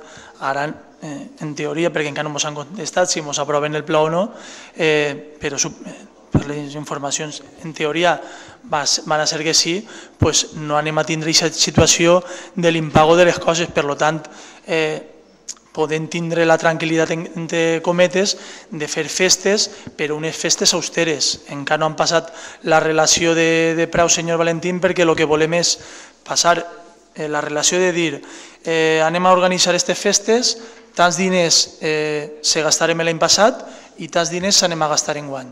Eh, i que vostès vegin el retalló de, de festes que, que va ser molt considerable, ja li puc adelantar econòmicament per a, per a lo que és l'Ajuntament. El que se gastarem l'any passat, ja, tant en les festes taurines com en les festes de, de en general, se va reduir eh, fàcilment entre un 40, un 35, un 45% de lo que ens costa l'any passat. I aquest és el nostre objectiu i el que estem negociant, l'intentar que el poble tinga els majors números de dies de festa possibles, si pot ser des de el, eh, el, el pregó que sí que volen que siga el dia 14, el dia 21 que toque la banda de la lírica i a partir del dia 27 que siguen festes fins al dia 15, l'intentar que el, el poble estiga viu durant aquests dies, però en el menor número, o sigui, en el menor, eh, en el major estalvi econòmic a, a l'Ajuntament. En, en quant tinguem el, el pressupost de tot fet, no dubtem que li supassarem perquè vegin l'estalvi real que va suposar a, a l'Ajuntament les despeses en guany de, de les festes. Eh, estan havent, eh, bueno, van a començar a haver factures d'alguna associació, però no per a fer eh, festes en concret d'aquesta associació, sinó, no, no, ho comente perquè la dinàmica que hasta que se puga eh, donar-li una ajuda a totes les associacions eh, que se vol portar hasta que eh, puguem assumir aquest repte és que simplement quan a l'Ajuntament li interessa que faci un servici a, per a l'Ajuntament, perquè vostès saben que n'hi ha moltes associacions que col·laboren en les festes o en, en, en actes aixina, que aquesta recompensa de no contratar a una empresa o no contratar a lo que siga, que se li doni una xicoteta aportació a aquesta associació per, per contribuir en les, en les festes generals del, del poble. Entonces, per això, aquesta factura a la vela latina, per, per el, el, el organitzar la prova de vela latina de, de, de lo que és la prova de falles i, i ara la que organitzaran en, eh, també per a les festes del Crist i, i un poquet, pues, poquet a poquet intentar que, que, que totes les associacions pues, que participen en les festes de l'Ajuntament pues, tinguin recompensa. No n'hi ha una partida genèrica per subvencions, que és el que llevarem, però en el capítol 2 sí que deixarem un, un xicotet una xicoteta bolsa de diners perquè totes les associacions que col·laboren de cara a l'Ajuntament pues, puguen presentar una factura eh, i, que se puga cobrar de, de, de l'Ajuntament. I per últim, ah, bueno, eh, també se m'olvidava el tema de, del ratxolar. Eh, com vostè sap, eh, tinguem les reunions tècnics municipals, eh, encara no hem citat a, veïns afectats perquè, com vostè sap, eh, li encomanarem al tècnic que ens prepararà un xicotet projecte per a poder eh, explicar-li als veïns de com com podria quedar i així anar pues, un poquet el donar la cara i el veure què és el que se pot fer. Encara no està aquest projecte, en el moment que estiga, eh, no dubte que, que avisarem als veïns per a que vinguin a l'Ajuntament i, i s'ensenyem aquest xicotet projecte que va ser quan quedarem en, en la reunió. I per últim, bueno, el tema de, de la policia, eh, se van canviant poquet a poquet, senyor Andrés, senyor Andrés, el tema de la policia pues, s'està intentant poquet a poquet el tema de la munició i les pràctiques de tir, pues, eh, s'ha demanat la sol·licitud per a la compra de munició perquè això n'hi ha que fer una sol·licitud a unes instàncies i tot, s'ha fet aquesta sol·licitud, se vol que la policia faci pràctiques de tir perquè fa molts anys que no s'han fet, s'han iniciat els procediments i en el tema de la roba pues, mm, eh, conforme estem, quan algú arriba en la roba a trencar, pues, eh, se va i se compra el material. Si poden aguantar un poquet sense, en, en el mateix uniforme, en el moment que sigui ja està inutilitzable, eh, se canvia i ja està.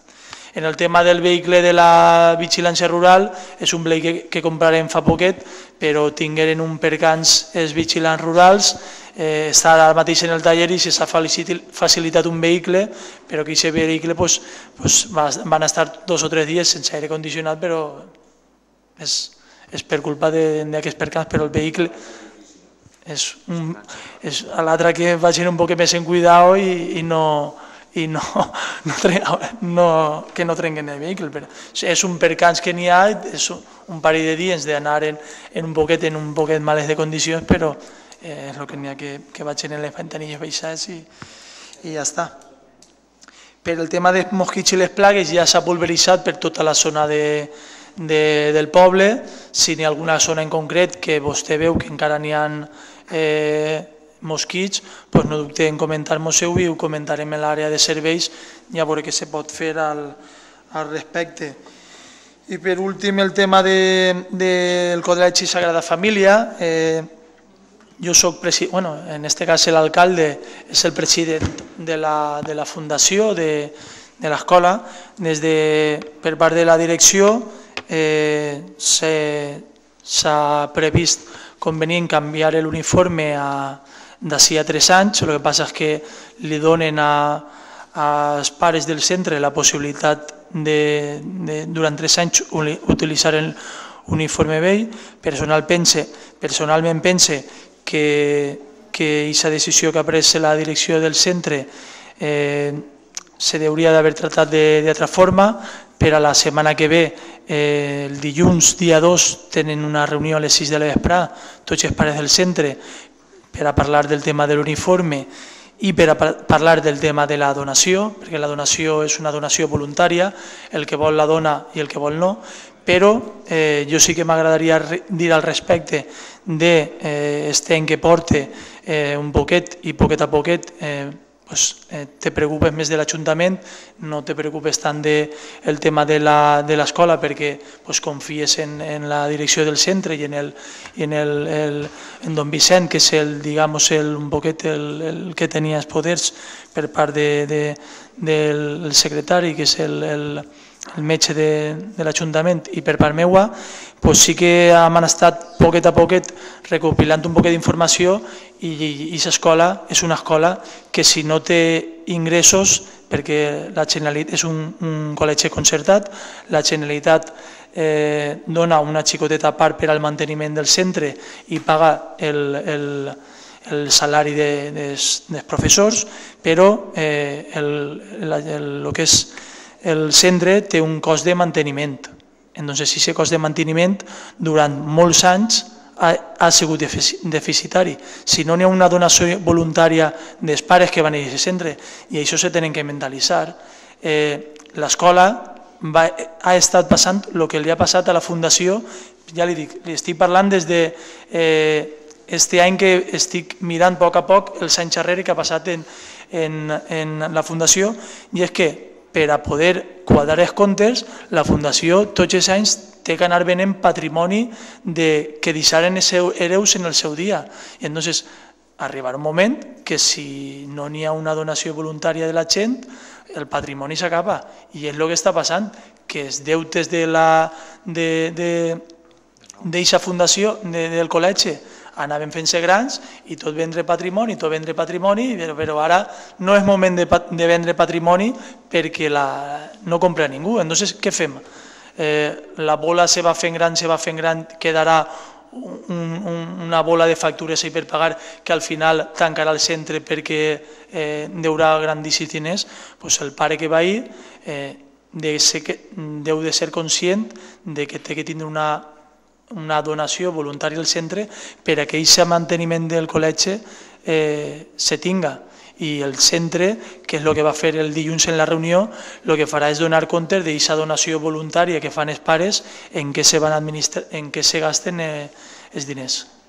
Si me permet, senyor alcalde, sí. el que no compatibilitza ni deixa incompatible és el que vostè m'està dient en la imposició de que es tingui que canviar obligatòriament l'uniforme i que, a més, es tingui que comprar en el cort inglès. Mm. O sigui, eh, o sigui, el dilluns... són, són situacions que mm. les contrastes i no té res que veure. O sigui, m'estàs demanant per una part un donatiu, però no mm. m'estàs donant facilitats per a que jo puga estalviar-me un gasto en l'uniforme o comprar-lo en altre lloc on jo puga estalviar-me diners. Mm -hmm. jo, el dilluns, jo ja per... li dic, el dilluns, este pròxim dilluns dia 2, a les 6 de la vesprà, tenen una reunió dels pares en la direcció del centre, jo aniré eh, també a la, a la reunió i, en, i allí el que podran pues fer els pares dic, és... Jo li dic eh, a vostè, però si no sap, jo, la, jo anava a escola, jo anava d'uniforme. A mi, mm. pues, a l'escola on jo anava, ens obligaven a anar d'uniforme. No?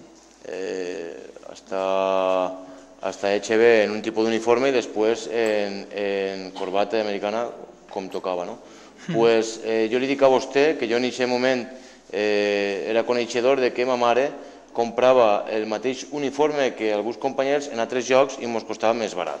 Mm. O sigui, vull dir que uniformes se'n fan en tots els tipus i donarà garanties al curt inglès, sí, però que és el lloc més car, el, també. L'uniforme oficial de, de, del col·legi ICE està des de 18, 1980 i algo en el Corte Inglés. O sea, lo que pasa es que pues, el que no ha anat al Corte Inglés ha pogut comprar-lo en qualsevol altra tenda, però l'uniforme oficial de, de, de eh, Sagrada Família eh, les, les antigues monges que n'hi havia ja feren un contrat en, en, en el Corte Inglés. El que passa és que pues, això la gent anat buscant a altres tendes uniformes similars i, i, i ha pogut estalviar-se aquests diners. Però ja li dic, totes les reivindicacions que tinguen els pares, el dilluns pròxim a les 6 de la vesprà podran fer-les... Eh... Jo li prego en aquest cas que vostè prenga en consideració la falta de sintonia entre una petició i l'altra. Eh? Mm. Jo sí que li puc assegurar que pense que les coses en aquest tema no s'han fet bé i així li ho he traslladat i li ho ha traslladat el metge de l'Ajuntament a la direcció del centre. Alcalde, gràcies. S'han esperat a sentir les explicacions perquè com que el company d'Espanya 2000 li havia fet la, la pregunta, a nosaltres sí que ens han aplegat queixes dels pares i el plantejament global és que s'adquireixen els uniformes ara en una tenda de silla i que se vol canviar el model i que l'exclusivitat d'això se la quedarà al Cort Inglés. Per tant, eh, el que estem trobant és que un negoci de silla està perdent diners i s'està que guanyar el Cort Inglés que està fora. Això és incongruent en què els diners del poble tenen que quedar en el poble, per almenys en la mesura de lo possible. Per tant, com que això es pareix una aberració a nosaltres, al grup socialista, si vostè va defendre aquesta postura, com sí que ens han dit que està defendent-la en la seva qualitat de president del patronat, compten el nostre recolzament. Si aquesta postura és en contra dels interessos dels veïns del poble i de les empreses del poble, nosaltres presentarem una queixa al patronat. D'acord? Molt bé, molt Ya, Se posats, posats a opinar pues. del uniforme, la escolarització és obligatòria i l'uniforme no.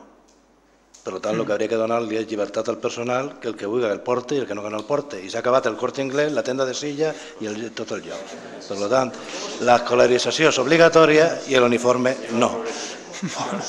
Bé, Ja, ja, però este és concertat i cobra diners públics. Cobra diners públics. Cobra diners públics. N'hi ha que començar la batalla per algun lloc.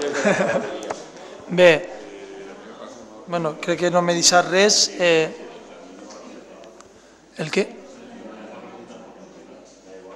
La de.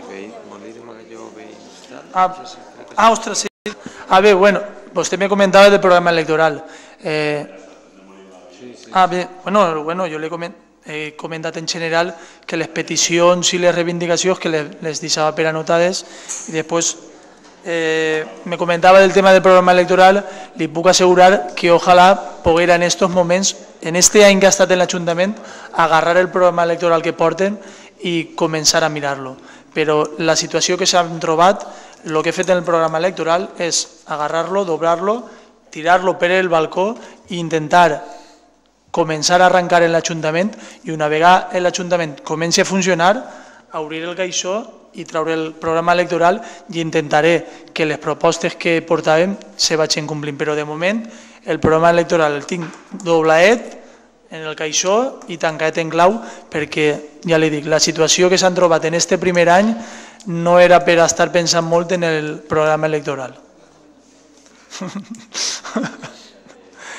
Entonces, pues res més. Eh, no sé si m'ha deixat alguna altra coseta. Eh, ens veiem el pròxim ple. Moltes gràcies a tots per l'assistència.